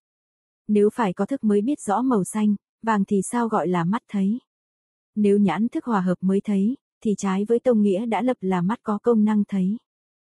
Một, nếu trước biết sinh trở xuống, là thứ hai, phá trước biết, sau thấy. Nhưng biết trước, thấy sau, biết thì có dụng, chỉ vì thấy là không, nên biết không được sinh. Hai, lại có lỗi trái tông. Ông nói rằng bốn hợp sinh biết, này bốn chưa hợp mà biết đã sinh, nên trái với tông trước. Trước được tông biết là rơi vào vô dụng, này biết được dụng lại rơi vào trái tông. Người ngoài nói rằng, nếu cùng lúc sinh, bào chữa rằng khi thấy sắc, liền biết sinh. Lúc biết sinh thì thấy sắc, cho nên không có hai lỗi trên. Hỏi, vì sao không có tu đố lộ? Đáp, vì có hai lý do. Một, người ngoài trước lập một cái biết hiện tiền. Để bà thường quán xuyến về ba vạn hỏi, nghĩa là trước sau cùng lúc. Nhưng thiên thân vì muốn phát phá cùng một lúc nên lập ngoài nghĩa sinh. Hai, cho nên không có tu đố lộ, cũng có thể vì dễ hiểu nên không giải thích, cho nên không có dẫn. Nội giáo nói rằng trở xuống là bổn kệ, chia làm bốn. Nhắc lại, bác bỏ, vặn hỏi, giải thích, nếu sinh cùng lúc là nhắc lại. Việc này không đúng trở xuống, là bác bỏ. Sinh, vô sinh, chung, không sinh cùng một lúc là vạn hỏi thứ ba. Hỏi, đây ý cứ vào vạn hỏi nào. Đáp chính là ý cứ môn vô sinh để bắt bẻ, vì người ngoài lập cùng lúc sinh. Nay chỉ phá sinh đó thì cùng một lúc liền hoại, lại sinh chung cho cả trước, sau, cùng một lúc. Nay phá về sinh, thì phá đủ cả ba nghĩa. Lại nếu chỉ phá thấy, biết cùng một lúc thì không được gồm phá pháp khác. Nay nếu phá sinh thì được gồm hiển bày muôn pháp vô sinh. Vì có, vì, không, vì trước phá, nên thứ tư, là giải thích phá. Vì có, giải thích sinh ở trên. Vì, không, giải thích vô sinh. Vì trước phá nên giải thích cái chung ở trên. Nhưng phá trước có hai. Một, có, không, đối với chung thì là ở trước, cho nên phá, có, không, gọi là phá chung. Hai, theo thiên thân, dùng hai bổn kệ đầu, gọi đó là chung. Kệ đầu phá trước thấy, sau biết, đây là có thấy, không có biết. Bài kệ kế, là phá biết trước, thấy sau, là có, biết, không có thấy. Hai kệ trước đã phá, có, không, thì gọi phá chung, nên nói rằng phá trước. Lại trong bổn kệ, nói rằng vì có, vì, không. Hai thứ này tức là hai tu đố lộ, vì lại chỉ hai thứ này, nên nói rằng hai tu đố lộ. Trong chú thích được chia làm hai trước, giải thích bổn kệ, kế là phá nghĩa cùng một lúc. Sở dĩ nói hai giải thích, này vì người ngoài lập cùng một lúc sinh. Bổn kệ phá sinh đó, theo nghĩa của thiên thân, phá cùng một lúc có thì cả hai nghĩa đều dứt. Phần đầu lại có ba. Một, nhắc lại ở ba giữa, dưới. Hai, bác bỏ chung. Ba, vì sao trở xuống, là thứ ba, chính phá. Lại nữa, nếu cùng một lúc là nghĩa thứ hai, phá cùng một lúc. Thấy là nhân, biết gọi là quả. Nếu thấy biết cùng một lúc thì đều mất sự đối đãi nhau. Lại nữa, mắt là thấy sắc trăng. Từ trên đến đây là phá nghĩa biết sinh, nay là thứ hai kế, phá cái thấy kia, cũng chia làm ba môn. Một, môn phá đến, không đến. Hai, phá tánh của mắt tự thấy. Ba, phá lại cái thấy đến, không đến. Về nghĩa đại, tiểu thừa của Pháp nội là bất đồng, đều nói rằng mắt là nhìn xa không đến, có thể thấy. Tăng khư cũng nói rằng mắt có thể nhìn xa, cho nên mắt thấy việc ác thì phải tránh ngay, gặp phải việc tốt, cần phải làm ngay. Tai nghe tiếng cũng thế, điều này hoàn toàn đồng với Pháp Phật. Ba căn mũi, lưỡi, thân vì được thành thân, nên đinh căn mới biết, cũng đồng với nghĩa nội. Này để bà vì phá chung các nhà nên chia ra hai mối để trách. Một, phá cái thấy đến chỗ sắc, dễ hiểu. Hai, lại nữa trở xuống, thiên thân muốn bắt bẻ phá nghĩa cái thấy đến ở trên, sinh là phá cái thấy không đến. Nên có bốn vạn hỏi. Một, gần, xa đều không đến, lẽ ra đều không thấy. Hai, gần, xa đều không đến, lẽ ra đều thấy. Ba, nếu thấy gần, thì không thấy xa, lẽ ra đến gần, không đến xa. bốn Nếu thấy gần, không thấy xa, lẽ ra thấy xa, không thấy gần. Lại nữa trở xuống, là chia ra hai môn để trách lại nghĩa cái thấy đến đến sắc. Một, nói rằng nếu thấy sắc rồi mới đi, thì sẽ rơi vào lỗi vô dụng. Nếu không thấy mà đi thì được có tác dụng thấy, mà trái với điều ý đã nhận lấy. Hai, lại nữa chỗ không có mắt, cũng không chấp trở xuống là lại chia hai môn để phá đến, không đến. Một, trước là nói nếu mắt đến chỗ sắc thì được nghĩa nhận lấy sắc, và sẽ mất mắt trên mặt. Hai, chấp lấy sắc, lại nữa trở xuống, lại phá mắt không đến chỗ sắc, cũng có bốn vạn hỏi. Một, đồng là không đến, thì chứng ngại cho trong ngoài đều nhìn thấy. Hai, đều không thấy. Ba, thấy chứng ngại trong không thấy ngoại, lẽ ra cũng thấy ngoại, không thấy nội. 4. Có thấy, không thấy có đến, không đến, vì cả hai nhà nội ngoại đều nói, không đến, cần phải khéo léo mà phá. Kinh Niết bàn chép, nếu thấy đến, thì nay mắt thấy lửa, lẽ ra lửa đốt mắt. Mắt thấy nước, nước lẽ ra làm ướt mắt. Luận trí độ, quyển 28 giải thích, biết tâm chúng sinh hướng về, người ngoài hỏi rằng, biết tâm chúng sinh hướng về là đi hay không đi. Nếu đi thì đồng với người chết, còn không đi thì sẽ không kết hợp với cảnh. Lại nếu không đi, thì sao kinh lại nói rằng nhân mắt duyên sắc, sinh ra nhãn thức. Luận chủ đáp, không đi, không ở mà biết, điều này cũng khó hiểu, vì nếu nói tâm pháp chẳng đi, không đi, thì lẽ ra cũng chẳng biết, không biết. Nếu nói rằng vì tâm là lự trí, cho nên biết, nay hỏi lự trí vì sao không đi. Rốt cuộc không khỏi bị trách. Người ngoài cho rằng vì mắt thấy nhau, từ trên đến đây là phá cái thấy đến, không đến. Nay là thứ hai phá mắt tự thấy. Ở trên dùng hai môn đến, không đến để trách cứ, lời lẽ đều khuất phục, người ngoài không có cách nào để bào chữa. Họ chỉ nói rằng mắt là tướng thấy, không có mắt mà thôi. Có tức thể tánh năng thấy, nói chi đến và không đến. Nội giáo nói rằng, nếu mắt thấy, thì lẽ ra tự thấy mắt. Nhiệt là thể, tướng của lửa, mà mình, người đều nóng. Sự nhìn thấy là thể tướng của mắt, lẽ ra tự và tha đều thấy. Hễ mở mắt ra thì thấy màu xanh, vàng bên ngoài. Nhắm mắt lại lẽ ra thấy màu đen, trắng bên trong. Lại hỏi, mắt là thấy hay không phải thấy? Nếu mắt là thấy, đã tự là mắt, lẽ ra phải tự thấy. Nếu tự không thấy tự, thì lẽ ra chẳng phải mắt. Lại nếu thấy là mắt, nếu thường có mắt thì lẽ ra thường thấy. Nếu có lúc thấy, đôi khi không thấy thì có lúc mắt, không phải mắt. Nếu thấy, khác, với mắt, thì thấy sẽ tự thấy, lẽ ra chẳng phải mắt thấy. Lại nếu thấy khác với mắt thì nóng lẽ ra khác với lửa. Người ngoài cho rằng như ngón tay. Luận chủ nêu lửa để vặn hỏi, người ngoài dùng ngón tay để giải thích, trong khi chưa hẳn phát ngôn, cũng có thể đưa thẳng ngón tay lên. Nội rằng vì xúc chạm là nghiệp hành động của ngón tay. Mắt lấy sự nhìn thấy làm tướng, ngón tay không lấy xúc chạm làm tướng, cho nên không phải dụ. Lại nếu xúc chạm tức là ngón tay, thì lúc không xúc chạm, lẽ ra không có ngón tay. Nếu thường có ở ngón tay, thì phải thường có ở sự xúc chạm. Lại sự xúc chạm tức là ngón tay. Đã tự là ngón tay, thì lẽ ra tự xúc chạm. Nếu không tự xúc chạm thì lẽ ra không tự là ngón tay. Lại nữa, nếu thấy tức là mắt, tự đã không thấy thì tự lẽ ra chẳng phải mắt. Nếu tự là mắt, thì tự lẽ ra có thể thấy. Lại tự không thấy mà là mắt thì thấy tha, lẽ ra chẳng phải mắt. Lại, ba đốt là tướng ngón tay, sao thấy khác là tướng của mắt. Nay không thấy, bèn có mắt, không có ba đốt, lẽ ra có ngón tay. Nếu lấy cử chỉ lay động của ngón tay làm tướng ngón tay, thì lẽ ra cũng lấy động tác mở nhắm của mắt làm tướng của mắt. Người ngoài cho rằng vì nhãn quang và ý đi, cho nên thấy sắc. Đây là lớp thứ ba, phá đến, không đến. Sở dĩ lại phá đến, không đến, là vì người ngoài nghe nội giáo trước, phá đến, không đến trong khi đó lời lẽ của họ đều chịu khuất, không lấy gì để giải thích, chỉ nói rằng thể tánh của mắt là năng thấy. Nhân lời họ nói, luận chủ vẫn trách cứ về tướng thấy của họ bất thành. Này trí nghĩ của người ngoài lại nảy sinh giải thích lại lần nữa về nghĩa, đến, không đến, ở trước rằng, nghĩa của tôi có cả đến, không đến. Nhãn quang và ý đi đến chỗ sắc, mà thể của mắt không đến với sắc. Sở dĩ cần ý đi là vì một, ý muốn thấy xác ở trước nên đến chỗ đó. Hai, nhãn quang không biết, phải có ý dẫn đường, cho nên ý với nhãn quang đi chung. Luận thành thật sư nói, nhãn quang không đi, mà ý chẳng đi, không đi. Nội giáo nói rằng, nếu ý đến chỗ sắc, thì ý này không có giác. Buông thả đoạt lấy giác, nếu ý mà đi thì thân sẽ không có ý, do đó như người chết. Lấy sự việc này để chê bai ngoại đạo. Ngoại đạo coi mặt của nội giáo là chết. Ngoại đạo đâu thể nói bàn.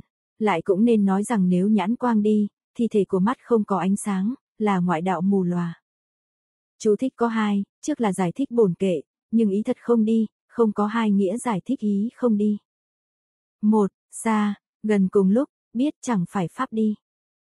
Hai, quá khứ đã dứt, nếu ý mà đi, thì ý lẽ ra cũng dứt. Vị lai chưa khởi, ý duyên vị lai, lẽ ra cũng chưa khởi, mà thật ra thì không như vậy, cho nên biết không đi. Người ngoài nói rằng như ý ở thân, giải thích vạn hỏi, không có giác, ở trên. Ý ở thân, chẳng phải không có giác, bởi sức của ý có thể biết các trần ở xa, thì hai nghĩa thành. Nội giáo nói rằng nếu vậy thì không đúng, ý vốn đi, được hợp.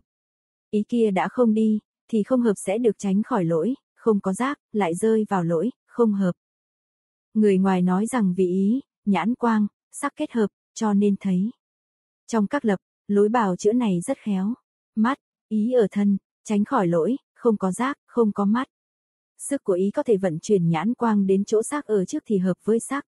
Cho nên tránh khỏi lỗi, không có hợp. Nội giáo nói rằng nếu vì hợp nên thấy, sinh không thấy, nghĩa là thả hợp, đoạt lấy thấy. Đây là đối với người, là đối với chủ, là nói năm thứ hòa hợp mắt, nhãn quang, ý, sức ý, sắc. Cái thấy trong năm pháp, nhất định thuộc về cái gì? Cái gì là thấy, nghĩa là năm hợp mới thấy thì không nên nói thấy nhất định thuộc về mắt.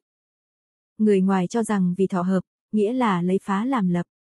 Nội giáo lấy dụng hòa hợp để phá kiến chấp, ngoại đạo liền chấp hợp, để làm lập, nhưng khiến có hợp thì có ở kiến.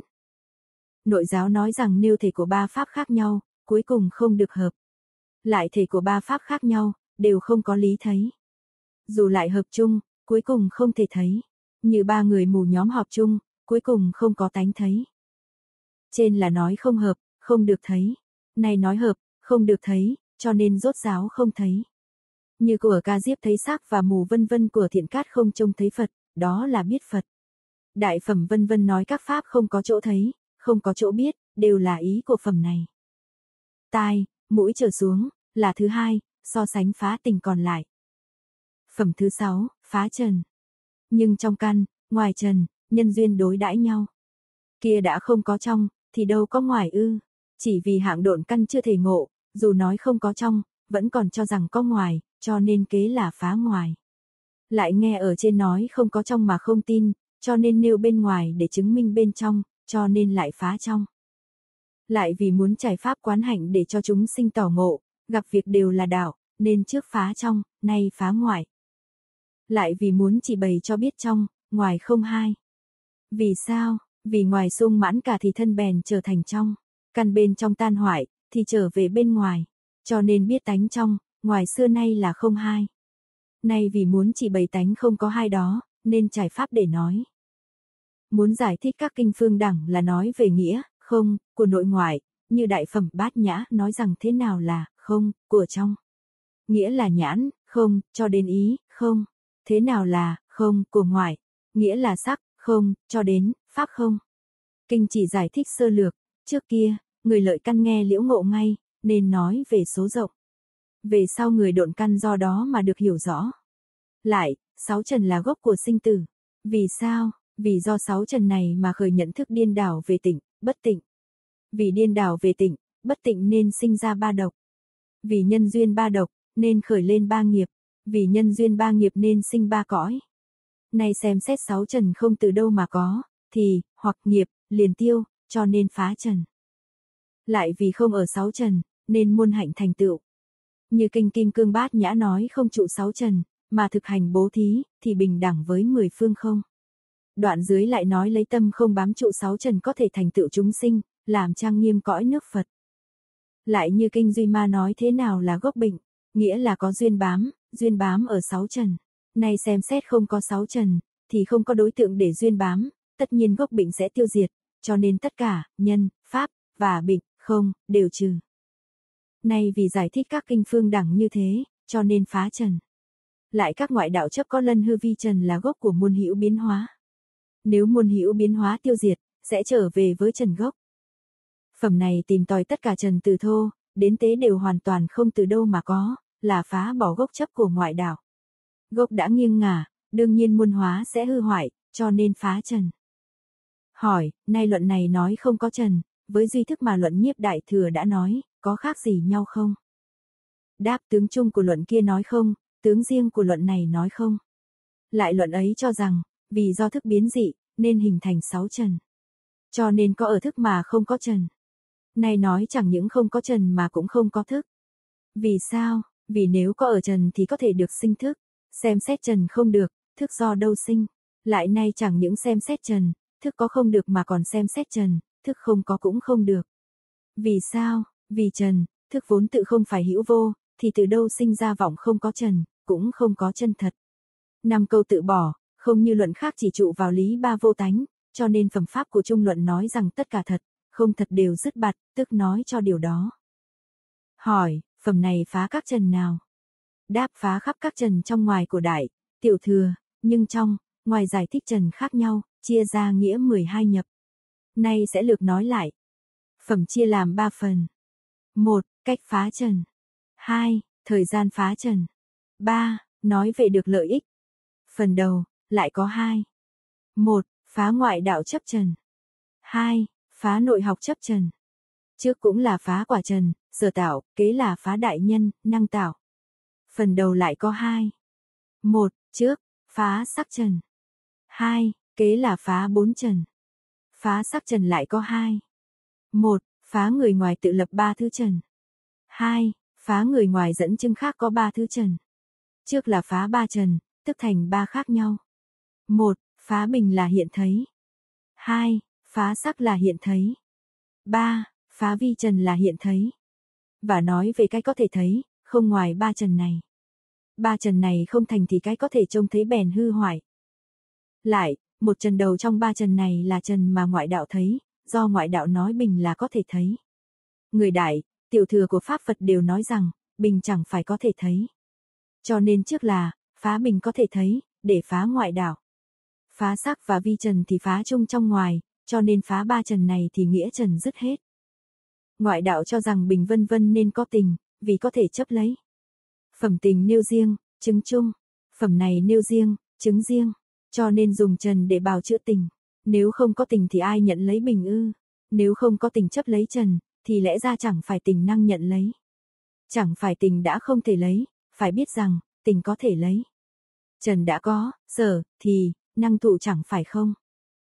Nội giáo nói rằng chẳng phải sắc riêng là bình, cho nên bình chẳng phải hiện thấy. Nhưng nếu dùng lý để lấn át, thì ông lấy, sở thủ, để làm chứng cho, năng thủ, ta cũng lấy, năng thủ, để so sánh với, sở thủ. Năng thủ đã không có, há có sở thủ. Chỉ vì luận chủ từ bi buông lời nói tùy theo phá. Nhưng mắt có thể thấy là đứng đầu trong sáu tình trần được thấy là đầu tiên của sáu trần. Vì thế phẩm trước phá, hay thấy, còn phẩm này phá, được thấy. Ý phá rằng, theo nghĩa của ông, thì năm trần hình thành bình. Nay chỉ thấy sắc chẳng phải thấy bình. Ông đâu được nói bình là hiện thấy. Nếu bình là hiện thấy thì riêng bình được sắc tạo thành, không nên năm trần làm thành bình. Nếu năm trần làm thành bình, bình có thể thấy, thì năm trần đều có thể thấy. Nếu năm trần đều có thể thấy thì đó là trần loạn. Ở trần đã loạn, năm căn cũng loạn mà vì trần thật sự không loạn, nên bình chẳng phải hiện thấy. Lại bình là sắc có thể thấy, vì thành có thể thấy, tiếng vân vân không thể thấy, thì thành lẽ ra không thể thấy.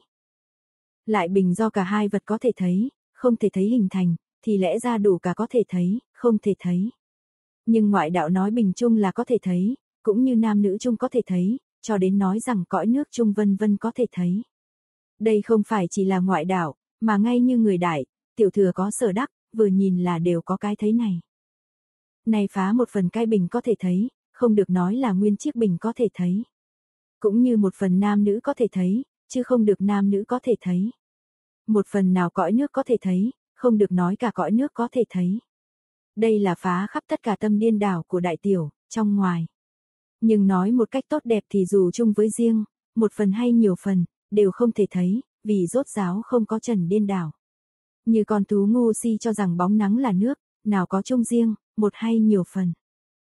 Luận chủ từ bi, e rằng kẻ độn căn không thể tin, hiểu nên lại mượn vọng riêng để dừng cái vọng chung, cho nên nói là, một phần có thể thấy, còn nhiều phần không thể thấy.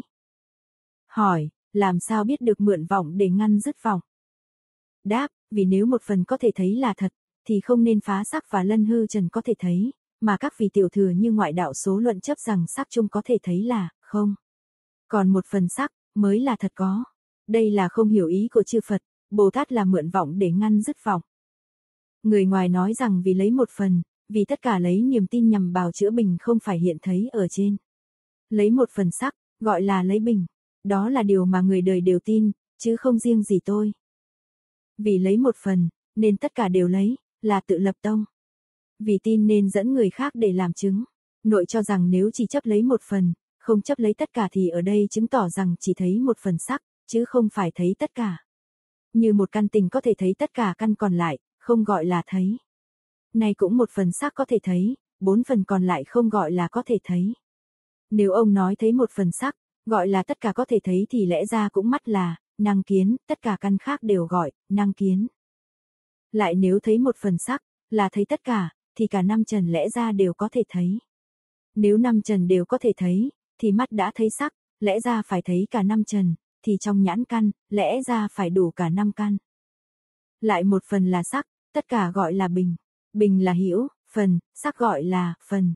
Nếu thấy, phần, thì thấy, có phần, cho nên, phần, và, hiểu phần, là một. Như trong phá, một phá, khác, nói nếu, phần, khác với, có phần. Này thấy, phần, làm sao thấy, hiểu phần. Người ngoài cho rằng có bình có thể thấy, vì nhận sắc hiện thấy. Từ trên đến đây, phá bình là hiện thấy, phá người ngoại đạo và nghĩa thế tục đã xong.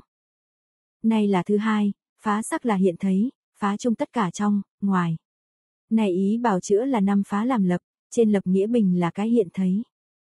Một, hai quan điểm của luận chủ nói mắt chỉ thấy sắc, thật ra không thấy bình. Đây là mượn sắc để phá bình. Người ngoài nói ông đã chấp nhận sắc của tôi là hiện thấy, vốn dùng sắc để thành bình. Sắc, năng thành, đã có thể thấy, bình, được thành, lẽ ra cũng có thể hiện thấy. 2. Từ vượt hơn mà được gọi tên, như cho năm trần đều là sắc, mà sắc thì được gọi là sắc. Hương còn lại vân vân từ riêng mà được tên, nay cũng so sánh như thế. Dù bình có nhiều vi tạo thành, nhưng vì sắc đã vượt hơn nêu từ sắc được tên, gọi là hiện thấy. 3. Đều chung, nếu không cho bình là hiện thấy, thì lẽ ra cũng không thừa nhận sắc là hiện thấy. Đã thừa nhận sắc hiện thấy, thì lẽ ra cũng thừa nhận bình hiện thấy. Nội giáo nói rằng nếu phần này hiện thấy, phần kia không hiện thấy, thì phá sắc ngoài là hiện thấy. Sắc là pháp chướng ngại, như sắc của một cây cột, chỉ thấy phần này không thấy được phần kia, sao lại nói sắc là hiện thấy. Nếu thấy phần này gọi là hiện thấy, thì không thấy phần kia lẽ ra gọi là không hiện thấy. 4. Lại vì phần này ở sắc không thấy ở kia, nên kia gọi là không hiện thấy. Đối với sắc kia không thấy ở đây cho nên phần này cũng không hiện thấy. Trước sắc để phá bình, nay là mượn sắc để phá sắc, nghĩa là phá kia, đây lẫn nhau chứ không phải luận chủ lập chướng ngại của sắc chướng để phá ngoại. Đây tức phá nghĩa của người số luận. 5. Người số luận cho rằng biết được tưởng bình thật, đeo đuổi theo hiểu biết về bình. Này nói mắt thấy sắc, thì tưởng cái gì mà hiểu. Người số luận cho rằng các sắc như dài ngắn vân vân là đối tượng mà mắt thấy, cũng lập ra cách phá này, dài có kia đây, thấy đây, không thấy kia, vì sao lại thấy dài. Chú thích có hai. Một, giải thích bổn kệ, phần trong phần kia không hiện thấy, nghĩa là lược nói, y cứ ba phần để nói. Thấy sắc phần này, không thấy sắc phần giữa, trong, và cả phần kia. Đây là nói thấy một, không thấy hai, không gọi hiện thấy. Phần này cũng như thế. Trên nói thấy một, không thấy hai, nay nói cả ba phần đều không thể thấy. Vì hai phần chứng ngại phần này, nên để bà dùng hai phần để quyết định, một phần hiện thấy, một phần không hiện thấy không được gọi hiện thấy. Hoặc thiên thân y cứ vào ba phần để giải thích, một phần hiện thấy, hai phần không hiện thấy, không nên gọi hiện thấy. Nếu dùng 10 phương phần để giải thích thì chỉ một phần hiện thấy, 9 phần không hiện thấy. Như cây cột có 10 phương phần, thấy một không thấy chín. Lại nữa, trở xuống, là dùng ý về nghĩa sinh thứ hai, để phá người ngoài. Người ngoài bào chữa rằng, dù sắc ba phần, nhưng vì thấy một phần, nên gọi thấy tất cả. Cho nên nay nói mình là do năm trần hình thành thấy một, không thấy bốn, không gọi là thấy tất cả. nay nói mình là do ba phần hình thành thấy một, không thấy hai, không gọi thấy tất cả. Dùng văn ở kia để đáp ở đây. Người ngoài nói rằng vì vi trần không có phần, nên không phá hết. Trong ba phen phá sắc, từ trên đến đây, hai phen phá đã xong, nay đến phen thứ ba, phá vi trần là có thể thấy. Ý bảo chữa rằng, bình do năm trần hình thành. Vì thấy một chẳng thấy bốn, nên bình chẳng phải hiện thấy. Sắc là do ba phần hình thành. Vì thấy một, không thấy hai nên sắc không phải hiện thấy. Nay vi trần khác với hai thứ này. Vì không được năm trần hình thành nên khác với bình, do đó không có lỗi thấy một, không thấy bốn. Vi trần không có mười phương phần nên không có lỗi thấy đây, không thấy kia. Vì thế đều không rơi vào trong hai thứ phá trên, do thể nó tròn nên không thấy mà thôi. Thấy thì đều thấy, do có trần này làm gốc của bình sắc, gốc đã có thể thấy thì ngọn cũng có thể thấy. Người số luận và trang nghiêm đều nói rằng vi trần không có phương phần, hoàn toàn đồng với luận này. Nội giáo nói rằng vi trần chẳng phải hiện thấy. Để bà khéo thông nội giáo, nhận biết tinh tường ngoại kinh. Lại có tuệ vô ngại và phân biệt vô phương, lại dùng văn kia để phá thuyết này. Kinh của ông tự nói trần chẳng phải hiện thấy thì đâu được nói là hiện thấy trái với kinh. 2. Vi trần đã không phải hiện thấy, làm sao có thể thành hiện thấy. Vì gốc không thể thấy nên ngọn của sắc bình cũng không thể thấy. 3. Giả sử vi trần của ông có thể thấy, sắc đã có sắc thô, sắc tế, cũng có thô ngại, tế ngãi, thì ra thấy nơi này không thấy nơi kia, vì sao nói là đều thấy. Nếu nói thô có ngại, tế không có ngại thì lẽ ra cũng vì thô nên là sắc, tế lẽ ra không phải sắc. Nếu thô tế đều là sắc, lại thô, tế đều ngại. Như sắc kia đều là ngại thì có 10 phương, sẽ thấy đây không thấy kia. Lại nếu có sắc không có ngại, lẽ ra cũng có ngại không có sắc. Pháp không có sắc, tất nhiên không thể ngại. Pháp có sắc, làm sao không có ngại. Lại đầu tiên phá vi trần chẳng phải hiện thấy, chính là phá ngoại đạo. Kinh của ngoại đạo nói trần không thấy. Nếu vi trần có thể thấy, thì đây là phá nghĩa trong, vì nội đạo chấp thiên nhãn nhìn thấy lân hư trần. Luận trí độ kỹ hơn. Nếu có sắc cực vi, thì sẽ có 10 phương phần. Nếu có 10 phương phần thì có thấy nơi này, không thấy nơi kia. Lại có 10 phương phần, không gọi là cực vi. Nếu không có 10 phương phần thì không gọi là sắc. Người ngoài nói rằng bình nên hiện thấy, vì người đời đều tin. Từ trên đến đây, phá tông nghĩa mà người ngoài tự lập, một chương từ thô đến tế đã xong. Này thứ hai là phá người ngoài nêu người khác để chứng có hiện thấy. Nay trước lập nghĩa. Hỏi, trước hết phẩm này đã nêu niềm tin của người đời và nay có khác gì nhau không? Đáp, trên nêu người đời tin chứng là bình hiện thấy. Nay nêu người đời tin bình là có. Nếu ông nói ba pháp đều không thể thấy, thì lẽ ra không có bình. Tướng của người đời với niềm tin có ở bình, nhất định lẽ ra bình có thể thấy. Nội giáo nói rằng hiện thấy đều là bình, không. Giải thích điều này khác với người thế tục, Hà Đông gạn chú Bách luận sớ 10 quyền. Xưa, vào cuối đời lương, các sư cũng từ sư ấy thọ nghiệp, dùng ý thành thật để giải thích văn này, bình là giả gọi, là sở đắc của tâm tưởng. Nay chỉ thấy thật, không thấy bình giả, nhưng không có chiếc bình mà người ngoài hiện thấy, chứ chẳng phải không có bình giả danh, nên nói rằng hiện thấy đều là bình, không. Giải thích này có hai lỗi. Một, trái với chú thích. Hai, lập nghĩa phá người khác, không phải khẩu khí của đề bà, nên triệu công nói rằng, nói mà không có giữ lấy, phá mà không có chấp, làm sao chấp nghĩa mà phá người khác. Có người nói hiện thấy không có chiếc bình của tự tánh điên đảo, chứ chẳng phải không có chiếc bình giả danh của nhân duyên. Giải thích này cũng có hai lỗi. Một, trái với chú thích. Hai, nghĩa dụng mất lý do. Phẩm tác giả của trung luận chép, nghiệp này từ các duyên sinh giả gọi là, có, không có quyết định, chẳng phải như điều ông nói. Đây là nói không có tự tánh, có giả danh, để phá đoạn kiến của ngoại đạo, chứ không phải thời gian mà nay dùng đến. Nay ngoại đạo chính lập bình là có. Nếu lại nói là có, thì càng thêm lỗi. Có người nói, không, ông tưởng cho là bình, nên nói hiện thấy, không. Chẳng phải trước có bình, pháp phá kia khiến cho bình thành, không. Như chỉ trừ bình kia không có cách nào để phá. Như chỉ phá tưởng nước, không có nước để phá. Lỗi của giải thích này cũng đồng với trái văn, hại nghĩa trước. Điều ở đây nói là trước phải biết lập, mới được phá. Ở trên, ngoại đạo có lập hai nghĩa. Một, thế gian đều tin có bình, tất nhiên là hiện thấy. Hai, nếu không hiện thấy thì là không có bình. Nay phá hai nghĩa này. Một, ông nói có bình, tất nhiên hiện thấy, trong bóng tối có bình, mà không hiện thấy, đâu được nói là có bình thì hiện thấy. Cho nên phải biết rằng, bình chẳng phải hiện thấy. hai Khi mắt chưa đối với bình, thì đây là không hiện thấy mà bình thì chẳng phải không, đâu được không hiện thấy tức không có bình. Muốn thấy giải thích này, phải xem văn chú thích. Phần chú thích được chia làm 4. 1. Nhắc lại nghĩa ngoài. 2. Việc này không đúng, là thứ hai, bác bỏ chung. 3. Dù bình không hiện thấy trở xuống, là chính phá. Đây là nói, lúc không hiện thấy, chẳng phải không có bình, chính là giải thích bổn kệ hiện thấy đều là bình, không. Cho nên bình chẳng phải hiện thấy. 4. Trước phá không có hiện thấy thì không có bình, nay phá có bình tất nhiên hiện thấy. Lại, văn này kết thành phá ở trên, vì lúc không hiện thấy, thì có bình, nên biết bình chẳng phải hiện thấy. Ngoại đạo cho rằng vì mắt chưa hợp, nên không có lỗi. So sánh đoạn văn này với các giải thích ở trước, đều là sai. Hỏi đáp này nói, người ngoài bào chữa hai lỗi trên, nhằm nói rằng thể của bình là pháp hiện thấy. Cho nên hễ có bình thì sẽ hiện thấy. Về nghĩa của nội cũng thế, như nói rằng hai pháp gồm thâu tất cả pháp, nghĩa là pháp có thể thấy, không thể thấy. Sắc vân vân thuộc về pháp có thể thấy, lại như ba thứ sắc. Một, có thể thấy, có đối. Hai, không thể thấy, có đối. Ba, không thể thấy, không có đối. Nay, sắc là pháp có thể thấy, có đối. Cho nên biết sắc nhất định là pháp có thể thấy, chỉ khi nào mắt chưa đối với bình, thì người ta tự không thấy thôi, chứ chẳng phải là thể của bình không hiện thấy. Không được nói rằng có bình không hiện thấy, không hiện thấy có bình. Nội giáo nói rằng, như hiện thấy, sinh, không có, cũng chẳng phải thật.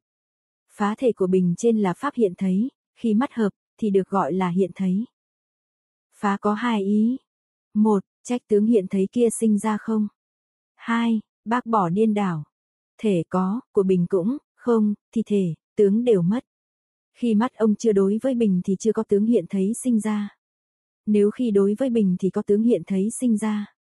Khác với chưa thấy, nghĩa là cho bình hợp với mắt, được gọi là hiện thấy, mà khi mắt đối với bình không có tướng hiện thấy sinh ra không khác với lúc chưa thấy. Lúc chưa thấy đã không gọi hiện thấy, nay khi mắt đối, sao lại được gọi là hiện thấy, cho nên nói rằng hiện thấy sinh ra, không. Hỏi, vì sao luận trụ lập ra cách phá này? Đáp, phải quán lâu dài với ý phá đầu cuối. Người ngoài ở trước lập có bình, hẳn là hiện thấy. Luận chủ phá rằng khi mắt không đối với bình, có bình mà không hiện thấy, phải biết rằng bình chưa hẳn là hiện thấy. Ông bèn nói là khi mắt hợp, được gọi là hiện thấy, thì khi mắt hợp, lẽ ra có tướng hiện thấy sinh, khác với lúc chưa thấy. Nếu không có tướng hiện thấy sinh ra thì cũng là bình gốc. Phải biết rằng bình gốc chưa hẳn là hiện thấy, cho nên mới có phá này. Có cũng chẳng phải thật, ông cho hiện thấy là bình. Nay vì hiện thấy, có, nên bình, có. Hiện thấy không bình, không. Ngoại đạo cho rằng một phần của năm thân là phá cái, có, khác. Từ trên đến nay, là phá nghĩa sắc trần có thể thấy đã xong. Nay phần thứ hai kế, là phá bốn trần. Người ngoài bảo chữa rằng, từ trên đến đây, ông chỉ phá sắc trần có thể thấy mà không phá bốn trần còn lại. Đã có bốn trần còn lại, thì lẽ ra phải có sắc. Nếu có sắc, thì tất nhiên có thể thấy. Nội đạo nói rằng nếu không có tất cả xúc chạm thì làm sao sắc, vân vân hợp với chính phá. Vì năm trần không được hợp chung thành bình, nên không có năm trần. Nếu năm trần được hợp chung thì sẽ có thể có năm trần, năm trần đã không được hợp chung, thì làm sao có năm trần. Luận thành thật chép, đối với thân là xúc chạm riêng, bốn pháp còn lại, đều chẳng phải xúc chạm riêng, chính là xúc chạm chung, lại là xúc chạm tương đương. Nay ngoại đạo nói sắc có thể cắt dọc, cho nên là xúc, bốn pháp còn lại chẳng phải xúc. Xúc của ông chẳng phải xúc đã, khác nhau, không thể hợp thành, một, sao lại hợp chung thành một bình. Ngoại đạo cho rằng, vì bình hợp, ý bào chữa này rằng, thật như vặn hỏi trên, sắc trần là xúc, bốn pháp còn lại chẳng phải xúc. Xúc khác với phi xúc, nên không thể hợp thành một. Nay chỉ năm trần hợp chung thành một bình, cho nên nói, bình hợp. Như luận thành thật chép, bốn vì đều, khác nhau, không thể hợp thành, một, chỉ hợp chung thành một bình. Năm ấm không thể hợp chung thành một ấm, mà năm ấm hợp chung thành một người. Độc tử cũng như thế. Bốn đại hợp chung có nhãn phép, năm ấm hợp chung có người, cũng đồng với lập này. Nội giáo cho rằng, khác, với, trừ, vì sao bình hợp với xúc, vấn đề này có hai cách phá, khác và trừ. Khác, nghĩa là sắc trần là xúc bình không phải xúc, thì xúc khác với phi xúc, làm sao bình kết hợp với xúc. Trên ông đã tin rằng xúc khác với chẳng phải xúc của năm trần, không được hợp thành một. Này bình đối với trần cũng có xúc, chẳng phải xúc khác nhau, thì làm sao hợp thành một chiếc bình được. Phá bốn vi hình thành cột, năm ấm hình thành con người cũng như thế. Nói trừ, nghĩa là nếu trừ năm có bình, thì có thể năm hợp với bình, trừ năm không có bình, thì năm hợp với cái gì, bổn kệ có nêu chương và giải thích khác, trừ, là nêu hai chương. Bình xúc chạm kết hợp là giải thích hai chương. Bình, giải thích về trừ, xúc chạm, là giải thích khác. Ngoại đạo cho rằng sắc lẽ ra hiện thấy, vì tin ở kinh. Lập ra văn này, gồm có ba nghĩa. Một, nếu y cứ ở nghĩa nội để nói thì từ trên đến đây, phá năm trần, nói không có sắc, sở tạo, nay phá bốn đại, nói không có, năng tạo. Đây là y cứ vào nghĩa của tỳ đàm để lập sắc. Hai, ở trên phá không có năm trần, phá nghĩa của luận thành thật, vân vân nay phá sắc do bốn đại tạo ra là phá nghĩa của tỷ đàm. Ba, ở trước phá ngoại đạo, nay phá nội nhân. Lại trong kinh nói rằng trong chúng sinh có rắn độc bốn đại, ngoài có sáu giặc, nay lìa bỏ chúng. Ở trên nói không có năm trần, tức bỏ sáu giặc. Vì ngoại đạo chấp pháp trần cũng thuộc về sắc, cho nên phá sắc, tức là bác bỏ sáu. Lại, kinh nói rằng tánh của sắc tự không. Lại nói tập sắc không tương ưng với bát nhã. Lại nói rằng xả bỏ sắc vô thường, khi Đức Phật còn tại thế, người lợi căn nghe nói đều ngộ đạo. Này giải thích các kinh phương đẳng, vì sắc rốt giáo không nên nói nhân, năng tạo, và quả, sở tạo, đều không thật có. Nhưng để bà khéo thông nội điển, hiểu tường tận ngoại kinh, nên trước hết dẫn văn ấy để gạn lại thuyết kia, cho nên nói rằng vi trần chẳng phải hiện thấy. Ngoại đạo hiểu biết thông suốt sách ngoại, cũng xem cả nội kinh, cho nên nay dùng nội kinh để gạn hỏi đề bà. Nếu để bà tin kinh Phật thì không nên phá xác hiện thấy. Nếu phá xác hiện thấy thì tự phá nội kinh, trước đã phá ngoại, nay lại phá nội, nhất định là phá, pháp, và, nhân. Hỏi, ngoại chỉ nên dẫn nội kinh, vì sao nói là tin kinh ư? Đáp, nhưng nội ngoại lập nghĩa có, khác, có, đồng, ngoại đạo kia cho rằng hai nội kinh, ngoại kinh đều nói sắc là có thể thấy, nghĩa này rất đồng, cho nên đáng tin, vì vậy nói rằng, tin kinh. Kinh của ông nói sắc gọi là bốn đại và bốn đại tạo, nay lược chia làm bốn tông. Một, ngoại đạo nói nghĩa tạo sắc, tăng khư cho rằng trần tế, đại thô, cho nên từ năm trần sinh ra năm đại, nghĩa là nghĩa tạo khắp. Vệ thế sư cũng cho rằng, từ trần sinh ra đại, mà là tạo khắp, hai việc này như phẩm đầu đã giải thích. Hai, kế là luận thành thật cũng cho rằng từ trần sinh ra đại, hai nghĩa khác với ngoại đạo. Trần là thật, đại là giả. Chỉ bốn trần sinh ra đại, thinh chẳng phải nhân của đại, cũng chẳng phải do đại tạo ra, chỉ kích phát bốn đại ly, hợp ra tiếng, là quả của bốn đại. ba Theo tỷ đàm, chính là nói sắc do bốn đại tạo, gồm có 11 thứ sắc, đó là năm căn, năm trần, và vô tác. Y theo 10 thứ trong 11 thứ chỉ là sở tạo. Xúc trần có hai. một Cứng, ẩm nóng, động là, năng tạo. hai Bảy xúc chạm đói, no, nhám, trơn, nhẹ, nặng, lạnh là, sở tạo. Theo thế luận, nghĩa là bốn đại quá khứ tạo ra sắc quá khứ và sắc hiện tại, bốn đại hiện tại tạo ra hiện tại và vị lai. Bốn đại vị lai chỉ tạo ra vị lai. Y theo, đồng, khác, mà nói thì gồm có bốn trường hợp, bốn đại của tướng, khác, tạo ra sắc của tướng, đồng, nghĩa là bốn thứ cứng, ẩm ướt, ấm, động, tạo ra 11 thứ xúc, tự có bốn đại của tướng đồng, tạo ra sắc của tướng, khác. Nghĩa là bốn đại đều là xúc nhập, gọi là tướng đồng, mà tạo sắc, hương, vân vân gọi là tướng, khác. Tự có bốn đại của tướng đồng, tạo ra sắc của tướng đồng. Bốn đại là tánh của xúc, lại tạo ra xúc. Bốn, tự có bốn đại của tướng, khác, tạo ra sắc của tướng, khác, bốn đại đều là tánh tạo ra các sắc như sắc, hương, vân vân, đủ như tạp tâm đã nói. Hỏi, bốn đại tạo sắc là nhân nào trong sáu nhân? Đáp, chỉ là, nhân sở tác. Hỏi, sắc do bốn đại tạo, còn cái gì tạo ra bốn đại? Đáp, sư có người nói ba đại tạo ra một đại. Cảnh sư cho rằng sắc không đủ bốn đại, thì không được sinh. Bốn đại cũng, vì thế, không được nói là ba đại tạo ra một đại. Hỏi, bốn đại đối nhau có phải là nhân cộng hữu không? Đáp, bà Sa giải thích rằng, thế của bốn đại không có nghiêng lệch, nghĩa là địa đại đối với ba đại là có chung, ba đại của nhân cộng hữu cũng. Về địa đại lại có một giải thích, nhà bình luận áp dụng trước, nay nhắc lại trung nghĩa của 11 thứ sắc. Cho nên nói sắc gọi là bốn đại và bốn đại tạo. Đây là xuất xứ từ kinh Phật, chứ chẳng phải tỳ đàm dụng một cách nghiêng lệch.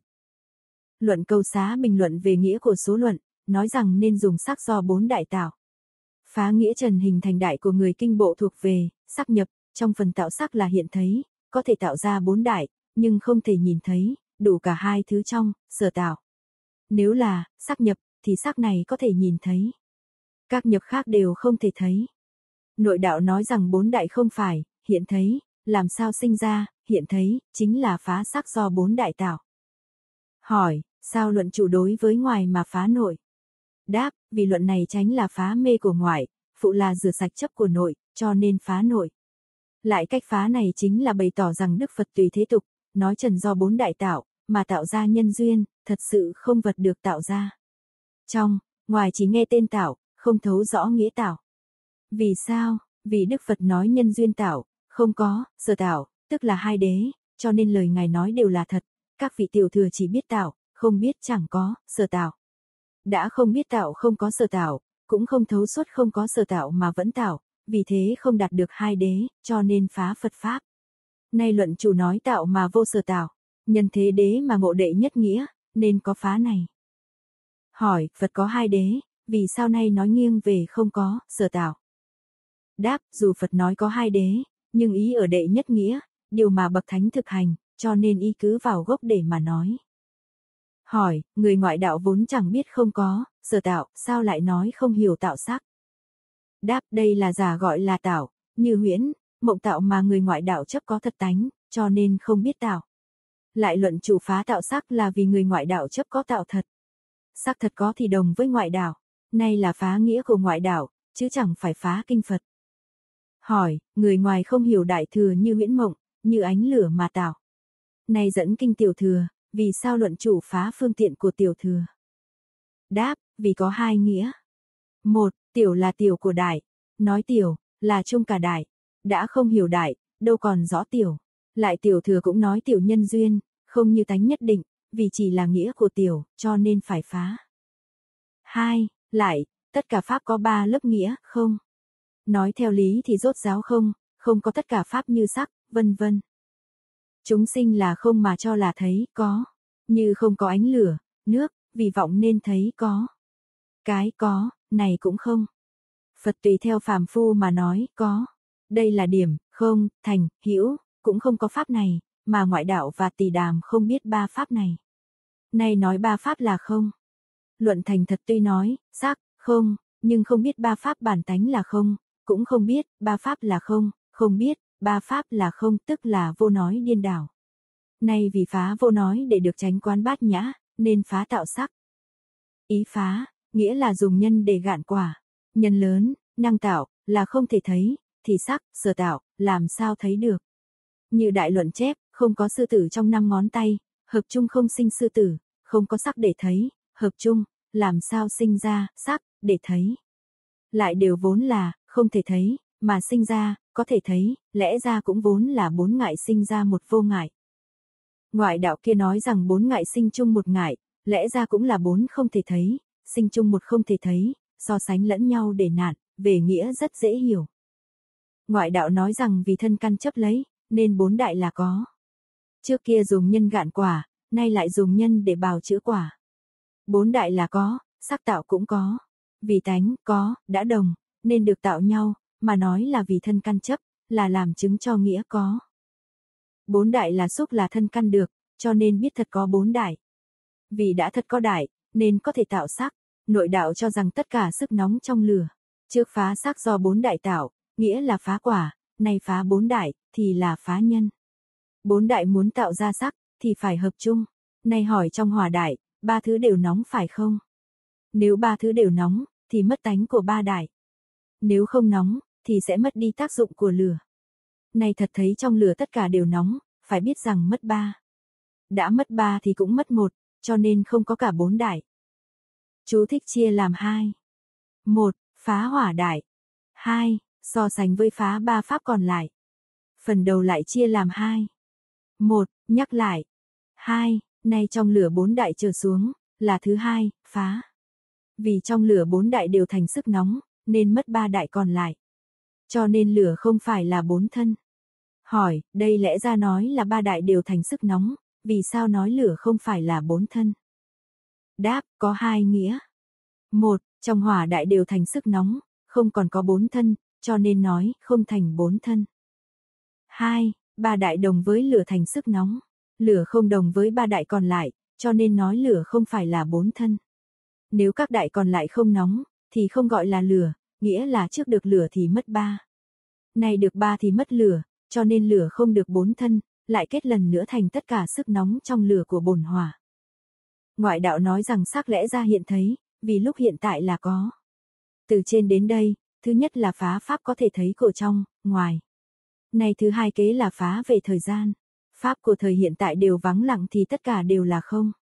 Ngoại đạo nói rằng hai thời gian quá khứ vị lai không được chấp sắc, chính là thời hiện tại chấp.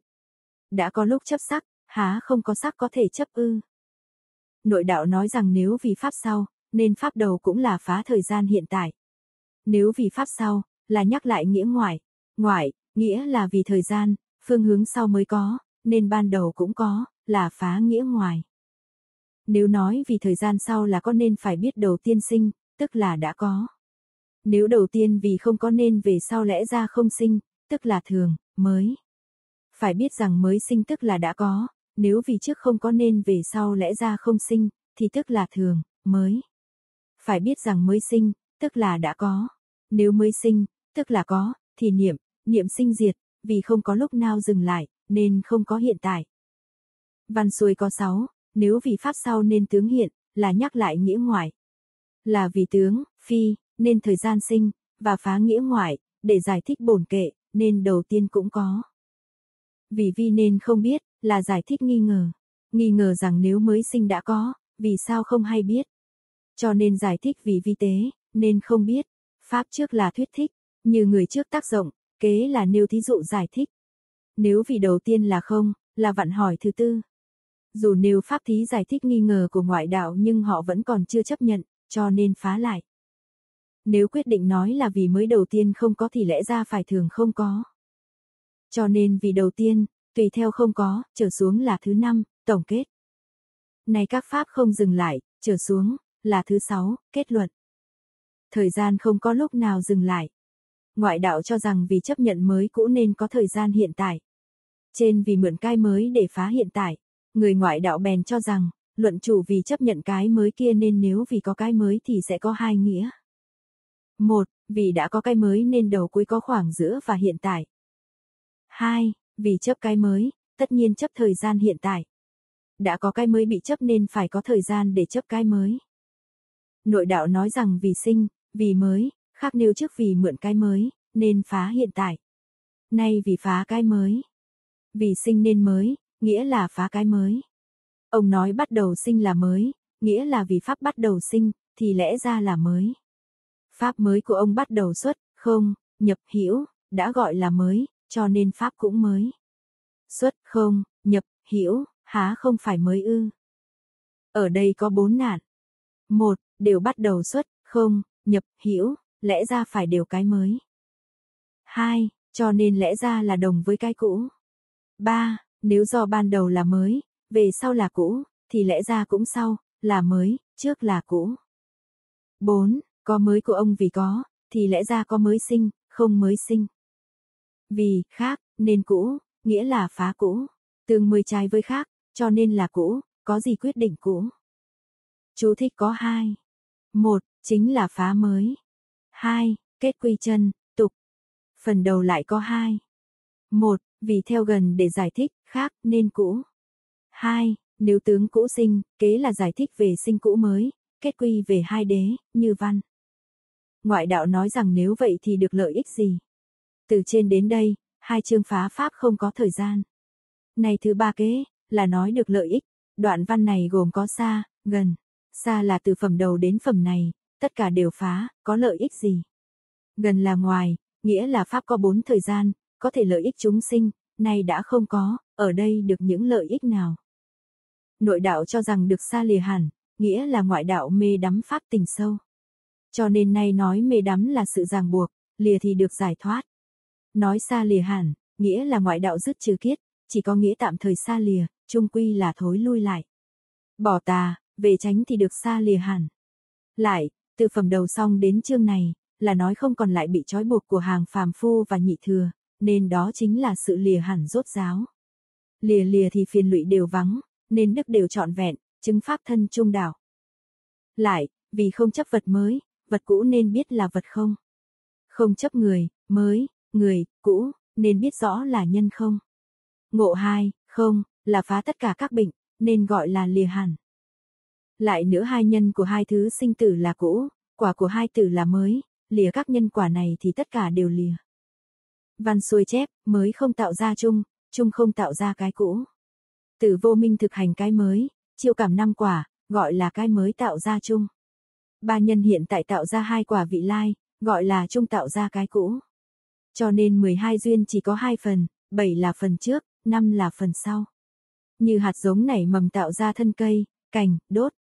12 nhân duyên, ví như cây to. Hai nhân là gốc, năm quả là thể, ba nhân là hoa, hai quả là hạt. Gốc và thể đã nghiêng ngả thì hoa, hạt không có. Cho nên, trong đây nêu hạt lúa để dụ. Tủ sách áo lam chúng con xin chân thành cảm ơn quý vị đã nghe hết quyền chung của bộ bách luận sớ, quyền thượng. Thích cát tạng biên soạn. Xin đừng quên trợ duyên cho chúng con bằng cách subscribe, like và share video này đến bạn bè và gia đình nhé. Hẹn gặp lại quý vị vào quyền hạ.